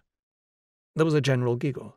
The dancing wills and principals must have looked richly comical. Susila snapped her fingers. Away with them! Vanish! And now each of you sees three of your mothers and three of your fathers running round the playground, faster, faster, faster, and suddenly they're not there any more. And then they are there, but next moment they aren't. They are there, they aren't. They are, they aren't. The giggles swelled into squeals of laughter, and at the height of the laughter, a bell rang. The lesson in elementary practical psychology was over. What's the point of it all? Will asked when the children had run off to play and Mrs. Narayan had returned to her office. The point, Susila answered, is to get people to understand that we're not completely at the mercy of our memory and our fantasies. If we're disturbed by what's going on inside our heads, we can do something about it. It's all a question of being shown what to do and then practicing, the way one learns to write or play the flute. What those children you saw here were being taught is a very simple technique, a technique that we'll develop later on into a method of liberation. Not complete liberation, of course, but half a loaf is a great deal better than no bread. This technique won't lead you to the discovery of your Buddha nature, but it may help you to prepare for that discovery, help you by liberating you from the hauntings of your own painful memories, your remorses, your causeless anxieties about the future. Hauntings, Will agreed, is the word. But one doesn't have to be haunted. Some of the ghosts can be laid quite easily. Whenever one of them appears, just give it the imagination treatment. Deal with it as we dealt with those mynahs, as we dealt with you and Mrs. Narayan. Change its clothes, give it another nose, multiply it, tell it to go away, call it back again, and make it do something ridiculous. Then abolish it. Just think what you could have done about your father if someone had taught you a few of these simple little tricks when you were a child. You thought of him as a terrifying ogre, but that wasn't necessary. In your fancy, you could have turned the ogre into a grotesque, into a whole chorus of grotesques, twenty of them doing a tap dance and singing, I dreamt I dwelt in marble halls. A short course in elementary practical psychology, and your whole life might have been different. How would he have dealt with Molly's death? Will wondered, as they walked out towards the parked jeep. What rites of imaginative exorcism could he have practiced on that white, musk scented succubus who was the incarnation of his frantic and abhorred desires? But here was the jeep. Will handed Susila the keys and laboriously hoisted himself into his seat, very noisily as though it were under some neurotic compulsion to overcompensate for its diminutive stature a small and aged car approached from the direction of the village, turned into the driveway, and, still clattering and shuddering, came to a halt beside the jeep. They turned. There, leaning out of the window of the royal baby Austin, was Murugan, and beyond him, vast in white muslin and billowy like a cumulus cloud, sat the Rani. Will bowed in her direction and evoked the most gracious of smiles, which was switched off as soon as she turned to Susila, whose greeting was acknowledged only with the most distant of nods. Going for a drive? Will asked politely. Only as far as Shivapuram, said the Rani. If this wretched little crate will hold together that long, Murugan added bitterly. He turned the ignition key. The motor gave a last obscene hiccup and died. There are some people we have to see, the Rani went on, or rather, one person she added in a tone charged with conspiratorial significance. She smiled at Will and very nearly winked. Pretending not to understand that she was talking about Bahu, Will uttered a non-committal quite and commiserated with her on all the work and worry that the preparations for next week's coming-of-age party must entail. Murugan interrupted him. What are you doing out here? he asked. I spend the afternoon taking an intelligent interest in Palanese education, Palanese education, the Rani echoed, and again, sorrowfully, Palanese. Pause. Education. She shook her head. Personally, said Will, I liked everything I saw and heard of it, from Mr. Menon and the principal to elementary practical psychology as taught, he added, trying to bring Susila into the conversation, by Mrs. Macphail here. Still studiedly ignoring Susila, Rani pointed a thick accusing finger at the scarecrows in the field below. Have you seen those, Mr. Farnaby? He had indeed. And where but in Pala, he asked. Can one find scarecrows which are simultaneously beautiful, efficient, and metaphysically significant? And which, said the Rani, in a voice that was vibrant with a kind of sepulchral indignation, not only scare the birds away from the rice, they also scare little children away from the very idea of God and his avatars. She raised her hand. Listen. Tom Krishna and Mary Sarojini had been joined by five or six small companions and were making a game of tugging at the strings that worked the supernatural marionettes. From the group came a sound of shrill voices, piping in unison. At their second repetition, Will made out the words of the shanty, Pulley hauly, tug with a will, the gods wiggle waggle, but the sky stands still. Bravo, he said, and laughed. I'm afraid I can't be amused, said the Rani severely. It isn't funny. It's tragic. Tragic. Will stuck to his guns. I understand, he said that these charming scarecrows were an invention of Murugan's grandfather. Murugan's grandfather, said the Rani, was a very remarkable man, remarkably intelligent, but no less remarkably perverse. Great gifts, but alas, how maleficently used. And what made it so much worse, he was full of false spirituality. False spirituality? Will eyed the enormous specimen of true spirituality, and through the reek of hot petroleum products, inhaled the incense like otherworldly smell of sandalwood. False spirituality? And suddenly he found himself wondering. Wondering, and then, with a shudder, imagining what the Rani would look like if suddenly divested of her mystic's uniform and exposed exuberantly and steatopygiously naked to the light, and now multiply her into a trinity of undressed obesities, into two trinities, ten trinities, applied practical psychology with a vengeance. Yes, false spirituality, the Rani was repeating, talking about liberation, but always because of his obstinate refusal to follow the true path, always working for greater bondage, acting the part of humility. But in his heart he was so full of pride, Mr. Farnaby, that he refused to recognize any spiritual authority higher than his own. The masters, the avatars, the great tradition, they meant nothing to him, nothing at all.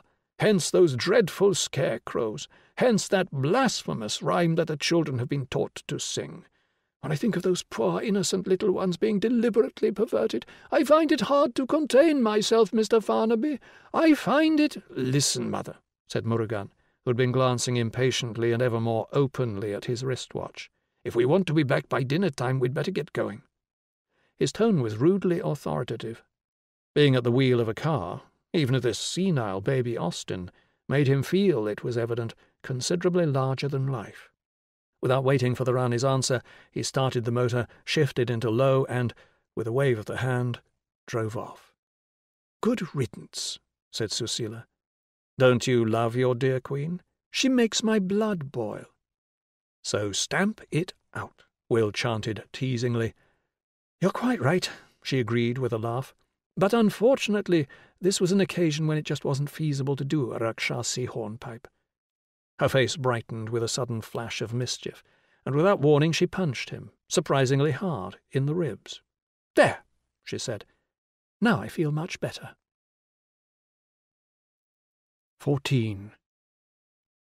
She started the motor, and they drove off, down to the bypass, up again to the high road beyond the other end of the village, and on into the compound of the experimental station. Susila pulled up at a small, thatched bungalow like all the others. They climbed the six steps that led up to the veranda and entered a whitewashed living room. To the left was a wide window with a hammock slung between the two wooden pillars at either side of the projecting bay. For you, she said, pointing to the hammock, you can put your leg up. And when Will had lowered himself into the net, what shall we talk about? she asked as she pulled up a wicker chair and sat down beside him. What about the good, the true, and the beautiful? Or maybe, he grinned, the ugly, the bad, and the even truer. I thought, she said, ignoring his attempt at a witticism, that we might go on where we left off last time. Go on talking about you. That was precisely what I was suggesting. The ugly, the bad, and the truer than all official truth. Is this just an exhibition of your conversational style? she asked. Or do you really want to talk about yourself? Really, he assured her. Desperately. Just as desperately as I don't want to talk about myself. Hence, as you may have noticed, my unflagging interest in art, science, philosophy, politics, literature, any damned thing rather than the only thing that ultimately has any importance. There was a long silence. Then, in a tone of casual reminiscence, Susila began to talk about Wells Cathedral, about the calling of the jackdaws, about the white swans floating between the reflections of the floating clouds. In a few minutes he too was floating. I was very happy all the time I was at Wells, she said, wonderfully happy. And so were you, weren't you? Will made no answer.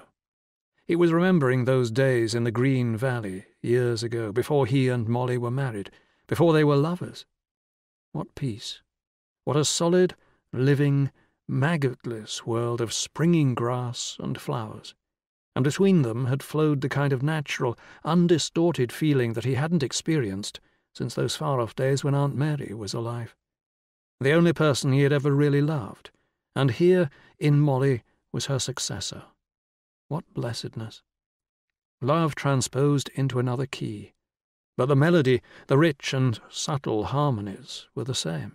And then, on the fourth night of their stay, Molly had knocked on the wall that separated their rooms, and he had found her door ajar, had groped his way in darkness to the bed where, conscientiously naked, the Sister of Mercy was doing her best to play the part of the wife of love, doing her best and, how disastrously, failing. Suddenly, as happened almost every afternoon, there was a loud rushing of wind and, muffled by distance, a hollow roaring of rain on thick foliage, a roaring that grew louder and louder as the shower approached. A few seconds passed, and then the raindrops were hammering insistently on the window panes, hammering as they had hammered on the windows of his study that day of their last interview. Do you really mean it, Will? The pain and shame of it made him want to cry aloud. He bit his lip. What are you thinking of? Susila asked. It wasn't a matter of thinking. He was actually seeing her, actually hearing her voice. Do you really mean it, Will? And through the sound of the rain he heard himself answering, I really mean it. On the window pane, was it here or was it there? Was it then? The roar had diminished as the gust spent itself to a pattering whisper. What are you thinking of? Susila insisted. I was thinking of what I did to Molly. What was it that you did to Molly? He didn't want to answer, but Susila was inexorable. Tell me what it was that you did. Another violent gust made the windows rattle. It was raining harder now, raining, it seemed, to Will Farnaby on purpose, raining in such a way that he would have to go on remembering what he didn't want to remember, would be compelled to say out loud the shameful things he must at all costs keep to himself. Tell me. Reluctantly and in spite of himself, he told her. Do you really mean it, Will? And because of Babs. Babs, God help him. Babs, believe it or not, he really did mean it, and she had walked out into the rain. The next time I saw her was in the hospital. Was it still raining? Susila asked. Still raining. As hard as it's raining now. Very nearly. And what Will heard was no longer this afternoon shower in the tropics, but the steady drumming on the window of the little room where Molly lay dying. It's me, he was saying through the sound of the rain. It's Will. Nothing happened. And then suddenly he felt the almost imperceptible movement of Molly's hand within his own. The voluntary pressure, and then after a few seconds, the involuntary release, the total limpness. Tell me again, Will. He shook his head. It was too painful, too humiliating. Tell me again, she insisted. It's the only way. Making an enormous effort, he started to tell the odious story yet once more. Did he really mean it? Yes, he really meant it. Meant to hurt, meant, perhaps, did one ever know what one really intended? To kill. All for Babs or the world well lost. Not his world, of course. Molly's world. And at the centre of that world, the life that had created it. Snuffed out for the sake of that delicious smell in the darkness, of those muscular reflexes, that enormity of enjoyment, those consummate and intoxicatingly shameless skills. Goodbye, Will, and the door had closed behind her with a faint, dry click. He wanted to call her back, but Bab's lover remembered the skills, the reflexes, and within its aura of musk, a body agonizing in the extremity of pleasure. Remembered these things and, standing at the window, watched the car move away through the rain. Watched and was filled, as it turned the corner, with a shameful exultation. Free at last. Even freer as he discovered three hours later in the hospital, than he had supposed. For now he was feeling the last faint pressure of her fingers, feeling the final message of her love. And then the message was interrupted. The hand went limp, and now, suddenly, appallingly, there was no sound of breathing. Dead, he whispered, and felt himself choking. Dead. Suppose it hadn't been your fault said Susila, breaking a long silence, suppose that she'd suddenly died without your having had anything to do with it. Wouldn't that have been almost as bad? What do you mean? he asked. I mean, it's more than just feeling guilty about Molly's death. It's death itself, death as such, that you find so terrible. She was thinking of Dugald now. So senselessly evil, senselessly evil, he repeated. Yes, perhaps that's why I had to be a professional execution watcher, just because it was all so senseless, so utterly bestial, following the smell of death from one end of the earth to the other, like a vulture. Nice, comfortable people just don't have any idea what the world is like. Not exceptionally as it was during the war, but all the time. All the time and as he spoke he was seeing, in a vision as brief and comprehensive and intensely circumstantial as a drowning man's, all the hateful scenes he had witnessed in the course of those well-paid pilgrimages to every hell-hole and abattoir revolting enough to qualify as news. Negroes in South Africa, the man in the San Quentin gas chamber, mangled bodies in an Algerian farmhouse, and everywhere mobs, everywhere policemen and paratroopers, everywhere those dark-skinned children, stick-legged, pot bellied with flies on their raw eyelids, everywhere the nauseating smells of hunger and disease, the awful stench of death. And then suddenly, through the stench of death, mingled and impregnated with the stench of death, he was breathing the musky essence of Babs. Breathing the essence of Babs and remembering his little joke about the chemistry of purgatory and paradise. Purgatory is tetramethylene diamine and sulfurated hydrogen.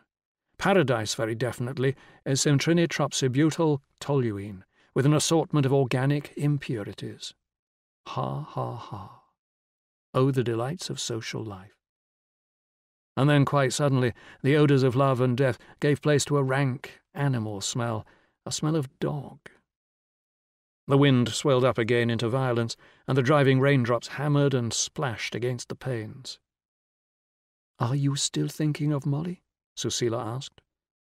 I was thinking of something I'd completely forgotten, he answered. I can't have been more than four years old when it happened, and now it's all come back to me. Poor Tiger. Who was poor Tiger? she questioned. Tiger, his beautiful red setter. Tiger, the only source of light in that dismal house where he had spent his childhood. Tiger, dear, dear Tiger. In the midst of all that fear and misery, between the two poles of his father's sneering hate of everything and everybody, and his mother's self conscious self sacrifice, what effortless goodwill, what spontaneous friendliness, what abounding, barking, irrepressible joy! His mother used to take him on her knee and tell him about God and Jesus, but there was more God in Tiger than in all her Bible stories. Tiger, so far as he was concerned, was the incarnation, and then one day the incarnation came down with distemper. What happened then? Susila asked.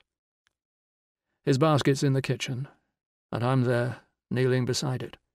And I'm stroking him, but his fur feels quite different from what it felt like before he was sick. Kind of sticky. And there's a bad smell. If I didn't love him so much, I'd run away. I couldn't bear to be near him. But I do love him, I love him more than anything or anybody, and while I stroke him, I keep telling him that he'll soon be well again. Very soon, tomorrow morning. And then all of a sudden he starts to shudder, and I try to stop the shuddering by holding his head between my hands, but it doesn't do any good. The trembling turns into a horrible convulsion. It makes me feel sick to look at it, and I'm frightened. I'm dreadfully frightened. Then the shuddering and the twitching die down, and in a little while he's absolutely still. And when I lift his head and then let go, the head falls back. Thump! Like a piece of meat with a bone inside. Will's voice broke. The tears were streaming down his cheeks. He was shaken by the sobs of a four-year-old grieving for his dog and confronted by the awful, inexplicable fact of death. With the mental equivalent of a click and a little jerk, his consciousness seemed to change gear. He was an adult again, and he had ceased to float. I'm sorry. He wiped his eyes and blew his nose. Well, that was my first introduction to the essential horror. Tiger was my friend. Tiger was my only consolation. That was something, obviously, that the essential horror couldn't tolerate. And it was the same with my Aunt Mary, the only person I ever really loved and admired and completely trusted and Christ, what the essential horror did to her. Tell me, said Susila. Will hesitated, then, shrugging his shoulders. Why not? he said. Mary Frances Farnaby, my father's younger sister. Married at eighteen, just a year before the outbreak of the First World War, to a professional soldier. Frank and Mary. Mary and Frank. What harmony. What happiness. He laughed. Even outside of Pala, there one can find occasional islands of decency, tiny little atolls, or even, every now and then, a full blown Tahiti, but always totally surrounded by the essential horror. Two young people on their private Pala. Then, one fine morning, it was August 4th, 1914, Frank went overseas with the expeditionary force, and on Christmas Eve Mary gave birth to a deformed child that survived long enough for her to see for herself what the EH can do when it really tries. Only God can make a microcephalous idiot. Three months later, needless to say, Frank was hit by a piece of shrapnel and died in due course of gangrene. All that, Will went on after a little silence, was before my time. When I first knew her in the twenties, Aunt Mary was devoting herself to the aged. Old people in institutions, old people cooped up in their own homes, old people living on and on as a burden to their children and grandchildren. Struldbrugs, Tithonuses, and the more hopeless the decrepitude, the more crotchety and querulous the character, the better. As a child, how I hated Aunt Mary's old people. They smelt bad, they were frighteningly ugly, they were always boring and generally cross. But Aunt Mary really loved them. Loved them through thick and thin. Loved them in spite of everything. My mother used to talk a lot about Christian charity, but somehow one never believed what she said, just as one never felt any love in all the self-sacrificing things she was always forcing herself to do. No love, only duty. Whereas with Aunt Mary one was never in the slightest doubt. Her love was like a kind of physical radiation, something one could almost sense as heat or light. When she took me to stay with her in the country, and later when she came to town, and I used to go and see her almost every day. It was like escaping from a refrigerator into the sunshine. I could feel myself coming alive in that light of hers, that radiating warmth. Then the essential horror got busy again. At the beginning, she made a joke of it. Now I'm an Amazon, she said after the first operation. Why an Amazon? Susila asked. The Amazons had their right breast amputated. They were warriors, and the breast got in the way when they were shooting with the longbow. Now I'm an Amazon, he repeated. And with his mind's eye he could see the smile on that strong aquiline face, could hear with his mind's ear the tone of amusement in that clear, ringing voice. But a few months later the other breast had to be cut off. After that there were the x-rays, the radiation sickness, and then, little by little, the degradation. Will's face took on its look of flayed ferocity.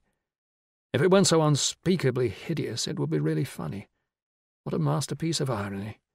Here was a soul that radiated goodness and love and heroic charity. Then, for no known reason, something went wrong. Instead of flouting it, a little piece of her body started to obey the second law of thermodynamics. And as the body broke down, the soul began to lose its virtue, its very identity. The heroism went out of her, the love and the goodness evaporated. For the last months of her life she was no more the Aunt Mary I had loved and admired. She was somebody else, somebody. And this was the ironist's final and most exquisite touch, almost indistinguishable from the worst and weakest of the old people she had once befriended and been a tower of strength to. She had to be humiliated and degraded, and when the degradation was complete she was slowly, and with a great deal of pain, put to death in solitude. In solitude he insisted, for of course nobody can help, nobody can ever be present. People may stand by while you're suffering and dying, but they're standing by in another world. In your world, you're absolutely alone. Alone in your suffering and your dying, just as you're alone in love, alone even in the most completely shared pleasure. The essences of Babs and of Tiger and when the cancer had gnawed a hole in the liver and her wasted body was impregnated with that strange, aromatic smell of contaminated blood, the essence of Aunt Mary dying. And in the midst of those essences, sickeningly or intoxicatedly aware of them, was an isolated consciousness, a child's, a boy's, a man's, forever isolated, irremediably alone. And on top of everything else, he went on, this woman was only forty-two. She didn't want to die. She refused to accept what was being done to her. The essential horror had to drag her down by main force. I was there. I saw it happening. And that's why you're the man who won't take yes for an answer? How can anyone take yes for an answer? he countered. Yes is just pretending, just positive thinking. The facts, the basic and ultimate facts, are always no. Spirit? No. Love? No sense, meaning, achievement? No.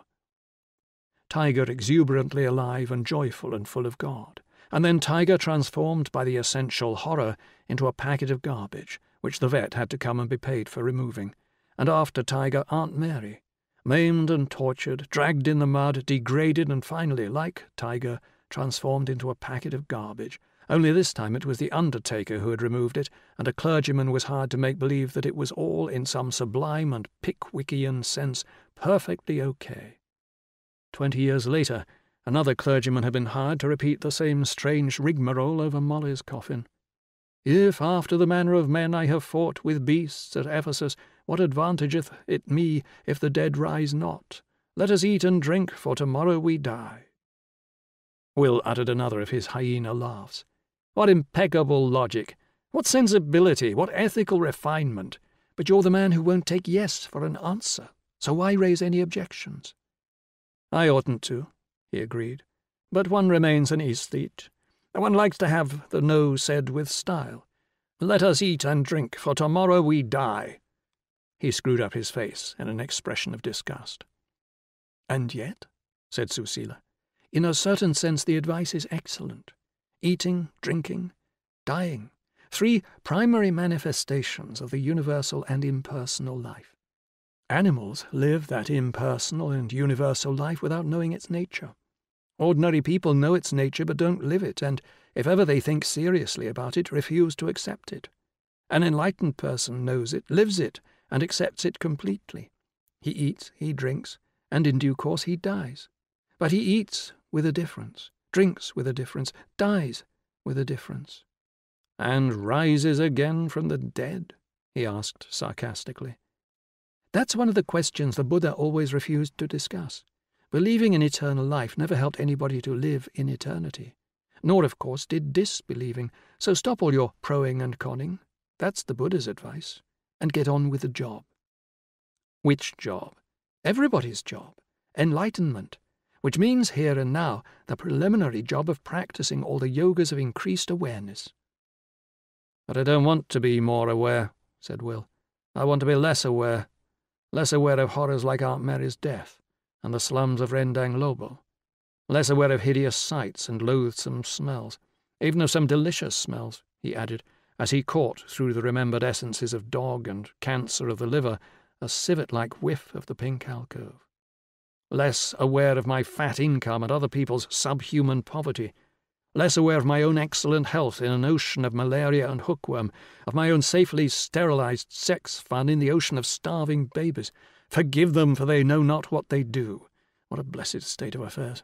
But unfortunately, I do know what I'm doing, only too well. And here you go, asking me to be even more aware than I am already. I'm not asking anything, she said. I'm merely passing on the advice of a succession of shrewd old birds, beginning with Gautama and ending with the old Raja. Start by being fully aware of what you think you are. It'll help you to become aware of what you are in fact. He shrugged his shoulders. One thinks one's something unique and wonderful at the centre of the universe, but in fact one's merely a slight delay in the ongoing march of entropy. And that precisely is the first half of the Buddha's message transience, no permanent soul, inevitable sorrow. But he didn't stop there. The message had a second half. This temporary slowdown of entropy is also pure undiluted suchness. This absence of a permanent soul is also the Buddha nature. Absence of a soul. That's easy to cope with. But what about the presence of cancer, the presence of slow degradation? What about hunger and overbreeding and Colonel Dipa? Are they pure suchness? Of course. But, needless to say, it's desperately difficult for the people who are deeply involved in any of those evils to discover their Buddha nature. Public health and social reform are the indispensable preconditions of any kind of general enlightenment. But in spite of public health and social reform, people still die, even in Pala, he added ironically, which is why the corollary of welfare has to be dhyana. All the yogas of living and dying so that you can be aware, even in the final agony, of who in fact, and in spite of everything, you really are. And there was a sound of footsteps on the planking of the veranda, and a childish voice called, Mother! Here I am, darling, Susila called back. The front door was flung open, and Mary Sarojini came hurrying into the room. Mother, she said breathlessly, they want you to come at once. It's Granny Lakshmi. She's catching sight for the first time of the figure in the hammock, she started and broke off. Oh, I didn't know you were here. Will waved his hand to her without speaking. She gave him a perfunctory smile, then turned back to her mother. Granny Lakshmi suddenly got much worse, she said, and Grandpa Robert is still up at the high altitude station, and they can't get through to him on the telephone. Did you run all the way, except where it's really too steep? Susila put her arm round the child and kissed her, then very brisk and businesslike rose to his feet. It's Dugald's mother, she said. Is she... He glanced at Mary Sarojini, then back at Susila. Was death taboo? Could one mention it before children? You mean is she dying? He nodded. We've been expecting it, of course, Susila went on, but not today. Today she seemed a little better. She shook her head. Well, I have to go and stand by, even if it is another world. And actually, she added, it isn't quite so completely other as you think. I'm sorry we had to leave our business unfinished, but there'll be other opportunities. Meanwhile, what do you want to do? You can stay here, or I'll drop you at Dr. Robert's. Or you can come with me and Mary Sarojini. As a professional execution watcher? Not as a professional execution watcher, she answered emphatically, as a human being, as someone who needs to know how to live and then how to die. Needs it as urgently as we all do. Needs it, he said, a lot more urgently than most. But shan't I be in the way? If you can get out of your own way, you won't be in anyone else's. She took his hand and helped him out of the hammock. Two minutes later, they were driving past the lotus pool and the huge Buddha meditating under the cobra's hood, past the white bull out through the main gate of the compound. The rain was over. In a green sky, enormous clouds glowed like archangels. Low in the west, the sun was shining with a brightness that seemed almost supernatural. Soles occidere et redire possunt. Nobis cum semel occidit brevis lux. Nox est perpetua una dormienda. basia mille. Sunsets and death. Death and therefore kisses kisses and consequently birth, and then death for yet another generation of sunset watchers. What do you say to people who are dying? he asked. Do you tell them not to bother their heads about immortality and get on with the job? If you like to put it that way, yes, that's precisely what we do. Going on being aware, it's the whole art of dying. And you teach the art? I'd put it another way. We help them to go on practicing the art of living even while they're dying knowing who in fact one is, being conscious of the universal and impersonal life that lives itself through each of us, that's the art of living, and that's what one can help the dying to go on practicing, to the very end. Maybe beyond the end. Beyond? he questioned. But you said that was something that the dying aren't supposed to think about. They're not being asked to think about it. They're being helped, if there is such a thing, to experience it, if there is such a thing she repeated, if the universal life goes on, when the separate me life is over. Do you personally think it does go on? Susila smiled. What I personally think is beside the point. All that matters is what I may impersonally experience while I'm living, when I'm dying, maybe when I'm dead. She swung the car into a parking space and turned off the engine. On foot, they entered the village. Work was over for the day, and the main street was so densely thronged that it was hard for them to pass. I'm going ahead by myself, Susila announced.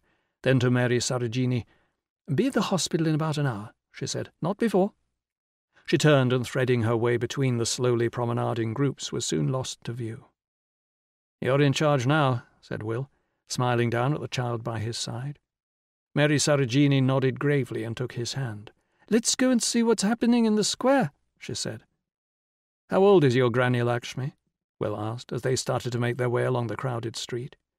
I don't really know, Mary Sarojini answered. She looks terribly old, but maybe that's because she's got cancer. Do you know what cancer is? he asked.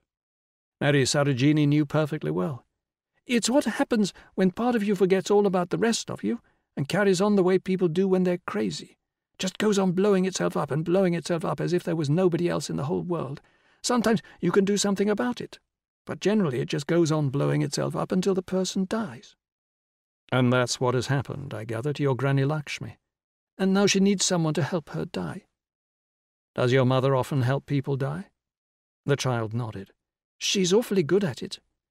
Have you ever seen anyone die?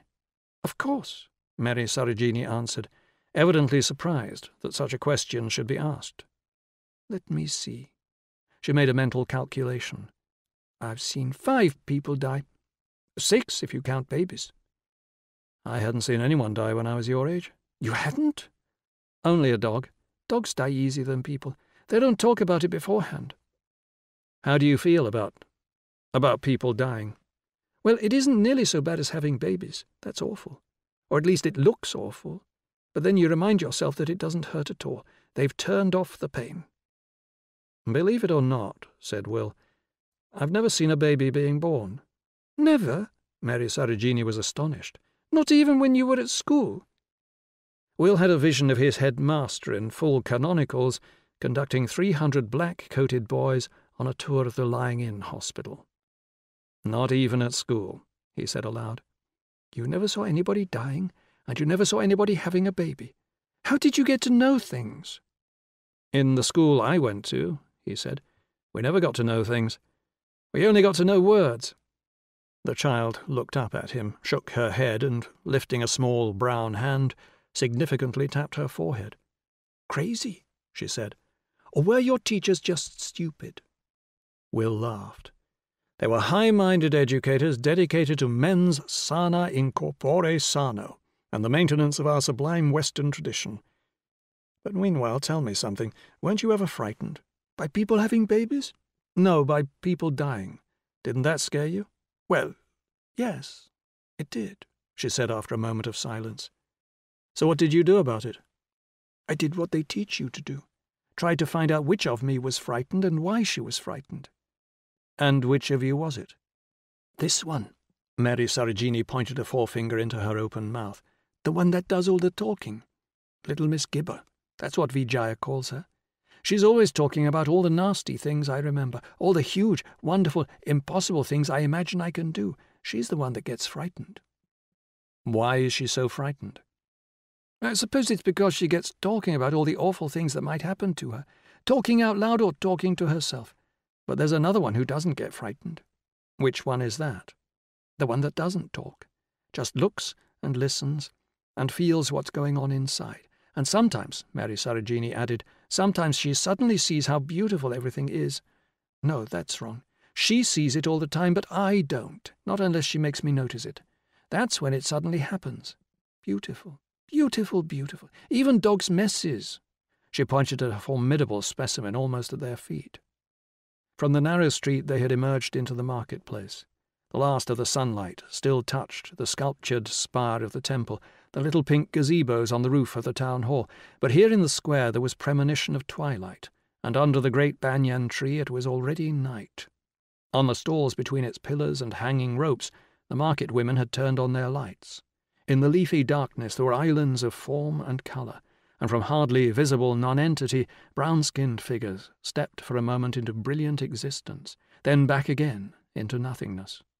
The spaces between the tall buildings echoed with a confusion of English and Palanese, of talk and laughter, of street cries and whistled tunes, of dogs barking, parrots screaming. Perched on one of the pink gazebos, a pair of mynah birds called indefatigably for attention and compassion. From an open air kitchen at the centre of the square rose the appetizing smell of food on the fire. Onions, peppers, turmeric, fish frying, cakes baking, rice on the boil, and through these good, gross odours, like a reminder from the other shore, drifted the perfume, thin and sweet and ethereally pure, of the many coloured garlands on sale beside the fountain. Twilight deepened, and suddenly from high overhead the arc lamps were turned on. Bright and burnished against the rosy copper of oiled skin, the women's necklines and rings and bracelets came alive with glittering reflections. Seen in the downward striking light, every contour became more dramatic, every form seemed to be more substantial, more solidly there. In eye sockets, under nose and chin, the shadows deepened. Modelled by light and darkness, young breasts grew fuller, and the faces of the old were more emphatically lined and hollowed. Hand in hand, they made their way through the crowd. A middle-aged woman greeted Mary Sarojini, then turned to Will. Are you that man from the outside? she asked. Almost infinitely from the outside, he assured her. She looked at him for a moment in silence, then smiled encouragingly and patted his cheek. We are all very sorry for you, she said.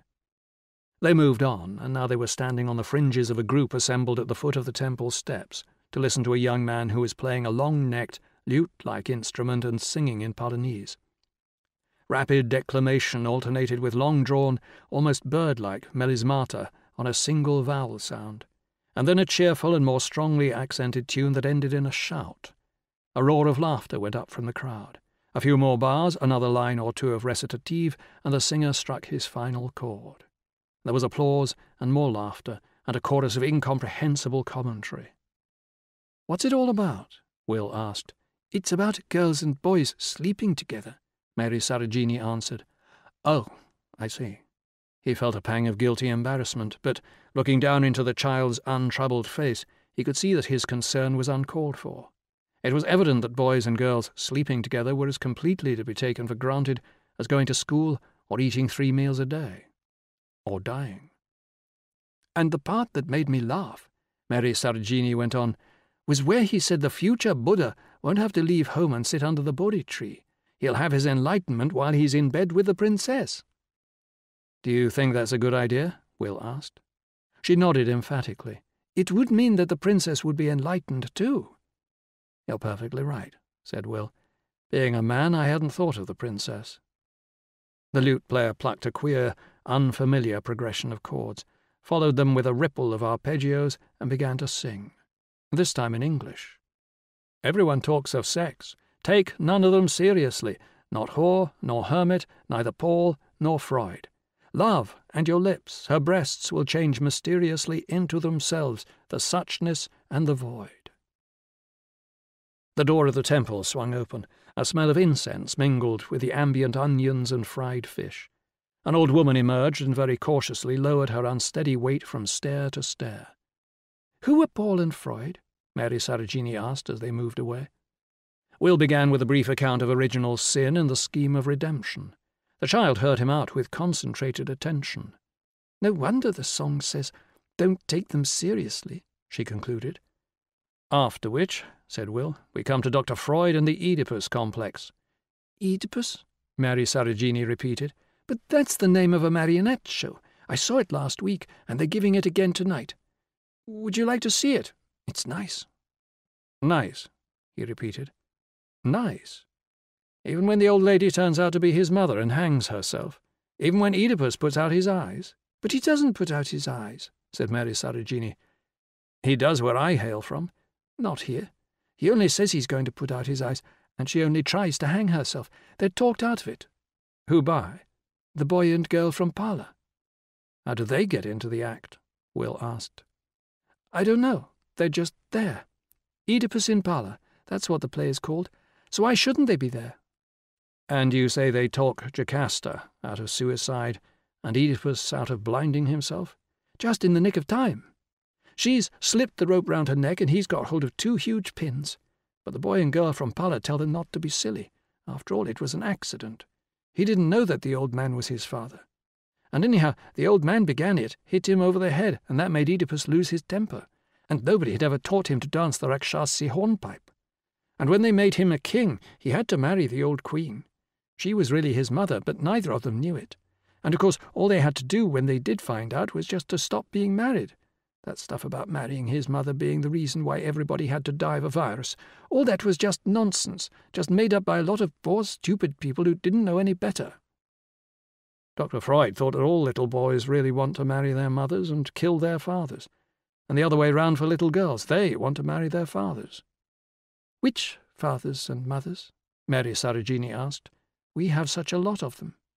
You mean in your mutual adoption club? There's 22 of them in our MAC. Safety in numbers. But of course poor old Oedipus never had an MAC, and besides, they taught him all that horrible stuff about God getting furious with people every time they made a mistake. They had pushed their way through the crowd and now found themselves at the entrance to a small, roped-off enclosure in which a hundred or more spectators had already taken their seats. At the further end of the enclosure, the gaily painted proscenium of a puppet theatre glowed red and gold in the light of powerful flood lamps. Pulling out a handful of the small change with which Dr. Robert had provided him, Will paid for two tickets. They entered and sat down on a bench. A gong sounded.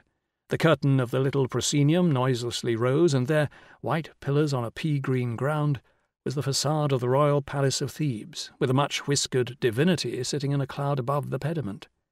A priest exactly like the god, except that he was somewhat smaller and less exuberantly draped, entered from the right, bowed to the audience, then turned towards the palace and shouted, Oedipus!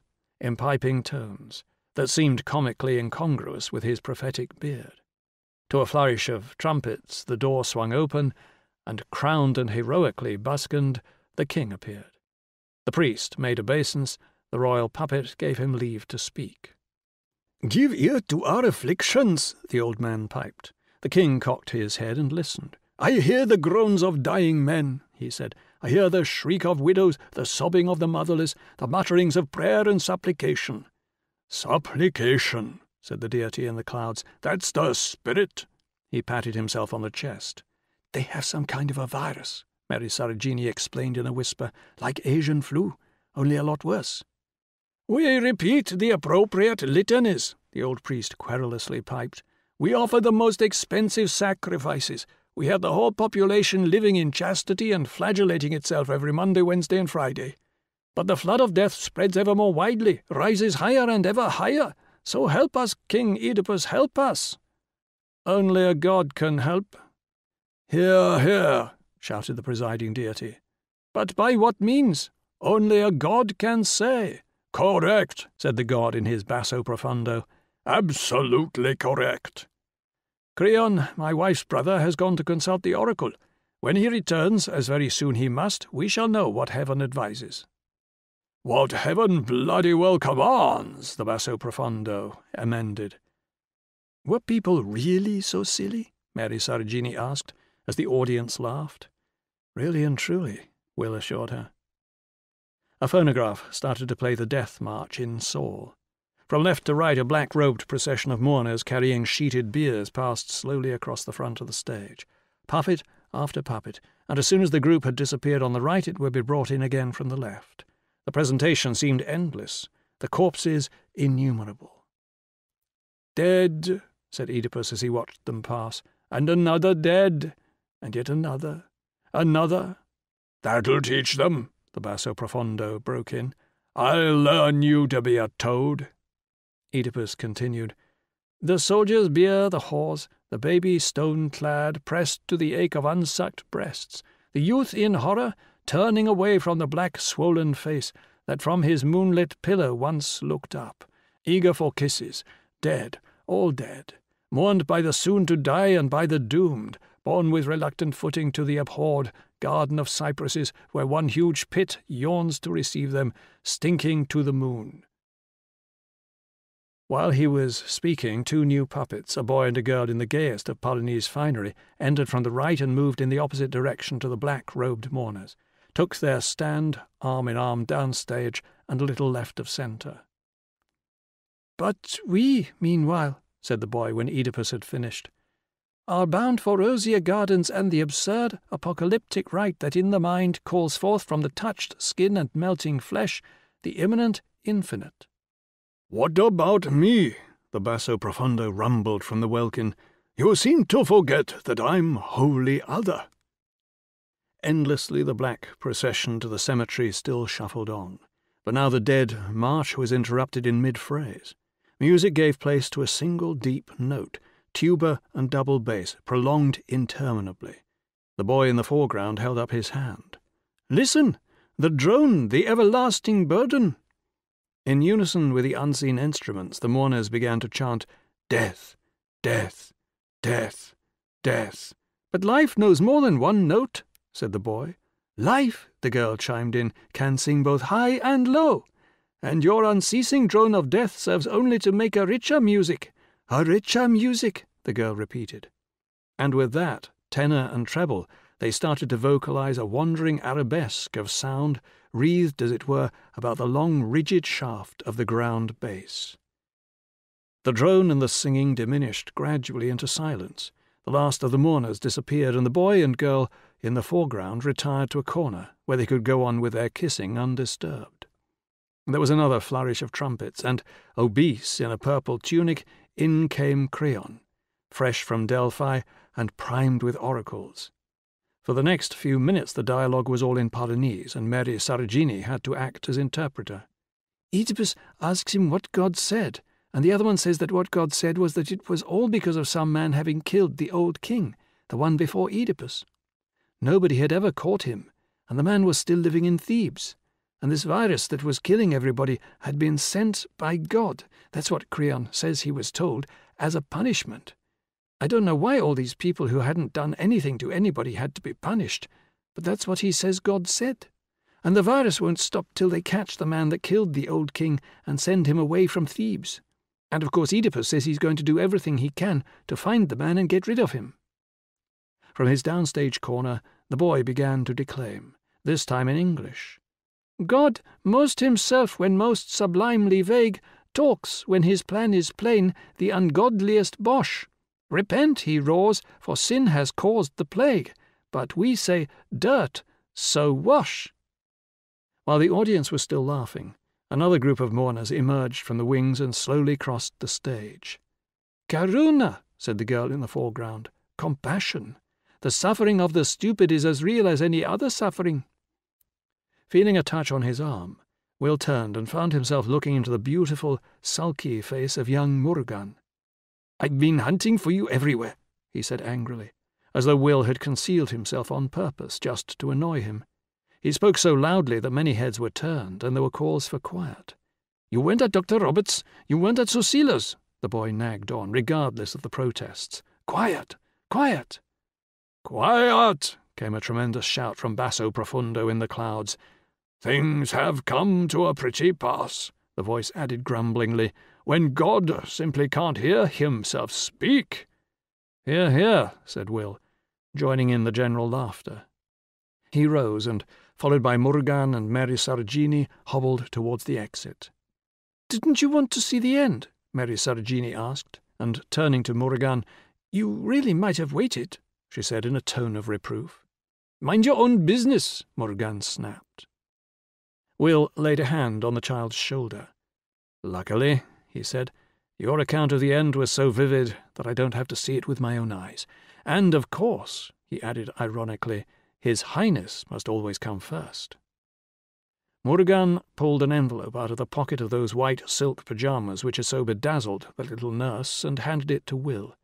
From my mother, and he added, It's urgent. How good it smells, Mary Sarojini commented, sniffing at the rich aura of sandalwood that surrounded the Rani's missive. Will unfolded three sheets of heaven blue notepaper, embossed with five golden lotuses under a princely crown. How many underlings! What a profusion of capital letters! He started to read. Ma petite voix, cher Farnaby, avait raison, as usual, I had been told again and again what our mutual friend was predestined to do for poor little Pala, and through the financial support which Pala will permit him to contribute to the crusade of the Spirit for the whole world. So when I read his cable, which arrived a few minutes ago by way of the faithful Bahu and his diplomatic colleague in London, it came as no surprise to learn that Lord A has given you full powers, and it goes without saying, the wherewithal to negotiate on his behalf, on our behalf, for his advantage is also yours, mine, and, since in our different ways we are all crusaders, the spirit's. But the arrival of Lord A's cable is not the only piece of news I have to report. Events, as we learned this afternoon from Bahu, are rushing towards the great turning point of Palanese history, rushing far more rapidly than I had previously thought to be possible. For reasons which are partly political, the need to offset a recent decline in Colonel D's popularity, partly economic, the burdens of defense are too onerous to be borne by Rendang alone, and partly astrological, these days, say the experts, are uniquely favorable for a joint venture by Rams, myself and Murugan, and that typical scorpion Colonel D. It has been decided to precipitate an action originally planned for the night of the lunar eclipse next November. This being so, it is essential that the three of us here should meet without delay to decide what must be done in these new and swiftly changing circumstances to promote our special interests, material and spiritual. The so-called accident which brought you to our shores at this most critical moment of time was, as you must recognize, manifestly providential. It remains for us to collaborate as dedicated crusaders with that divine power which has so unequivocally espoused our cause. So come at once. Murugan has the motor car and will bring you to our modest bungalow, where, I assure you, my dear Farnaby, you will receive a very warm welcome from bien sincèrement votre Fatima R.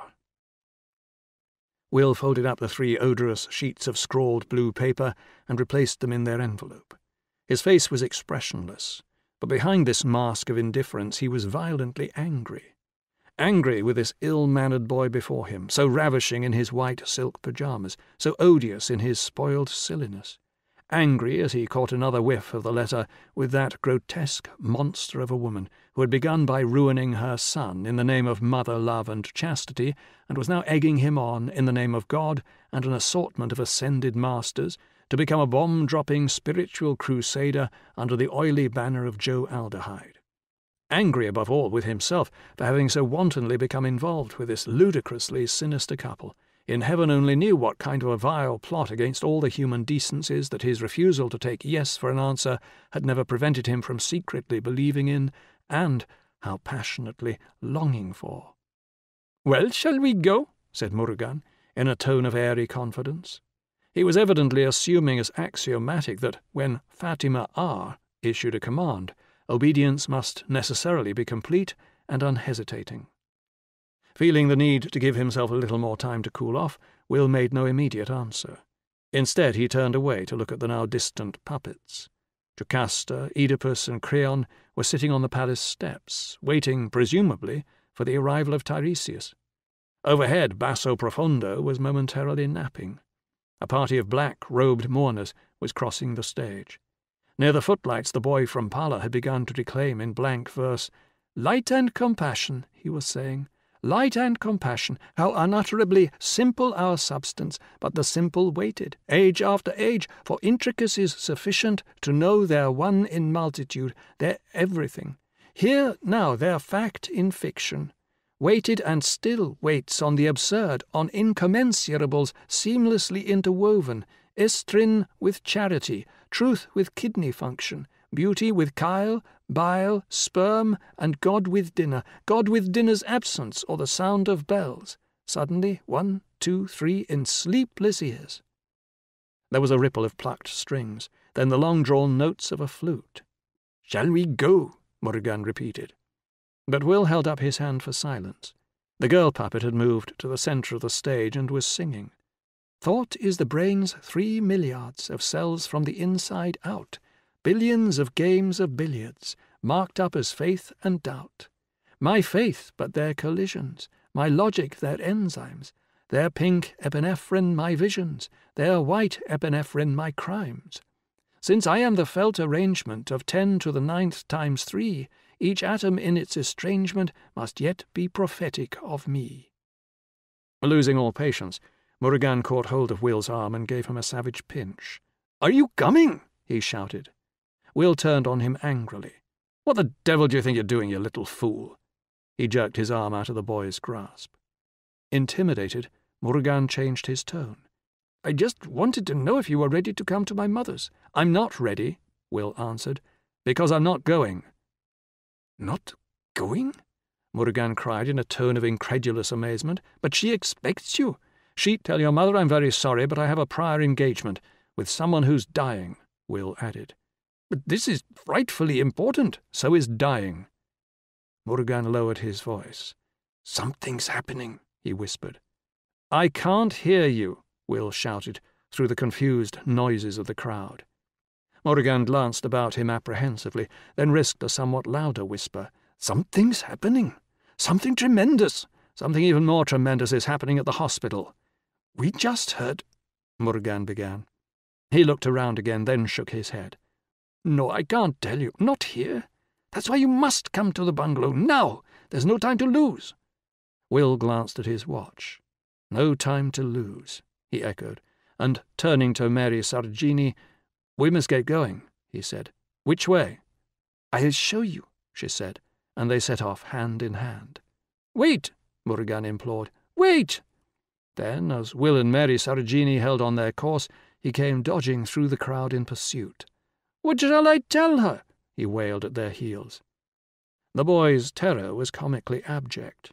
In Will's mind, anger gave place to amusement. He laughed aloud. Then, halting, What would you tell her, Mary Sarojini? he asked. I'd tell her exactly what happened, said the child. I mean, if it was my mother. But then, she added on second thought, my mother isn't the Rani. She looked up at Murugan. Do you belong to an MAC? she inquired. Of course he didn't. For the Rani, the very idea of a mutual adoption club was a blasphemy.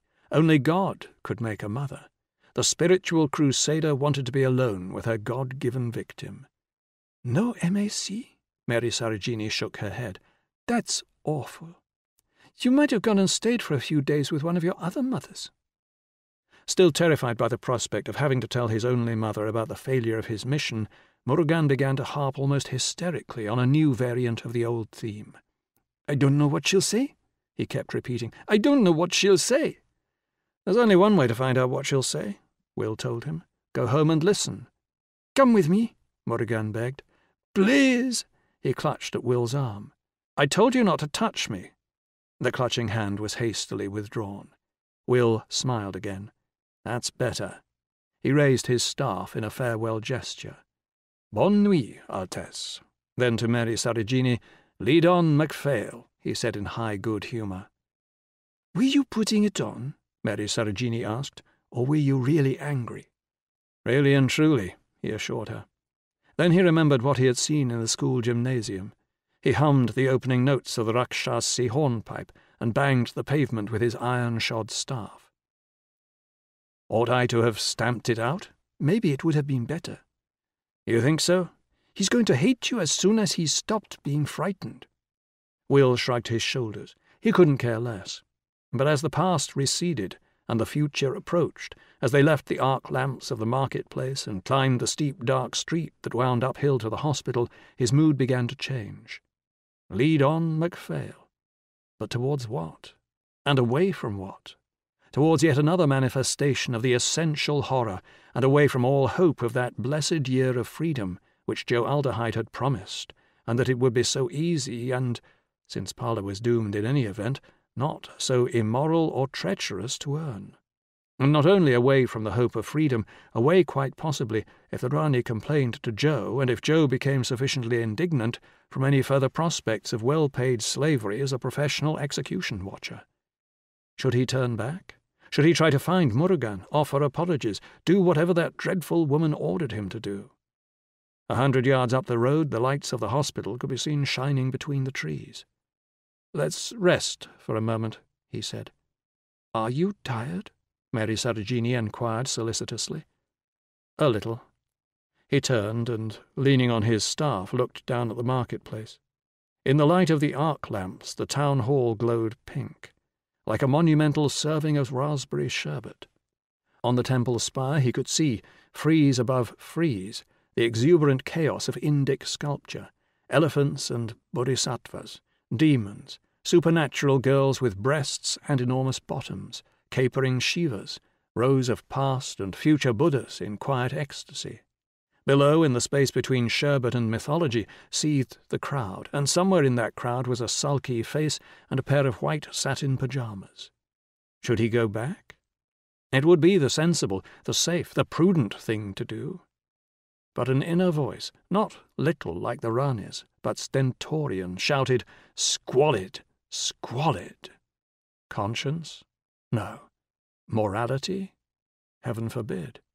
But supererogatory squalor, ugliness, and vulgarity beyond the call of duty, these were things which, as a man of taste, one simply couldn't be a party to. Well, shall we go on? he said to Mary Sarojini. They entered the lobby of the hospital.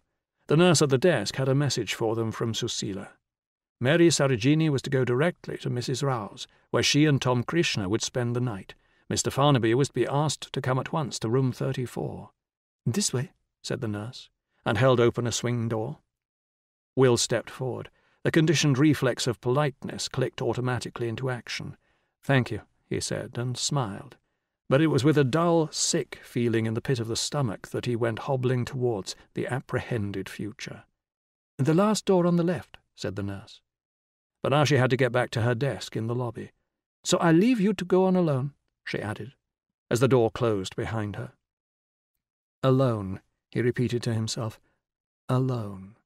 And the apprehended future was identical with the haunting past. The essential horror was timeless and ubiquitous. This long corridor with its green painted walls was the very same corridor along which, a year ago, he had walked to the little room where Molly lay dying. The nightmare was recurrent. Foredoomed and conscious, he moved on towards its horrible consummation death. Yet another vision of death. 32, 33, 34. He knocked and waited, listening to the beating of his heart. The door opened, and he found himself face to face with little Radha. Susila was expecting you, she whispered. Will followed her into the room. Rounding a screen, he caught a glimpse of Susila's profile silhouetted against a lamp, of a high bed, of a dark, emaciated face on the pillow, of arms that were no more than parchment covered bones, of claw like hands. Once again the essential horror. With a shudder he turned away. Radha motioned him to a chair near the open window. He sat down and closed his eyes, closed them physically against the present, but by that very act opened them inwardly upon that hateful past of which the present had reminded him. He was there in that other room, with Aunt Mary, or rather with a person who had once been Aunt Mary, but was now this hardly recognizable somebody else somebody who had never so much as heard of the charity and courage which had been the very essence of Aunt Mary's being, somebody who was filled with an indiscriminate hatred for all who came near her, loathing them, whoever they might be, simply because they didn't have cancer, because they weren't in pain, had not been sentenced to die before their time, and along with this malignant envy of other people's health and happiness had gone a bitterly querulous self-pity, an abject despair. Why to me? Why should this thing have happened to me? He could hear the shrill, complaining voice, could see that tear-stained and distorted face, the only person he had ever really loved or wholeheartedly admired, and yet in her degradation he had caught himself despising her. Despising, positively hating. To escape from the past, he reopened his eyes. Radha, he saw, was sitting on the floor, cross-legged and upright in the posture of meditation. In her chair beside the bed, Susila seemed to be holding the same kind of focused stillness. He looked at the face on the pillow. That too was still, still with a serenity that might almost have been the frozen calm of death. Outside, in the leafy darkness, a peacock suddenly screamed. Deepened by contrast, the ensuing silence seemed to grow pregnant with mysterious and appalling meanings. Lakshmi? Susila laid a hand on the old woman's wasted arm. Lakshmi, she said again more loudly. The death calm face remained impassive. You mustn't go to sleep. Not go to sleep? But for Aunt Mary, sleep, the artificial sleep that followed the injections, had been the only respite from the self lacerations of self pity and brooding fear. Lakshmi! The face came to life. I wasn't really asleep, the old woman whispered. It's just my being so weak. I seem to float away. But you've got to be here, said Susila. You've got to know you're here all the time. She slipped an additional pillow under the sick woman's shoulders and reached for a bottle of smelling salts that stood on the bed table. Lakshmi sniffed, opened her eyes, and looked up into Susila's face. I'd forgotten how beautiful you were, she said. But then, Dugald always did have good taste. The ghost of a mischievous smile appeared for a moment on the fleshless face. What do you think, Susila? she added after a moment, and in another tone. Shall we see him again? I mean, over there? In silence, Susila stroked the old woman's hand. Then, suddenly smiling, How would the old Rajah have asked that question? she said. Do you think we, quote unquote, shall see him, quote unquote, over there, quote unquote? But what do you think? I think we've all come out of the same light, and we're all going back into the same light. Words, Will was thinking. Words, words, words. With an effort, Lakshmi lifted a hand and pointed accusingly at the lamp on the bed table. It glares in my eyes, she whispered. Susila untied the red silk handkerchief knotted around her throat and draped it over the lamp's parchment shade. From white and mercilessly revealing, the light became as dimly, warmly rosy as the flush, Will found himself thinking, on Babs's rumpled bed, whenever Porter's gin proclaimed itself in crimson.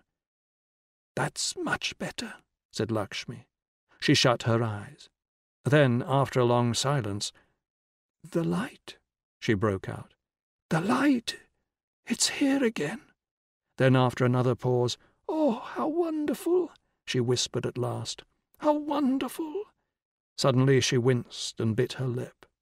Susila took the old woman's hand in hers. Is the pain bad? she asked. It would be bad, Lakshmi explained, if it were really my pain. But somehow it isn't. The pain's here, but I'm somewhere else. It's like what you discover with the moksha medicine. Nothing really belongs to you, not even your pain. Is the light still there? Lakshmi shook her head. And looking back, I can tell you exactly when it went away. It went away when I started talking about the pain not being really mine. And yet what you were saying was good, I know, but I was saying it. The ghost of an old habit of irreverent mischief flitted once again across Lakshmi's face. What are you thinking of? Susila asked. Socrates. Socrates? Gibber, gibber, gibber, even when he'd actually swallowed the stuff. Don't let me talk, Susila. Help me to get out of my own light. Do you remember that time last year, Susila began after a silence, when we all went up to the old Shiva temple, above the high-altitude station? You and Robert and Dugald and me and the two children? Do you remember? Lakshmi smiled with pleasure at the recollection. I'm thinking specially of that view from the west side of the temple, the view out over the sea, blue, green, purple, and the shadows of the clouds were like ink, and the shadows themselves, snow, lead, charcoal, satin. And while we were looking, you asked the question, Do you remember Lakshmi? You mean about the clear light? About the clear light, Susila confirmed. Why do people speak of mind in terms of light? Is it because they've seen the sunshine and found it so beautiful that it seems only natural to identify the Buddha nature with the clearest of all possible clear lights? Or do they find the sunshine beautiful because, consciously or unconsciously, they've been having revelations of mind in the form of light ever since they were born? I was the first to answer, said Susila, smiling to herself, and as I'd just been reading something by some American behaviorist, I didn't stop to think. I just gave you the quote unquote, scientific point of view. People equate mind, whatever that may be, with hallucinations of light because they've looked at a lot of sunsets and found them very impressive. But Robert and Dugald would have none of it. The clear light, they insisted, comes first. You go mad about sunsets because sunsets remind you of what's always been going on, whether you knew it or not, inside your skull and outside space and time. You agreed with them, Lakshmi, do you remember? You said, I'd like to be on your side, Susila, if only because it isn't good for these men of ours to be right all the time. But in this case, surely it's pretty obvious, in this case they are right. Of course they were right, and of course I was hopelessly wrong, and needless to say, you had known the right answer before you asked the question. I never knew anything, Lakshmi whispered. I could only see. I remember your telling me about seeing the clear light, said Susila. Would you like me to remind you of it? The sick woman nodded her head. When you were eight years old, said Susila, that was the first time. An orange butterfly on a leaf, opening and shutting its wings in the sunshine. And suddenly there was the clear light of pure suchness blazing through it like another sun. Much brighter than the sun, Lakshmi whispered. But much gentler. You can look into the clear light and not be blinded. And now remember it a butterfly on a green leaf opening and shutting its wings. And it's the Buddha nature totally present. It's the clear light outshining the sun. And you were only eight years old. What had I done to deserve it? Will found himself remembering that evening, a week or so before her death, when Aunt Mary had talked about the wonderful times they had had together in her little Regency house near Arundel, where he had spent the better part of all his holidays smoking out the wasps' nests with fire and brimstone, having picnics on the downs or under the beeches. And then the sausage rolls at Bognor, the gipsy fortune teller who had prophesied that he would end up as Chancellor of the Exchequer, the black robed, red nosed verger who had chased them out of Chichester Cathedral because they had laughed too much. Laughed too much, Aunt Mary had repeated bitterly. Laughed too much. And now, Susila was saying, think of that view from the Shiva temple. Think of those lights and shadows on the sea, those blue spaces between the clouds. Think of them and then let go of your thinking. Let go of it so that the not thought can come through. Things into emptiness, emptiness into suchness, suchness into things again, into your own mind. Remember what it says in the Sutra? Your own consciousness shining, void, inseparable from the great body of radiance, is subject neither to birth nor death, but is the same as the immutable light, Buddha Amitabha. The same as the light, Lakshmi repeated, and yet it's all dark again. It's dark because you're trying too hard, said Susila. Dark because you want it to be light. Remember what you used to tell me when I was a little girl? Lightly, child, lightly. You've got to learn to do everything lightly. Think lightly, act lightly, feel lightly. Yes, feel lightly, even though you're feeling deeply. Just lightly let things happen and lightly cope with them. I was so preposterously serious in those days, such a humorless little prig. Lightly, lightly. It was the best advice ever given me. Well, now I'm going to say the same thing to you, Lakshmi. Lightly, my darling, lightly, even when it comes to dying. Nothing ponderous or portentous or emphatic, no rhetoric, no tremolos, no self conscious persona putting on its celebrated imitation of Christ or Goethe or Little Nell. And, of course, no theology, no metaphysics, just the fact of dying and the fact of the clear light. So throw away all your baggage and go forward. There are quicksands all about you, sucking at your feet, trying to suck you down into fear and self-pity and despair. That's why you must walk so lightly. Lightly, my darling. On tiptoes, and no luggage, not even a sponge bag. Completely unencumbered. Completely unencumbered. Will thought of poor Aunt Mary sinking deeper and deeper with every step into the quicksands. Deeper and deeper until struggling and protesting to the last, she had gone down completely and forever into the essential horror. He looked again at the fleshless face on the pillow and saw that it was smiling. The light, came the hoarse whisper. The clear light. It's here, along with the pain, in spite of the pain. And where are you? Susila asked. Over there, in the corner. Lakshmi tried to point, but the raised hand faltered and fell back, inert, on the coverlet. I can see myself there, and she can see my body on the bed. Can she see the light? No. The light's here, where my body is. The door of the sick room was quietly opened. Will turned his head and was in time to see Dr. Robert's small, spare figure emerging from behind the screen into the rosy twilight.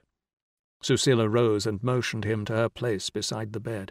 Dr. Robert sat down and, leaning forward, took his wife's hand in one of his and laid the other on her forehead. It's me, he whispered. At last. A tree, he explained, had fallen across the telephone line. No communication with a high-altitude station except by road. They had sent a messenger in a car, and the car had broken down. More than two hours had been lost. But thank goodness, Dr. Robert concluded. Here I finally am. The dying woman sighed profoundly, opened her eyes for a moment, and looked up at him with a smile, then closed them again. I knew you'd come. Lakshmi, he said very softly. Lakshmi. He drew the tips of his fingers across the wrinkled forehead again and again. My little love. There were tears on his cheeks, but his voice was firm and he spoke with a tenderness not of weakness, but of power. I'm not over there any more, Lakshmi whispered. She was over there in the corner, Susila explained to her father-in-law, looking at her body here on the bed. But now I've come back. Me and the pain, me and the light, me and you all together. The peacock screamed again, and through the insect noises that in this tropical night were the equivalent of silence, far off but clear came the sound of gay music flutes and plucked strings, and the steady throbbing of drums. Listen, said Dr. Robert, can you hear it? They're dancing. Dancing, Lakshmi repeated. Dancing. Dancing so lightly, Susila whispered, as though they had wings. The music swelled up again into audibility. It's the courting dance, Susila went on. The courting dance? Robert, do you remember? Could I ever forget? Yes, Will said to himself. Could one ever forget? Could one ever forget that other distant music and, nearby, unnaturally quick and shallow, the sound of dying breath in a boy's ears? In the house across the street, somebody was practicing one of those Brahms waltzes that Aunt Mary had loved to play. One, two, and three, and one, two, and three, and one, two, three, one, and one, and two, three, and one, and the odious stranger who had once been Aunt Mary stirred out of her artificial stupor and opened her eyes. An expression of the most intense malignity had appeared on the yellow, wasted face. Go and tell them to stop, the harsh, unrecognizable voice had almost screamed. And then the lines of malignity had changed into the lines of despair, and the stranger, the pitiable, odious stranger, started to sob uncontrollably. Those Brahms waltzes. They were the pieces, out of all her repertory, that Frank had loved best. Another gust of cool air brought with it a louder strain of the gay, bright music. All those young people dancing together, said Dr. Robert. All that laughter and desire, all that uncomplicated happiness. It's all here, like an atmosphere, like a field of force. Their joy and our love, Susila's love, my love, all working together, all reinforcing one another. Love and joy enveloping you, my darling. Love and joy carrying you up into the peace of the clear light. Listen to the music. Can you still hear it, Lakshmi? She's drifted away again, said Susila. Try to bring her back. Dr. Roberts slipped an arm under the emaciated body and lifted it into a sitting posture. The head drooped sideways onto his shoulder. My little love, he kept whispering. My little love. Her eyelids fluttered open for a moment. Brighter, came the barely audible whisper. Brighter. And a smile of happiness, intense almost to the point of elation, transfigured her face. Through his tears, Dr. Roberts smiled back at her. So now you can let go, my darling. He stroked her grey hair. Now you can let go. Let go, he insisted. Let go of this poor old body. You don't need it any more. Let it fall away from you. Leave it lying here like a pile of worn-out clothes. In the fleshless face, the mouth had fallen cavernously open, and suddenly the breathing became stertorous. My love, my little love, Dr. Robert held her more closely. Let go now. Let go. Leave it here, your old worn-out body, and go on. Go on, my darling, go on into the light, into the peace, into the living peace of the clear light. Susila picked up one of the limp hands and kissed it, then turned to little Radha. Time to go, she whispered, touching the girl's shoulder. Interrupted in her meditation, Radha opened her eyes, nodded, and scrambling to her feet, tiptoed silently towards the door. Susila beckoned to Will, and together they followed her. In silence, the three of them walked along the corridor. At the swing door, Radha took her leave. Thank you for letting me be with you, she whispered. Susila kissed her. Thank you for helping to make it easier for Lakshmi. Will followed Susila across the lobby and out into the warm, odorous darkness. In silence, they started to walk downhill towards the marketplace. And now, he said at last, speaking under a strange compulsion to deny his emotion in a display of the cheapest kind of cynicism, I suppose she's trotting off to do a little maithuna with her boyfriend. As a matter of fact, said Susila calmly, she's on night duty. But if she weren't, what would be the objection to her going on from the yoga of death to the yoga of love? Will did not answer immediately. He was thinking of what had happened between himself and Babs on the evening of Molly's funeral. The yoga of anti-love, the yoga of resented addiction, of lust, and the self-loathing that reinforces the self and makes it yet more loathsome. I'm sorry I tried to be unpleasant, he said at last. It's your father's ghost. We'll have to see if we can exorcise it. They had crossed the marketplace, and now, at the end of the short street that led out of the village, they had come to the open space where the jeep was parked. As Susila turned the car onto the highway, the beam of their headlamps swept across a small green car that was turning downhill into the bypass. Don't I recognize the royal baby Austin? You do, said Susila, and wondered whether Rani and Murugan could be going at this time of night. They're up to no good, Will guessed and on a sudden impulse he told Susila of his roving commission from Joe Aldehyde, his dealings with the Queen Mother and Mr. Bahu. You'll be justified in deporting me tomorrow, he concluded. Not now that you've changed your mind, she assured him. And anyhow, nothing you did could have affected the real issue. Our enemy is oil in general. Whether we're exploited by Southeast Asia Petroleum or Standard of California makes no difference. Did you know that Murugan and the Rani were conspiring against you? They make no secret of it. Then why don't you get rid of them? Because they would be brought back immediately by Colonel Dipa. The Rani is a princess of Rendang. If we expelled her, it would be a casus belli. So what can you do? Try to keep them in order, try to change their minds, hope for a happy outcome, and be prepared for the worst. And what will you do if the worst happens? Try to make the best of it, I suppose. Even in the worst society, an individual retains a little freedom.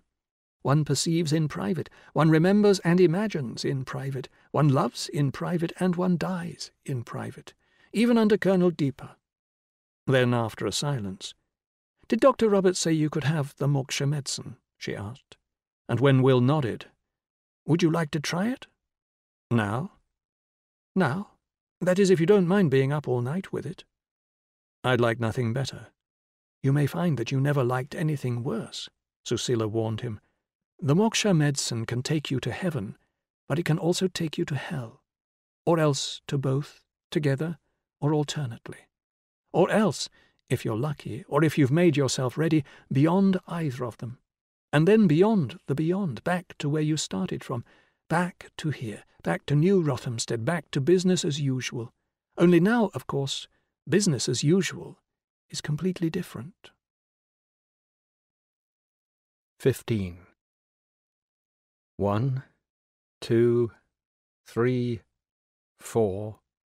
The clock in the kitchen struck 12. How irrelevantly, seeing that time had ceased to exist. The absurd, importunate bell had sounded at the heart of a timelessly present event, of a now that changed incessantly in a dimension not of seconds and minutes, but of beauty, of significance, of intensity, of deepening mystery. Luminous bliss. From the shallows of his mind the words rose like bubbles, came to the surface and vanished into the infinite spaces of living light that now pulsed and breathed behind his closed eyelids. Luminous bliss. That was as near as one could come to it. But it, this timeless and yet ever changing event was something that words could only caricature and diminish, never convey. It was not only bliss, it was also understanding. Understanding of everything, but without knowledge of anything. Knowledge involved a knower and all the infinite diversity of known and knowable things. But here, behind his closed lids, there was neither spectacle nor spectator. There was only this experienced fact of being blissfully one with oneness. In a succession of revelations, the light grew brighter, the understanding deepened, the bliss became more impossibly, more unbearably intense. Dear God, he said to himself, Oh, my dear God. Then, out of another world, he heard the sound of Susila's voice. Do you feel like telling me what's happening? It was a long time before Will answered her. Speaking was difficult. Not because there was any physical impediment. It was just that speech seemed so fatuous, so totally pointless.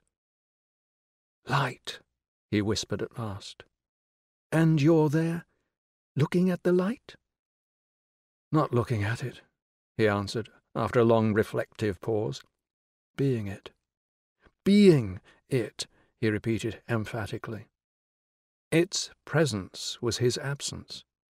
William Asquith Farnaby. Ultimately and essentially, there was no such person.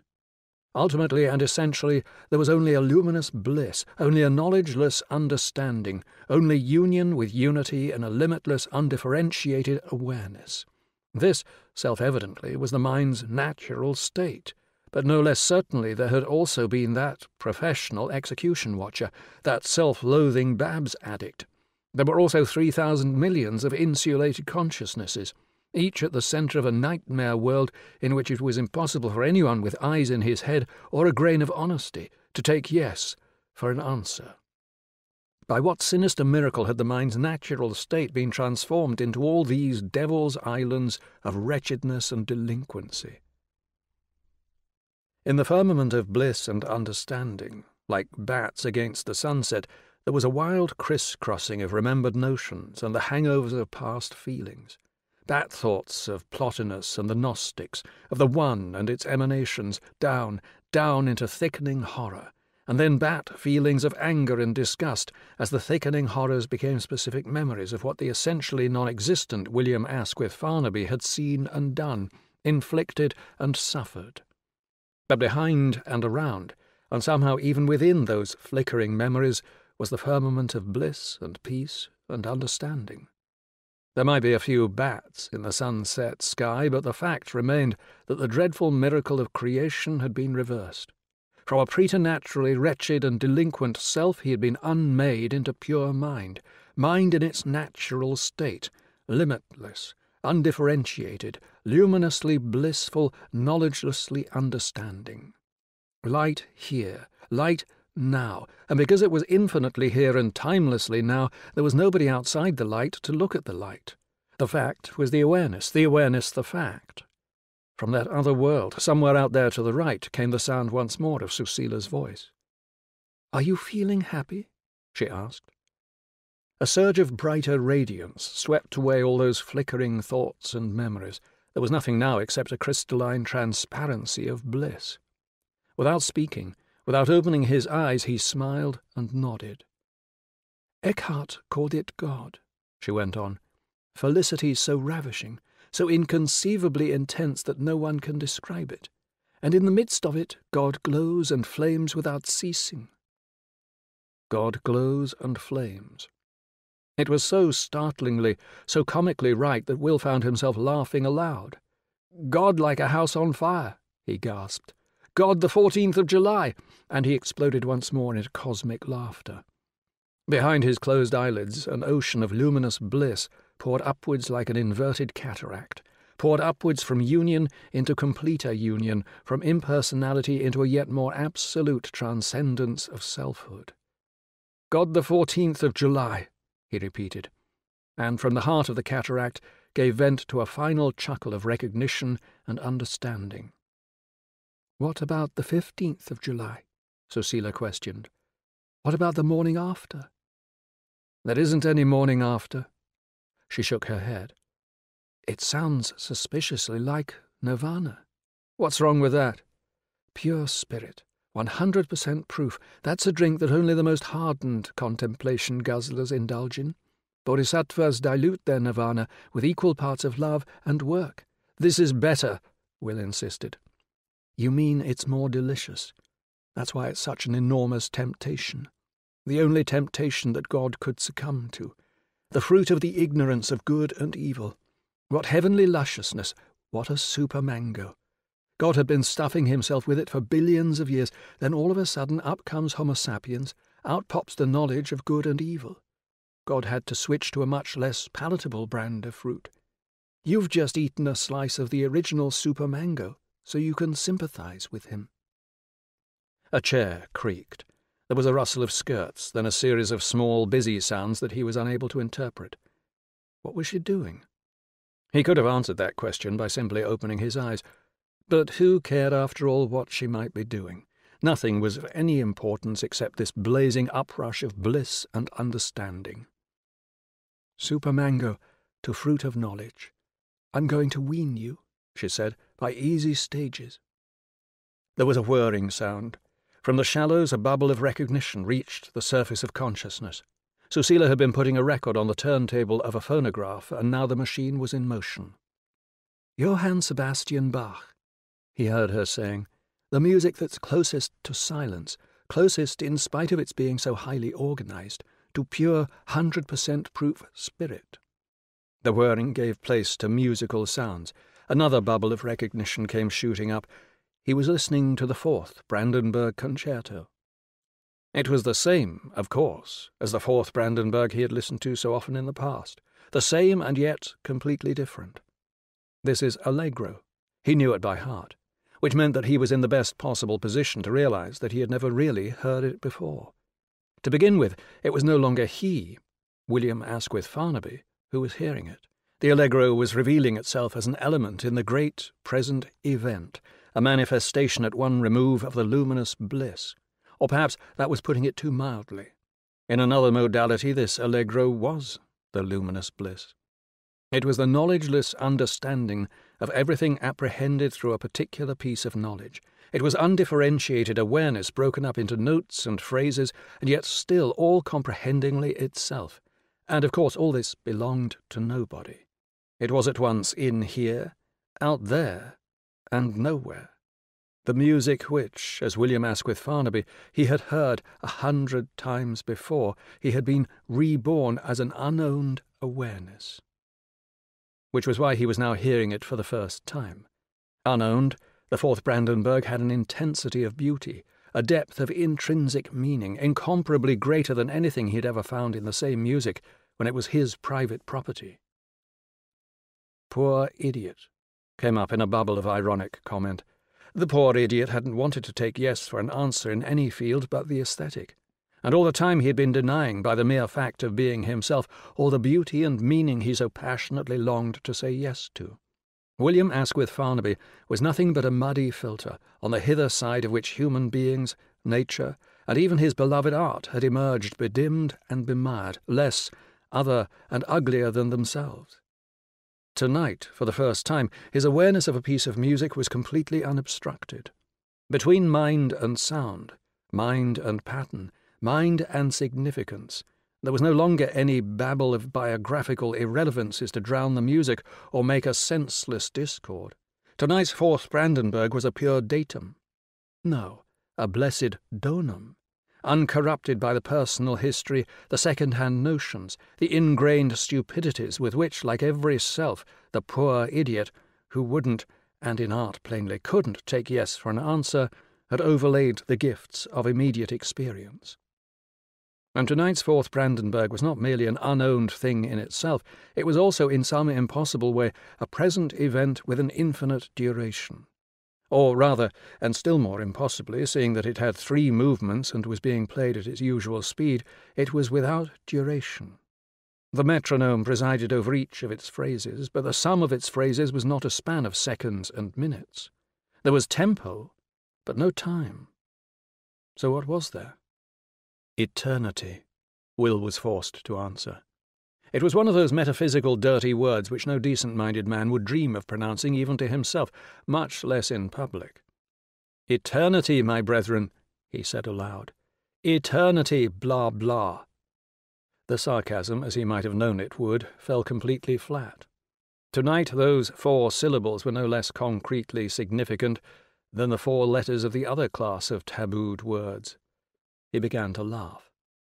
What's so funny? she asked. Eternity, he answered. Believe it or not, it's as real as shit. Excellent, she said approvingly. He sat there motionlessly attentive, following with ear and inward eye the interwoven streams of sound, the interwoven streams of congruous and equivalent lights that flowed on timelessly from one sequence to another. And every phrase of this well worn, familiar music was an unprecedented revelation of beauty that went pouring upwards like a multitudinous fountain, into another revelation as novel and amazing as itself.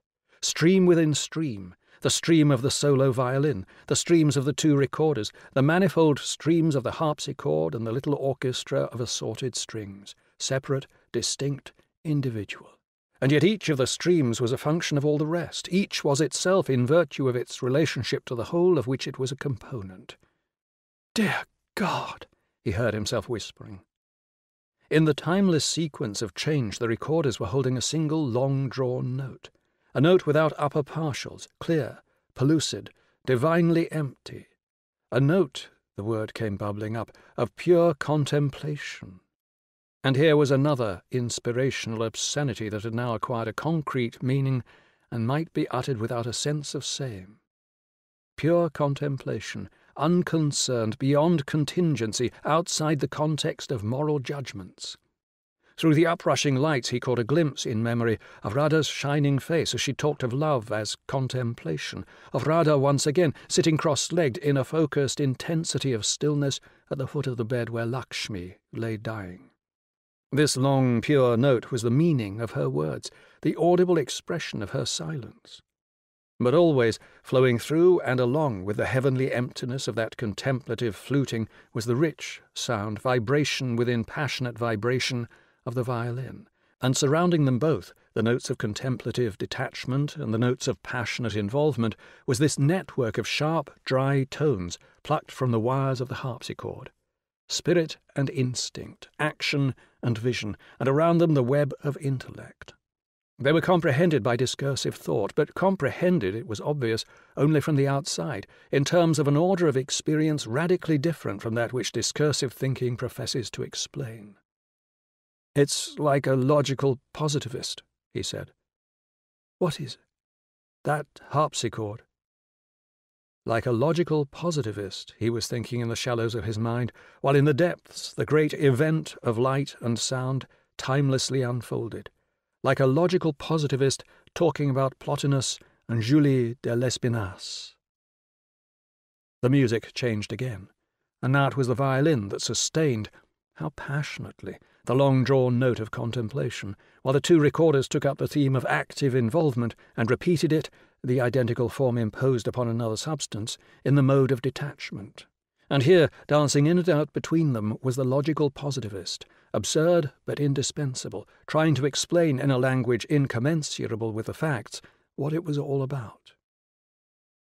In the eternity that was real as shit, he went on listening to these interwoven streams of sound, went on looking at these interwoven streams of light, went on actually being, out there, in here, and nowhere, all that he saw and heard. And now, abruptly, the character of the light underwent a change. These interwoven streams, which were the first fluid differentiations of an understanding on the further side of all particular knowledge, had ceased to be a continuum. Instead, there was all of a sudden this endless succession of separate forms, forms still manifestly charged with the luminous bliss of undifferentiated being, but limited now, isolated, individualized. Silver and rose, yellow and pale green, and gentian blue. An endless succession of luminous spheres came swimming up from some hidden source of forms, and, in time with the music, purposefully constellated themselves into arrays of unbelievable complexity and beauty. An inexhaustible fountain that sprayed out into conscious patternings, into lattices of living stars and as he looked at them, as he lived their life and the life of this music that was their equivalent, they went on growing into other lattices that filled the three dimensions of an inner space and changed incessantly in another, timeless dimension of quality and significance. What are you hearing? Susila asked. Hearing what I see, he answered, and seeing what I hear. And how would you describe it? What it looks like, Will answered after a long silence. What it sounds like is the creation. Only it's not a one shot affair, it's non stop, perpetual creation. Perpetual creation out of no what, nowhere, into something, somewhere. Is that it? That's it. You're making progress. If words had come more easily and, when spoken, had been a little less pointless, Will would have explained to her that knowledgeless understanding and luminous bliss were a damn sight better than even Johann Sebastian Bach. Making progress, Susila repeated, but you've still got a long way to go. What about opening your eyes? Will shook his head emphatically. It's time you gave yourself a chance of discovering what's what. What's what is this? he muttered. It isn't, she assured him. All you've been seeing and hearing and being is only the first what. Now you must look at the second one. Look and then bring the two together into a single inclusive what's what. So open your eyes, Will. Open them wide. All right, he said at last, and reluctantly, with an apprehensive sense of impending misfortune, he opened his eyes. The inner illumination was swallowed up in another kind of light, the fountain of forms, the coloured orbs in their conscious arrays and purposefully changing lattices gave place to a static composition of uprights and diagonals, of flat, planes, and curving cylinders, all carved out of some material that looked like living agate, and all emerging from a matrix of living and pulsating mother of pearl. Like a blind man, newly healed and confronted for the first time by the mystery of light and colour, he stared in uncomprehending astonishment and then, at the end of another twenty timeless bars of the Fourth Brandenburg, a bubble of explanation rose into consciousness. He was looking, Will suddenly perceived, at a small square table, and beyond the table at a rocking chair, and beyond the rocking chair at a blank wall of whitewashed plaster. The explanation was reassuring, for in the eternity that he had experienced between the opening of his eyes and the emergent knowledge of what he was looking at, the mystery confronting him had deepened from inexplicable beauty to a consummation of shining alienness that filled him as he looked with a kind of metaphysical terror. Well, this terrifying mystery consisted of nothing but two pieces of furniture and an expanse of wall. The fear was allayed, but the wonder only increased. How was it possible that things so familiar and commonplace could be this? Obviously it wasn't possible, and yet there it was. There it was. His attention shifted from the geometrical constructions in brown agate to their pearly background. Its name, he knew, was Wall. But in experienced fact, it was a living process, a continuing series of transubstantiations from plaster and whitewash into the stuff of a supernatural body, into a god flesh that kept modulating as he looked at it from glory to glory. Out of what the word Bubbles had tried to explain away as mere calcimine, some shaping spirit was evoking an endless succession of the most delicately discriminated hues, at once faint and intense, that emerged out of latency and went flushing across the god body's divinely radiant skin. Wonderful! Wonderful! And there must be other miracles, new worlds to conquer and be conquered by. He turned his head to the left, and there, appropriate words had bubbled up almost immediately, was the large marble-topped table at which they had eaten their supper. And now, thick and fast, more bubbles began to rise. This breathing apocalypse called table might be thought of as a picture by some mystical cubist, some inspired Juan Gris, with a soul of Traherne and a gift for painting miracles with conscious gems and the changing moods of water lily petals. Turning his head a little further to the left, he was startled by a blaze of jewellery, and what strange jewellery! narrow slabs of emerald and topaz, of ruby and sapphire and lapis lazuli, blazing away row above row, like so many bricks in a wall of the New Jerusalem. Then, at the end, not in the beginning, came the Word. In the beginning were the jewels, the stained glass windows, the walls of paradise. It was only now, at long last, that the word bookcase presented itself for consideration. Will raised his eyes from the book jewels, and found himself at the heart of a tropical landscape. Why? Where? Then he remembered that when, in another life, he first entered the room, he had noticed over the bookcase a large bad watercolour. Between sand dunes and clumps of palms, a widening estuary receding towards the open sea, and above the horizon, enormous mountains of cloud towered into a pale sky. Feeble came bubbling up from the shallows, the work only too obviously of a not very gifted amateur. But that was now beside the point, for the landscape had ceased to be a painting and was now the subject of the painting. A real river, real sea, real sand glaring in the sunshine, real trees against a real sky, real to the nth, real to the point of absoluteness. And this real river mingling with a real sea was his own being engulfed in God. God, between quotation marks, enquired an ironical bubble, or God, exclamation point, in a modernist Pickwickian sense? Will shook his head. The answer was just plain God, the God one couldn't possibly believe in, but who was self evidently the fact confronting him.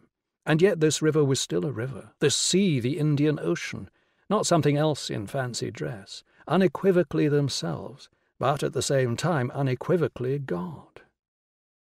Where are you now? Susila asked. Without turning his head in her direction, Will answered, in heaven, I suppose, and pointed at the landscape. In heaven still? When are you going to make a landing down here? Another bubble of memory came up from the silted shallows. Something far more deeply interfused, whose dwelling is the light, of something or other. But Wordsworth also talked about the still sad music of humanity. Luckily, said Will, there are no humans in this landscape, not even any animals she added with a little laugh, only clouds and the most deceptively innocent looking vegetables. That's why you'd better look at what's on the floor. Will dropped his eyes. The grain on the floorboards was a brown river, and the brown river was an eddying, ongoing diagram of the world's divine life. At the centre of that diagram was his own right foot, bare under the straps of its sandal and startlingly three dimensional, like the marble foot revealed by a searchlight of some heroic statue boards, grain, foot.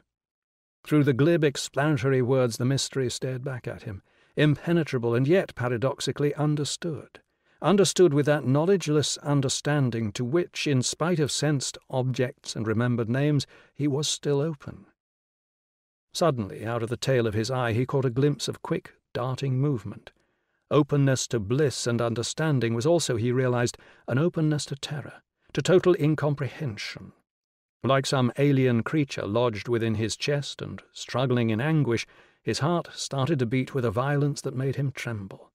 In the hideous certainty that he was about to meet the essential horror, Will turned his head and looked. It's one of Tom Krishna's pet lizards, she said reassuringly. The light was as bright as ever, but the brightness had changed its sign. A glow of sheer evil radiated from every grey-green scale of the creature's back, from its obsidian eyes and the pulsing of its crimson throat, from the armoured edges of its nostrils and its slit-like mouth. He turned away. In vain. The essential horror glared out of everything he looked at. Those compositions by the mystical cubist, they had turned into intricate machines for doing nothing malevolently that tropical landscape in which he had experienced the union of his own being with the being of God. It was now simultaneously the most nauseating of Victorian oleographs and the actuality of hell. On their shelves, the rows of book jewels beamed with a thousand watts of darkness visible. And how cheap these gems of the abyss had become, how indescribably vulgar. Where there had been gold and pearl and precious stones, there were only Christmas tree decorations, only the shallow glare of plastic and varnished tin. Everything still pulsed with life, but with the life of an infinitely sinister bargain basement.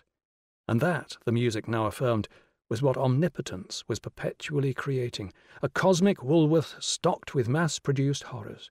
Horrors of vulgarity and horrors of pain, of cruelty and tastelessness, of imbecility and deliberate malice. Not a gecko, he heard Susila saying, not one of our nice little house lizards a hulking stranger from outdoors, one of the bloodsuckers. Not that they suck blood, of course. They merely have red throats and go purple in the face when they get excited, hence that stupid name. Look, there he goes. Will looked down again. Preternaturally real, the scaly horror with its black, blank eyes, its murderous mouth, its blood red throat pumping away while the rest of the body lay stretched along the floor as still as death, was now within six inches of his foot. He sees his dinner said Susila. Look over there to your left, on the edge of the matting. He turned his head. Gongylus, Gongyloides. she went on. Do you remember? Yes, he remembered. The praying mantis that had settled on his bed. But that was in another existence. What he had seen then was merely a rather odd looking insect. What he saw now was a pair of inch long monsters, exquisitely grisly, in the act of coupling. Their bluish pallor was barred and veined with pink, and the wings that fluttered continuously like petals in a breeze were shaded at the edges with deepening violet, a mimicry of flowers. But the insect forms were undisguisable, and now even the flowery colours had undergone a change.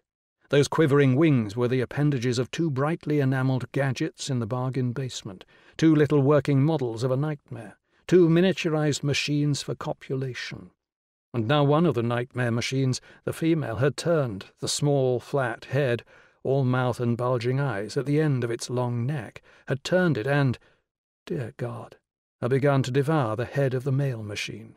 First a purple eye was chewed out, then half the bluish face. What was left of the head fell to the ground. Unrestrained by the weight of the eyes and jaw, the severed neck wavered wildly. The female machine snapped at the oozing stump, caught it, and while the headless male uninterruptedly kept up his parody of Ares in the arms of Aphrodite, methodically chewed. Out of the corner of his eye, Will glimpsed another spurt of movement, turned his head sharply, and was in time to see the lizard crawling towards his foot. Nearer. Nearer. He averted his eyes in terror. Something touched his toes and went tickling across his instep. The tickling ceased, but he could sense a little weight on his foot, a dry, scaly contact. He wanted to scream, but his voice was gone, and when he tried to move, his muscles refused to obey him.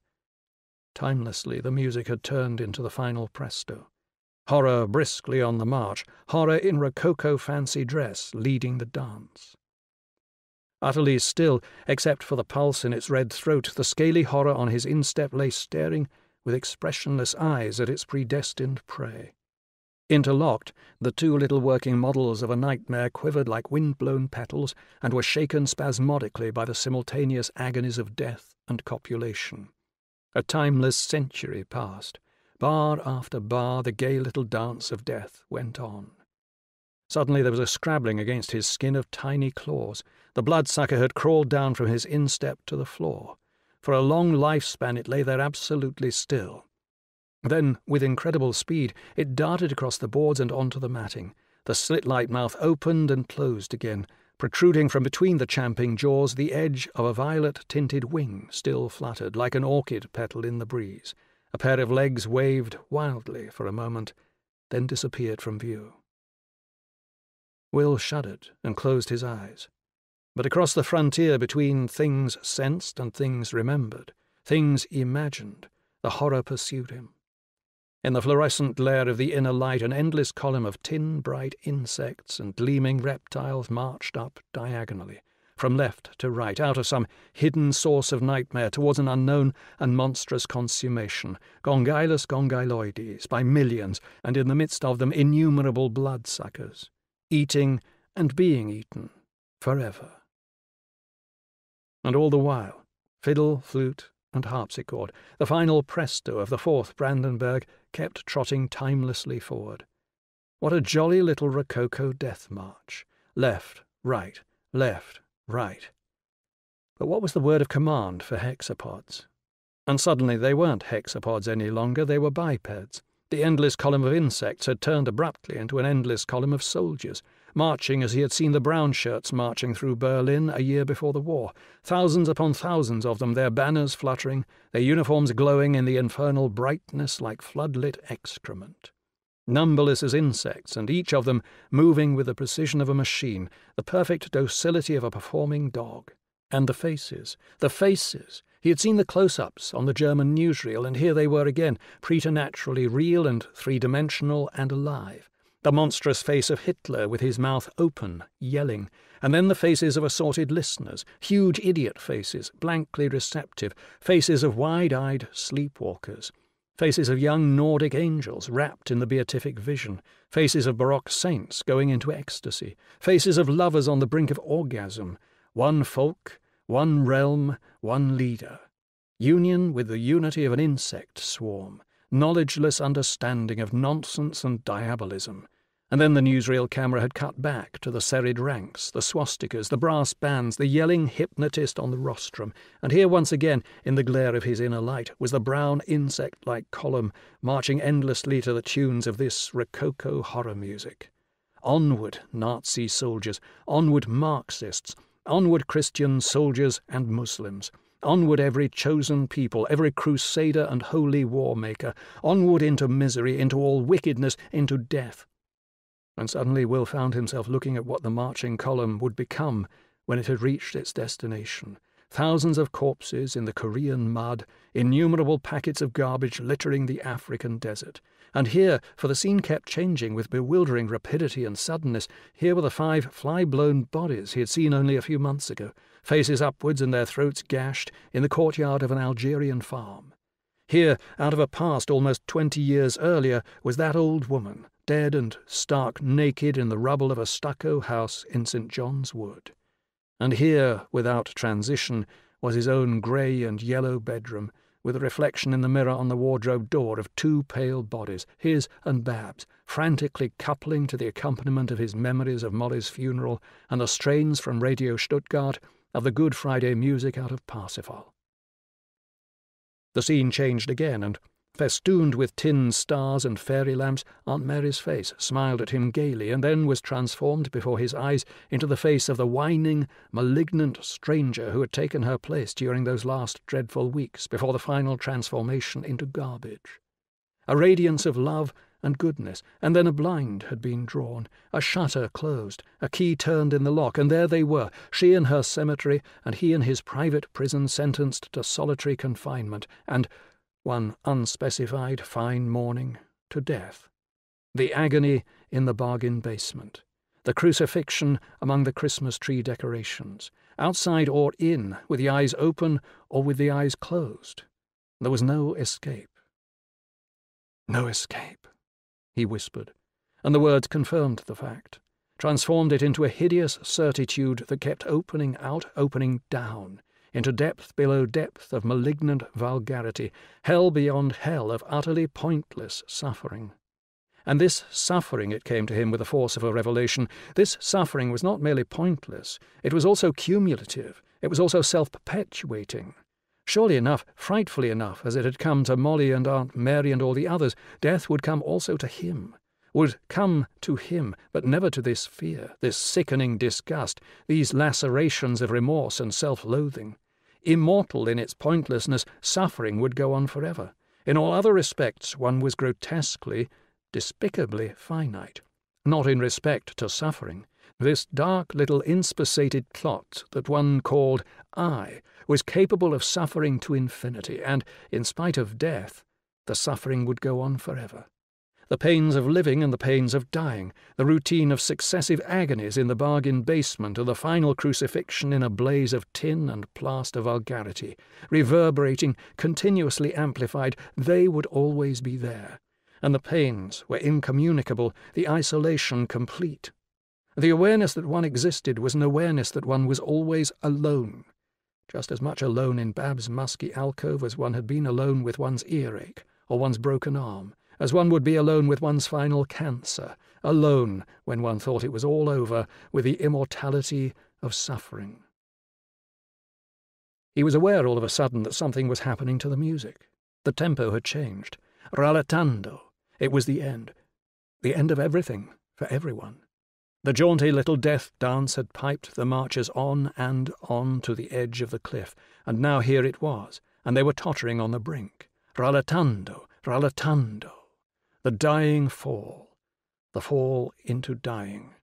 And punctually, inevitably, here were the two anticipated chords, the consummation, the expectant dominant, and then fini, the loud, unequivocal tonic. There was a scratching, a sharp click, and then silence. Through the open window he could hear the distant frogs and the shrill, monotonous rasp of insect noises and yet in some mysterious way the silence remained unbroken. Like flies in a block of amber, the sounds were embedded in a transparent soundlessness which they were powerless to destroy or even modify, and to which they remained completely irrelevant. Timelessly, from intensity to intensity, the silence deepened. Silence in ambush, a watching, conspiratorial silence incomparably more sinister than the grisly little Rococo death march which had preceded it. This was the abyss to whose brink the music had piped him, to the brink, and now over the brink into this everlasting silence. Infinite suffering, he whispered, and you can't speak. You can't even cry out. A chair creaked. Silk rustled. He felt the wind of movement against his face, the nearness of a human presence. Behind his closed lids, he was somehow aware that Susila was kneeling there in front of him. An instant later he felt her hands touching his face, the palms against his cheeks, the fingers on his temples. The clock in the kitchen made a little whirring noise, then started to strike the hour. One, two, three, four. Outside in the garden, a gusty breeze whispered intermittently among the leaves. A cock crowed, and a moment later, from a long way off, came an answering call, and almost simultaneously another and another.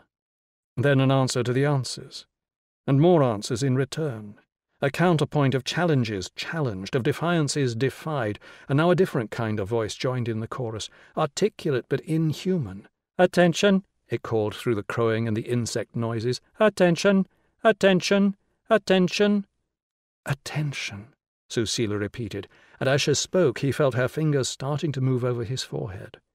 Lightly, lightly, from the brows up to the hair, from either temple to the midpoint between the eyes, up and down, back and forth, soothing away the mind's contractions, soothing out the furrows of bewilderment and pain. Attention to this! And she increased the pressure of her palms against his cheekbones, of her fingertips above his ears. To this, she repeated, to now. Your face between my two hands. The pressure was relaxed. The fingers started to move again across his forehead. Attention! Through a ragged counterpoint of crowing, the injunction was insistently repeated. Attention! Attention! Atten... The inhuman voice broke off in mid-word. Attention to her hands on his face, or attention to this dreadful glare of the inner light, to this uprush of tin and plastic stars and through the barrage of vulgarity to this packet of garbage that had once been Molly, to the whorehouse looking glass, to all those countless corpses in the mud, the dust, the rubble. And here were the lizards again, and gongylus gongyloides by the million. Here were the marching columns, the rapt, devoutly listening faces of Nordic angels. Attention, the mynah bird began to call again from the other side of the house. Attention. Will shook his head. Attention to what? To this and she dug her nails into the skin of his forehead. This, here and now, and it isn't anything so romantic as suffering and pain, it's just the feel of fingernails. And even if it were much worse, it couldn't possibly be forever, or to infinity. Nothing is forever. Nothing is to infinity, except, maybe, the Buddha nature. She moved her hands, and the contact now was no longer with nails, but with skin.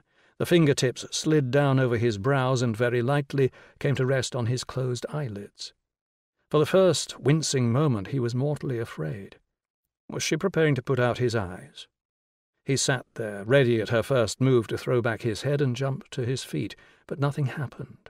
Little by little his fears died away. The awareness of this intimate, unexpected, potentially dangerous contact remained, an awareness so acute and because the eyes were supremely vulnerable, so absorbing that he had nothing to spare for the inner light or the horrors and vulgarities revealed by it. Pay attention, she whispered. But it was impossible not to pay attention. However, gently and delicately, her fingers had probed to the very quick of his consciousness, and how intensely alive he now noticed those fingers were, what a strange tingling warmth flowed out of them. It's like an electric current, he marveled. But luckily, she said, the wire carries no messages. One touches, and in the act of touching, one's touched. Complete communication, but nothing communicated. Just an exchange of life, that's all. Then, after a pause, Do you realize, Will, she went on, that in all these hours we've been sitting here, all these centuries in your case, all these eternities, you haven't looked at me once? Not once. Are you afraid of what you might see? He thought over the question and finally nodded his head. Maybe that's what it was, he said. Afraid of seeing something I'd have to be involved with, something I might have to do something about. So you stuck to Bach and landscapes and the clear light of the void, which you wouldn't let me go on looking at, he complained, because the void won't do you much good unless you can see its light in gongylus gongyloides and in people, she said which is sometimes considerably more difficult. Difficult? He thought of the marching columns, of the bodies in the mirror, of all those other bodies face downwards in the mud, and shook his head. It's impossible. No, not impossible, she insisted. Sunyata implies karuna. The void is light, but it's also compassion. Greedy contemplatives want to possess themselves of the light without bothering about compassion. Merely good people try to be compassionate and refuse to bother about the light. As usual, it's a question of making the best of both worlds. And now, she added, it's time for you to open your eyes and see what a human being really looks like. The fingertips moved up from his eyelids to his forehead, moved out to the temples, moved down to the cheeks, to the corners of the jaw. An instant later he felt their touch on his own fingers, and she was holding his two hands in hers. Will opened his eyes and, for the first time since he had taken the Moksha medicine, found himself looking her squarely in the face. Dear God, he whispered at last. Susila laughed. Is it as bad as the bloodsucker? she asked. But this was not a joking matter. Will shook his head impatiently and went on looking. The eye sockets were mysterious with shadow, and except for a little crescent of illumination on the cheekbone, so was all the right side of her face. The left side glowed with a living, golden radiance, preternaturally bright, but with a brightness that was neither the vulgar and sinister glare of darkness visible, nor yet that blissful incandescence revealed in the far off dawn of his eternity behind his closed lids, and when he had opened his eyes in the book jewels, the compositions of the mystical cubists, the transfigured landscape, what he was seeing now was the paradox of opposites, indissolubly wedded, of light shining out of darkness, of darkness at the very heart of light. It isn't the sun, he said at last, and it isn't Chartres, nor the infernal bargain basement, thank God. It's all of them together. And you're recognizably you, and I'm recognizably me, though, needless to say, we're both completely different. You and me by Rembrandt, but Rembrandt about 5,000 times more so. He was silent for a moment, then, nodding his head in confirmation of what he had just said. Yes, that's it, he went on.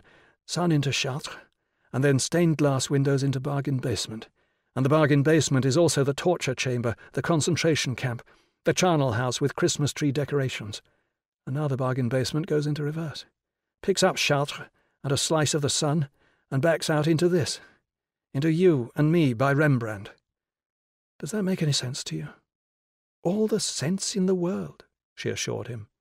But Will was too busy looking at her to be able to pay much attention to what she was saying. You're so incredibly beautiful, he said at last. But it wouldn't matter if you were incredibly ugly. You'd still be a Rembrandt, but five thousand times more so. Beautiful. Beautiful, he repeated. And yet I don't want to sleep with you. No, that isn't true. I would like to sleep with you very much indeed, but it won't make any difference if I never do. I shall go on loving you, loving you in the way one's supposed to love people if one's a Christian. Love, he repeated. Love! It's another of those dirty words. In love, make love. Those are all right. But plain love, that's an obscenity I couldn't pronounce. But now, now, he smiled and shook his head. Believe it or not, now I can understand what it means when they say, God is love. What manifest nonsense! and yet it happens to be true. Meanwhile, there's this extraordinary face of yours. He leaned forward to look into it more closely, as though one were looking into a crystal ball, he added incredulously. Something new all the time. You can't imagine. But she could imagine. Don't forget, she said. I've been there myself. Did you look at people's faces? She nodded. At my own in the glass, and of course at Dugald's. Goodness, that last time we took the Moksha medicine together, he started by looking like a hero out of some impossible mythology, of Indians in Iceland, of Vikings in Tibet. And then, without warning, he was Maitreya Buddha. Obviously, self-evidently, Maitreya Buddha. Such a radiance! I can still see... She broke off, and suddenly Will found himself looking at incarnate bereavement with seven swords in her heart, reading the signs of pain in the dark eyes, about the corners of the full-lipped mouth, he knew that the wound had been very nearly mortal, and, with a pang in his own heart, that it was still open, still bleeding. He pressed her hands.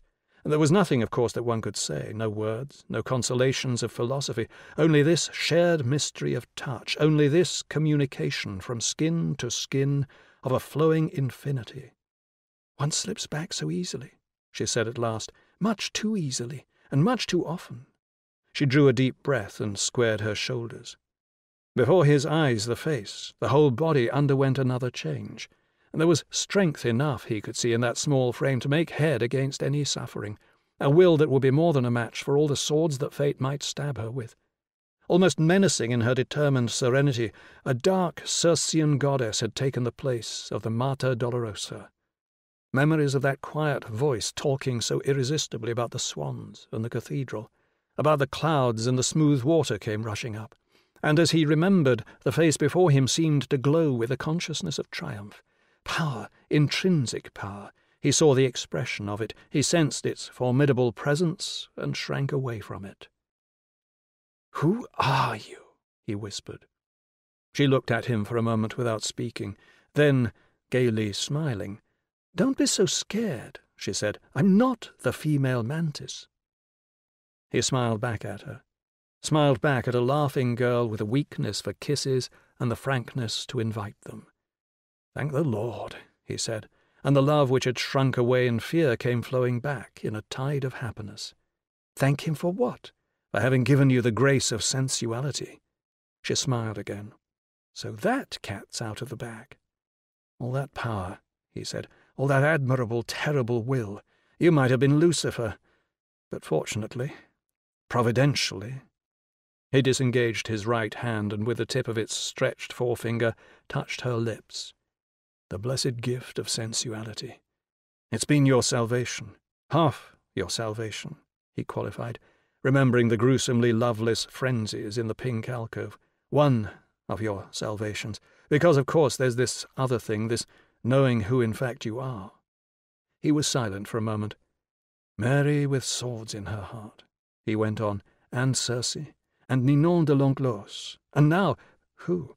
Somebody like Juliana of Norwich, or Catherine of Genoa. Are you really all these people?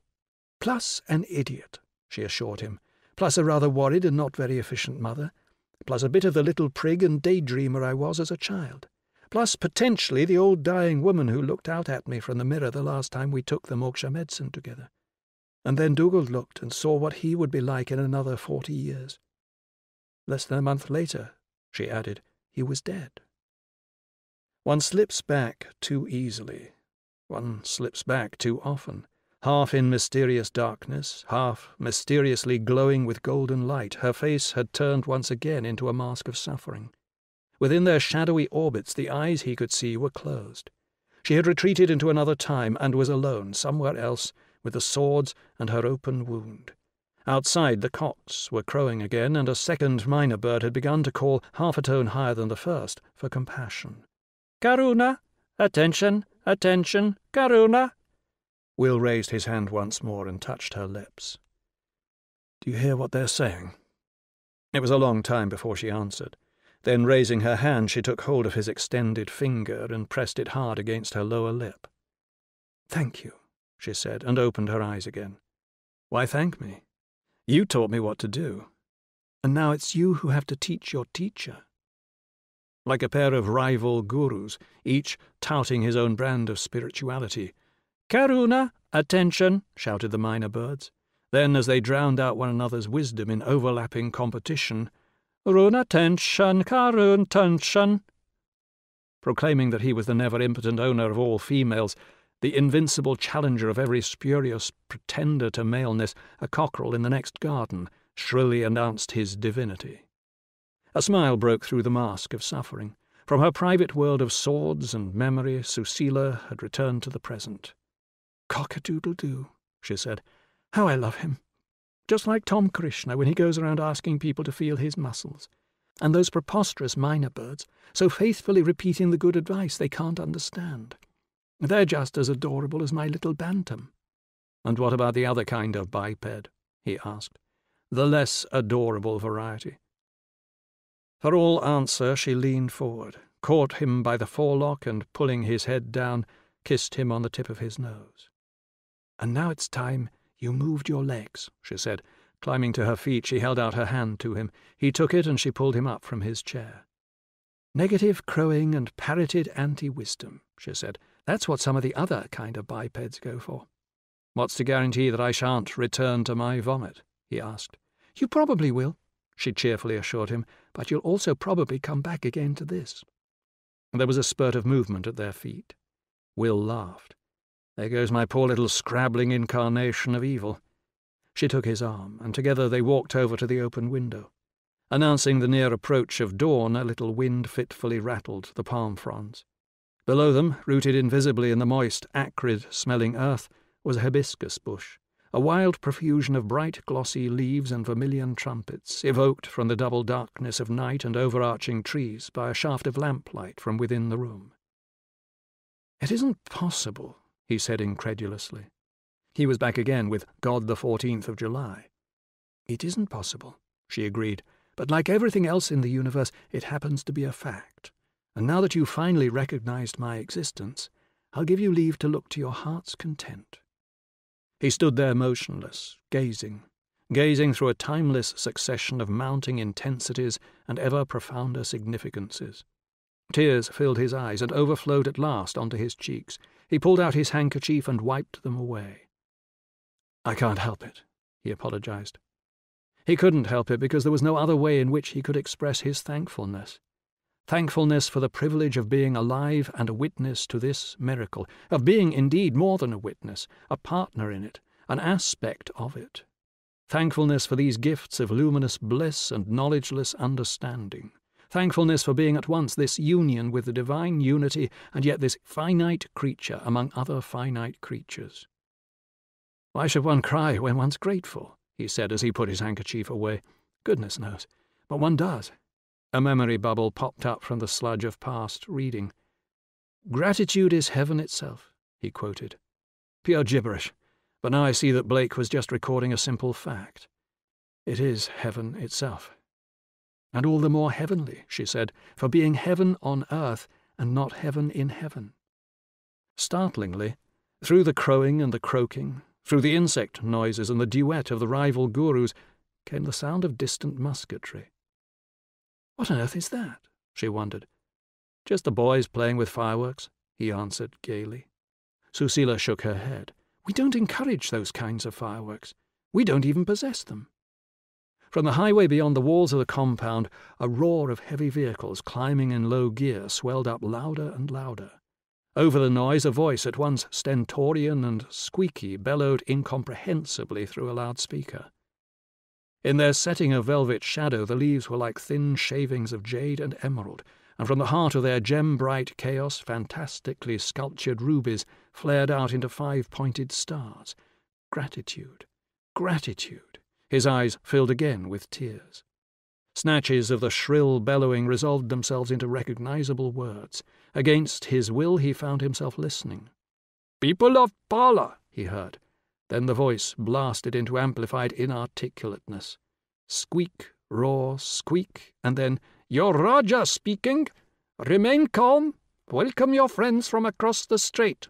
Recognition dawned. It's Murugan! And he's with Dipa's soldiers. Progress! The uncertain, excited voice was saying. Modern life! And then, moving on from Sears, Roebuck to the Rani and Koot Hoomi. Truth! it squeaked values, genuine spirituality, oil. Look, said Susila, look, they're turning into the compound. Visible in a gap between two clumps of bamboos, the beams of a procession of headlamps shone for a moment on the left cheek of the great stone Buddha by the lotus pool, and passed by, hinted again at the blessed possibility of liberation, and again passed by. The throne of my father, bawled the gigantically amplified squeak, joined to the throne of my mother's ancestors. Two sister nations marching forward hand in hand into the future, to be known henceforth as the United Kingdom of Rendang and Pala. The United Kingdom's first Prime Minister, that great political and spiritual leader, Colonel Dipa.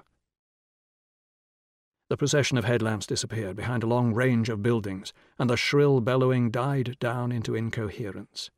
Then the lights re-emerged, and once again the voice became articulate. Reactionaries, it was furiously yelling, traitors to the principles of the permanent revolution, in a tone of horror. They're stopping at Dr. Robert's bungalow, Susila whispered. The voice had said its last word. The headlamps and the roaring motors had been turned off. In the dark, expectant silence, the frogs and the insects kept up their mindless soliloquies. The mynah birds reiterated their good advice. Attention! Karuna! Will looked down at his burning bush and saw the suchness of the world and his own being blazing away with a clear light that was also, how oh, obviously now, compassion. The clear light that, like everyone else, he had always chosen to be blind to, the compassion to which he had always preferred his tortures, endured or inflicted in a bargain basement, his squalid solitudes with the living Babs or the dying Molly in the foreground, with Joe Aldehyde in the middle distance, and in the remoter background the great world of impersonal forces and proliferating numbers, of collective paranoias and organised diabolism. And always, everywhere, there would be the yelling or quietly authoritative hypnotists, and in the train of the ruling suggestion givers always and everywhere the tribes of buffoons and hucksters, the professional liars, the purveyors of entertaining irrelevancies, conditioned from the cradle, unceasingly distracted, mesmerized systematically, their uniformed victims would go on obediently marching and countermarching, go on, always and everywhere, killing and dying with the perfect docility of trained poodles, and yet, in spite of the entirely justified refusal to take yes for an answer, the fact remained and would remain always, remain everywhere, the fact that there was this capacity even in a paranoiac for intelligence, even in a devil worshipper for love, the fact that the ground of all being could be totally manifest in a flowering shrub, a human face, the fact that there was a light and that this light was also compassion. There was the sound of a single shot, then a burst of shots from an automatic rifle. Susila covered her face with her hands. She was trembling uncontrollably. He put an arm round her shoulders and held her close. The work of a hundred years, destroyed in a single night. And yet the fact remained, the fact of the ending of sorrow, as well as the fact of sorrow. The starters screeched, engine after engine roared into action, the headlamps were turned on, and after a minute of noisy manoeuvring, the cars started to move slowly back along the road by which they had come. The loudspeaker brayed out the opening bars of a martial and at the same time lascivious hymn tune which Will recognised as the national anthem of Rendang. Then the Wurlitzer was switched off, and here once again was Murugan. This is your Raja speaking, the excited voice proclaimed. After which, da capo, there was a repetition of the speech about progress, values, oil, true spirituality. Abruptly as before, the procession disappeared from sight and hearing. A minute later it was in view again, with its wobbly counter-tenor bellowing the praises of the newly United Kingdom's first Prime Minister. The procession crawled on, and now, from the right this time, the headlamps of the first armoured car lit up the serenely smiling face of enlightenment. For an instant only, and then the beam moved on. And here was the Tathagata for the second time, the third, the fourth, the fifth, the last of the cars passed by. Disregarded in the darkness, the fact of enlightenment remained. The roaring of the engines diminished. The squeaking rhetoric lapsed into an inarticulate murmur, and as the intruding voices died away, out came the frogs again.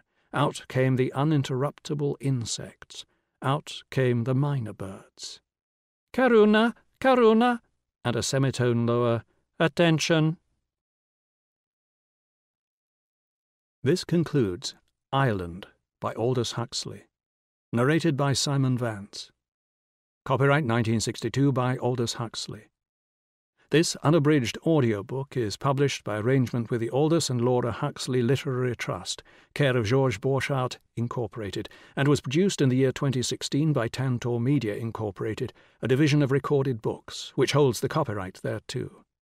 Please visit tantor.com for more information on our growing library of unabridged audiobooks and to take advantage of special offers.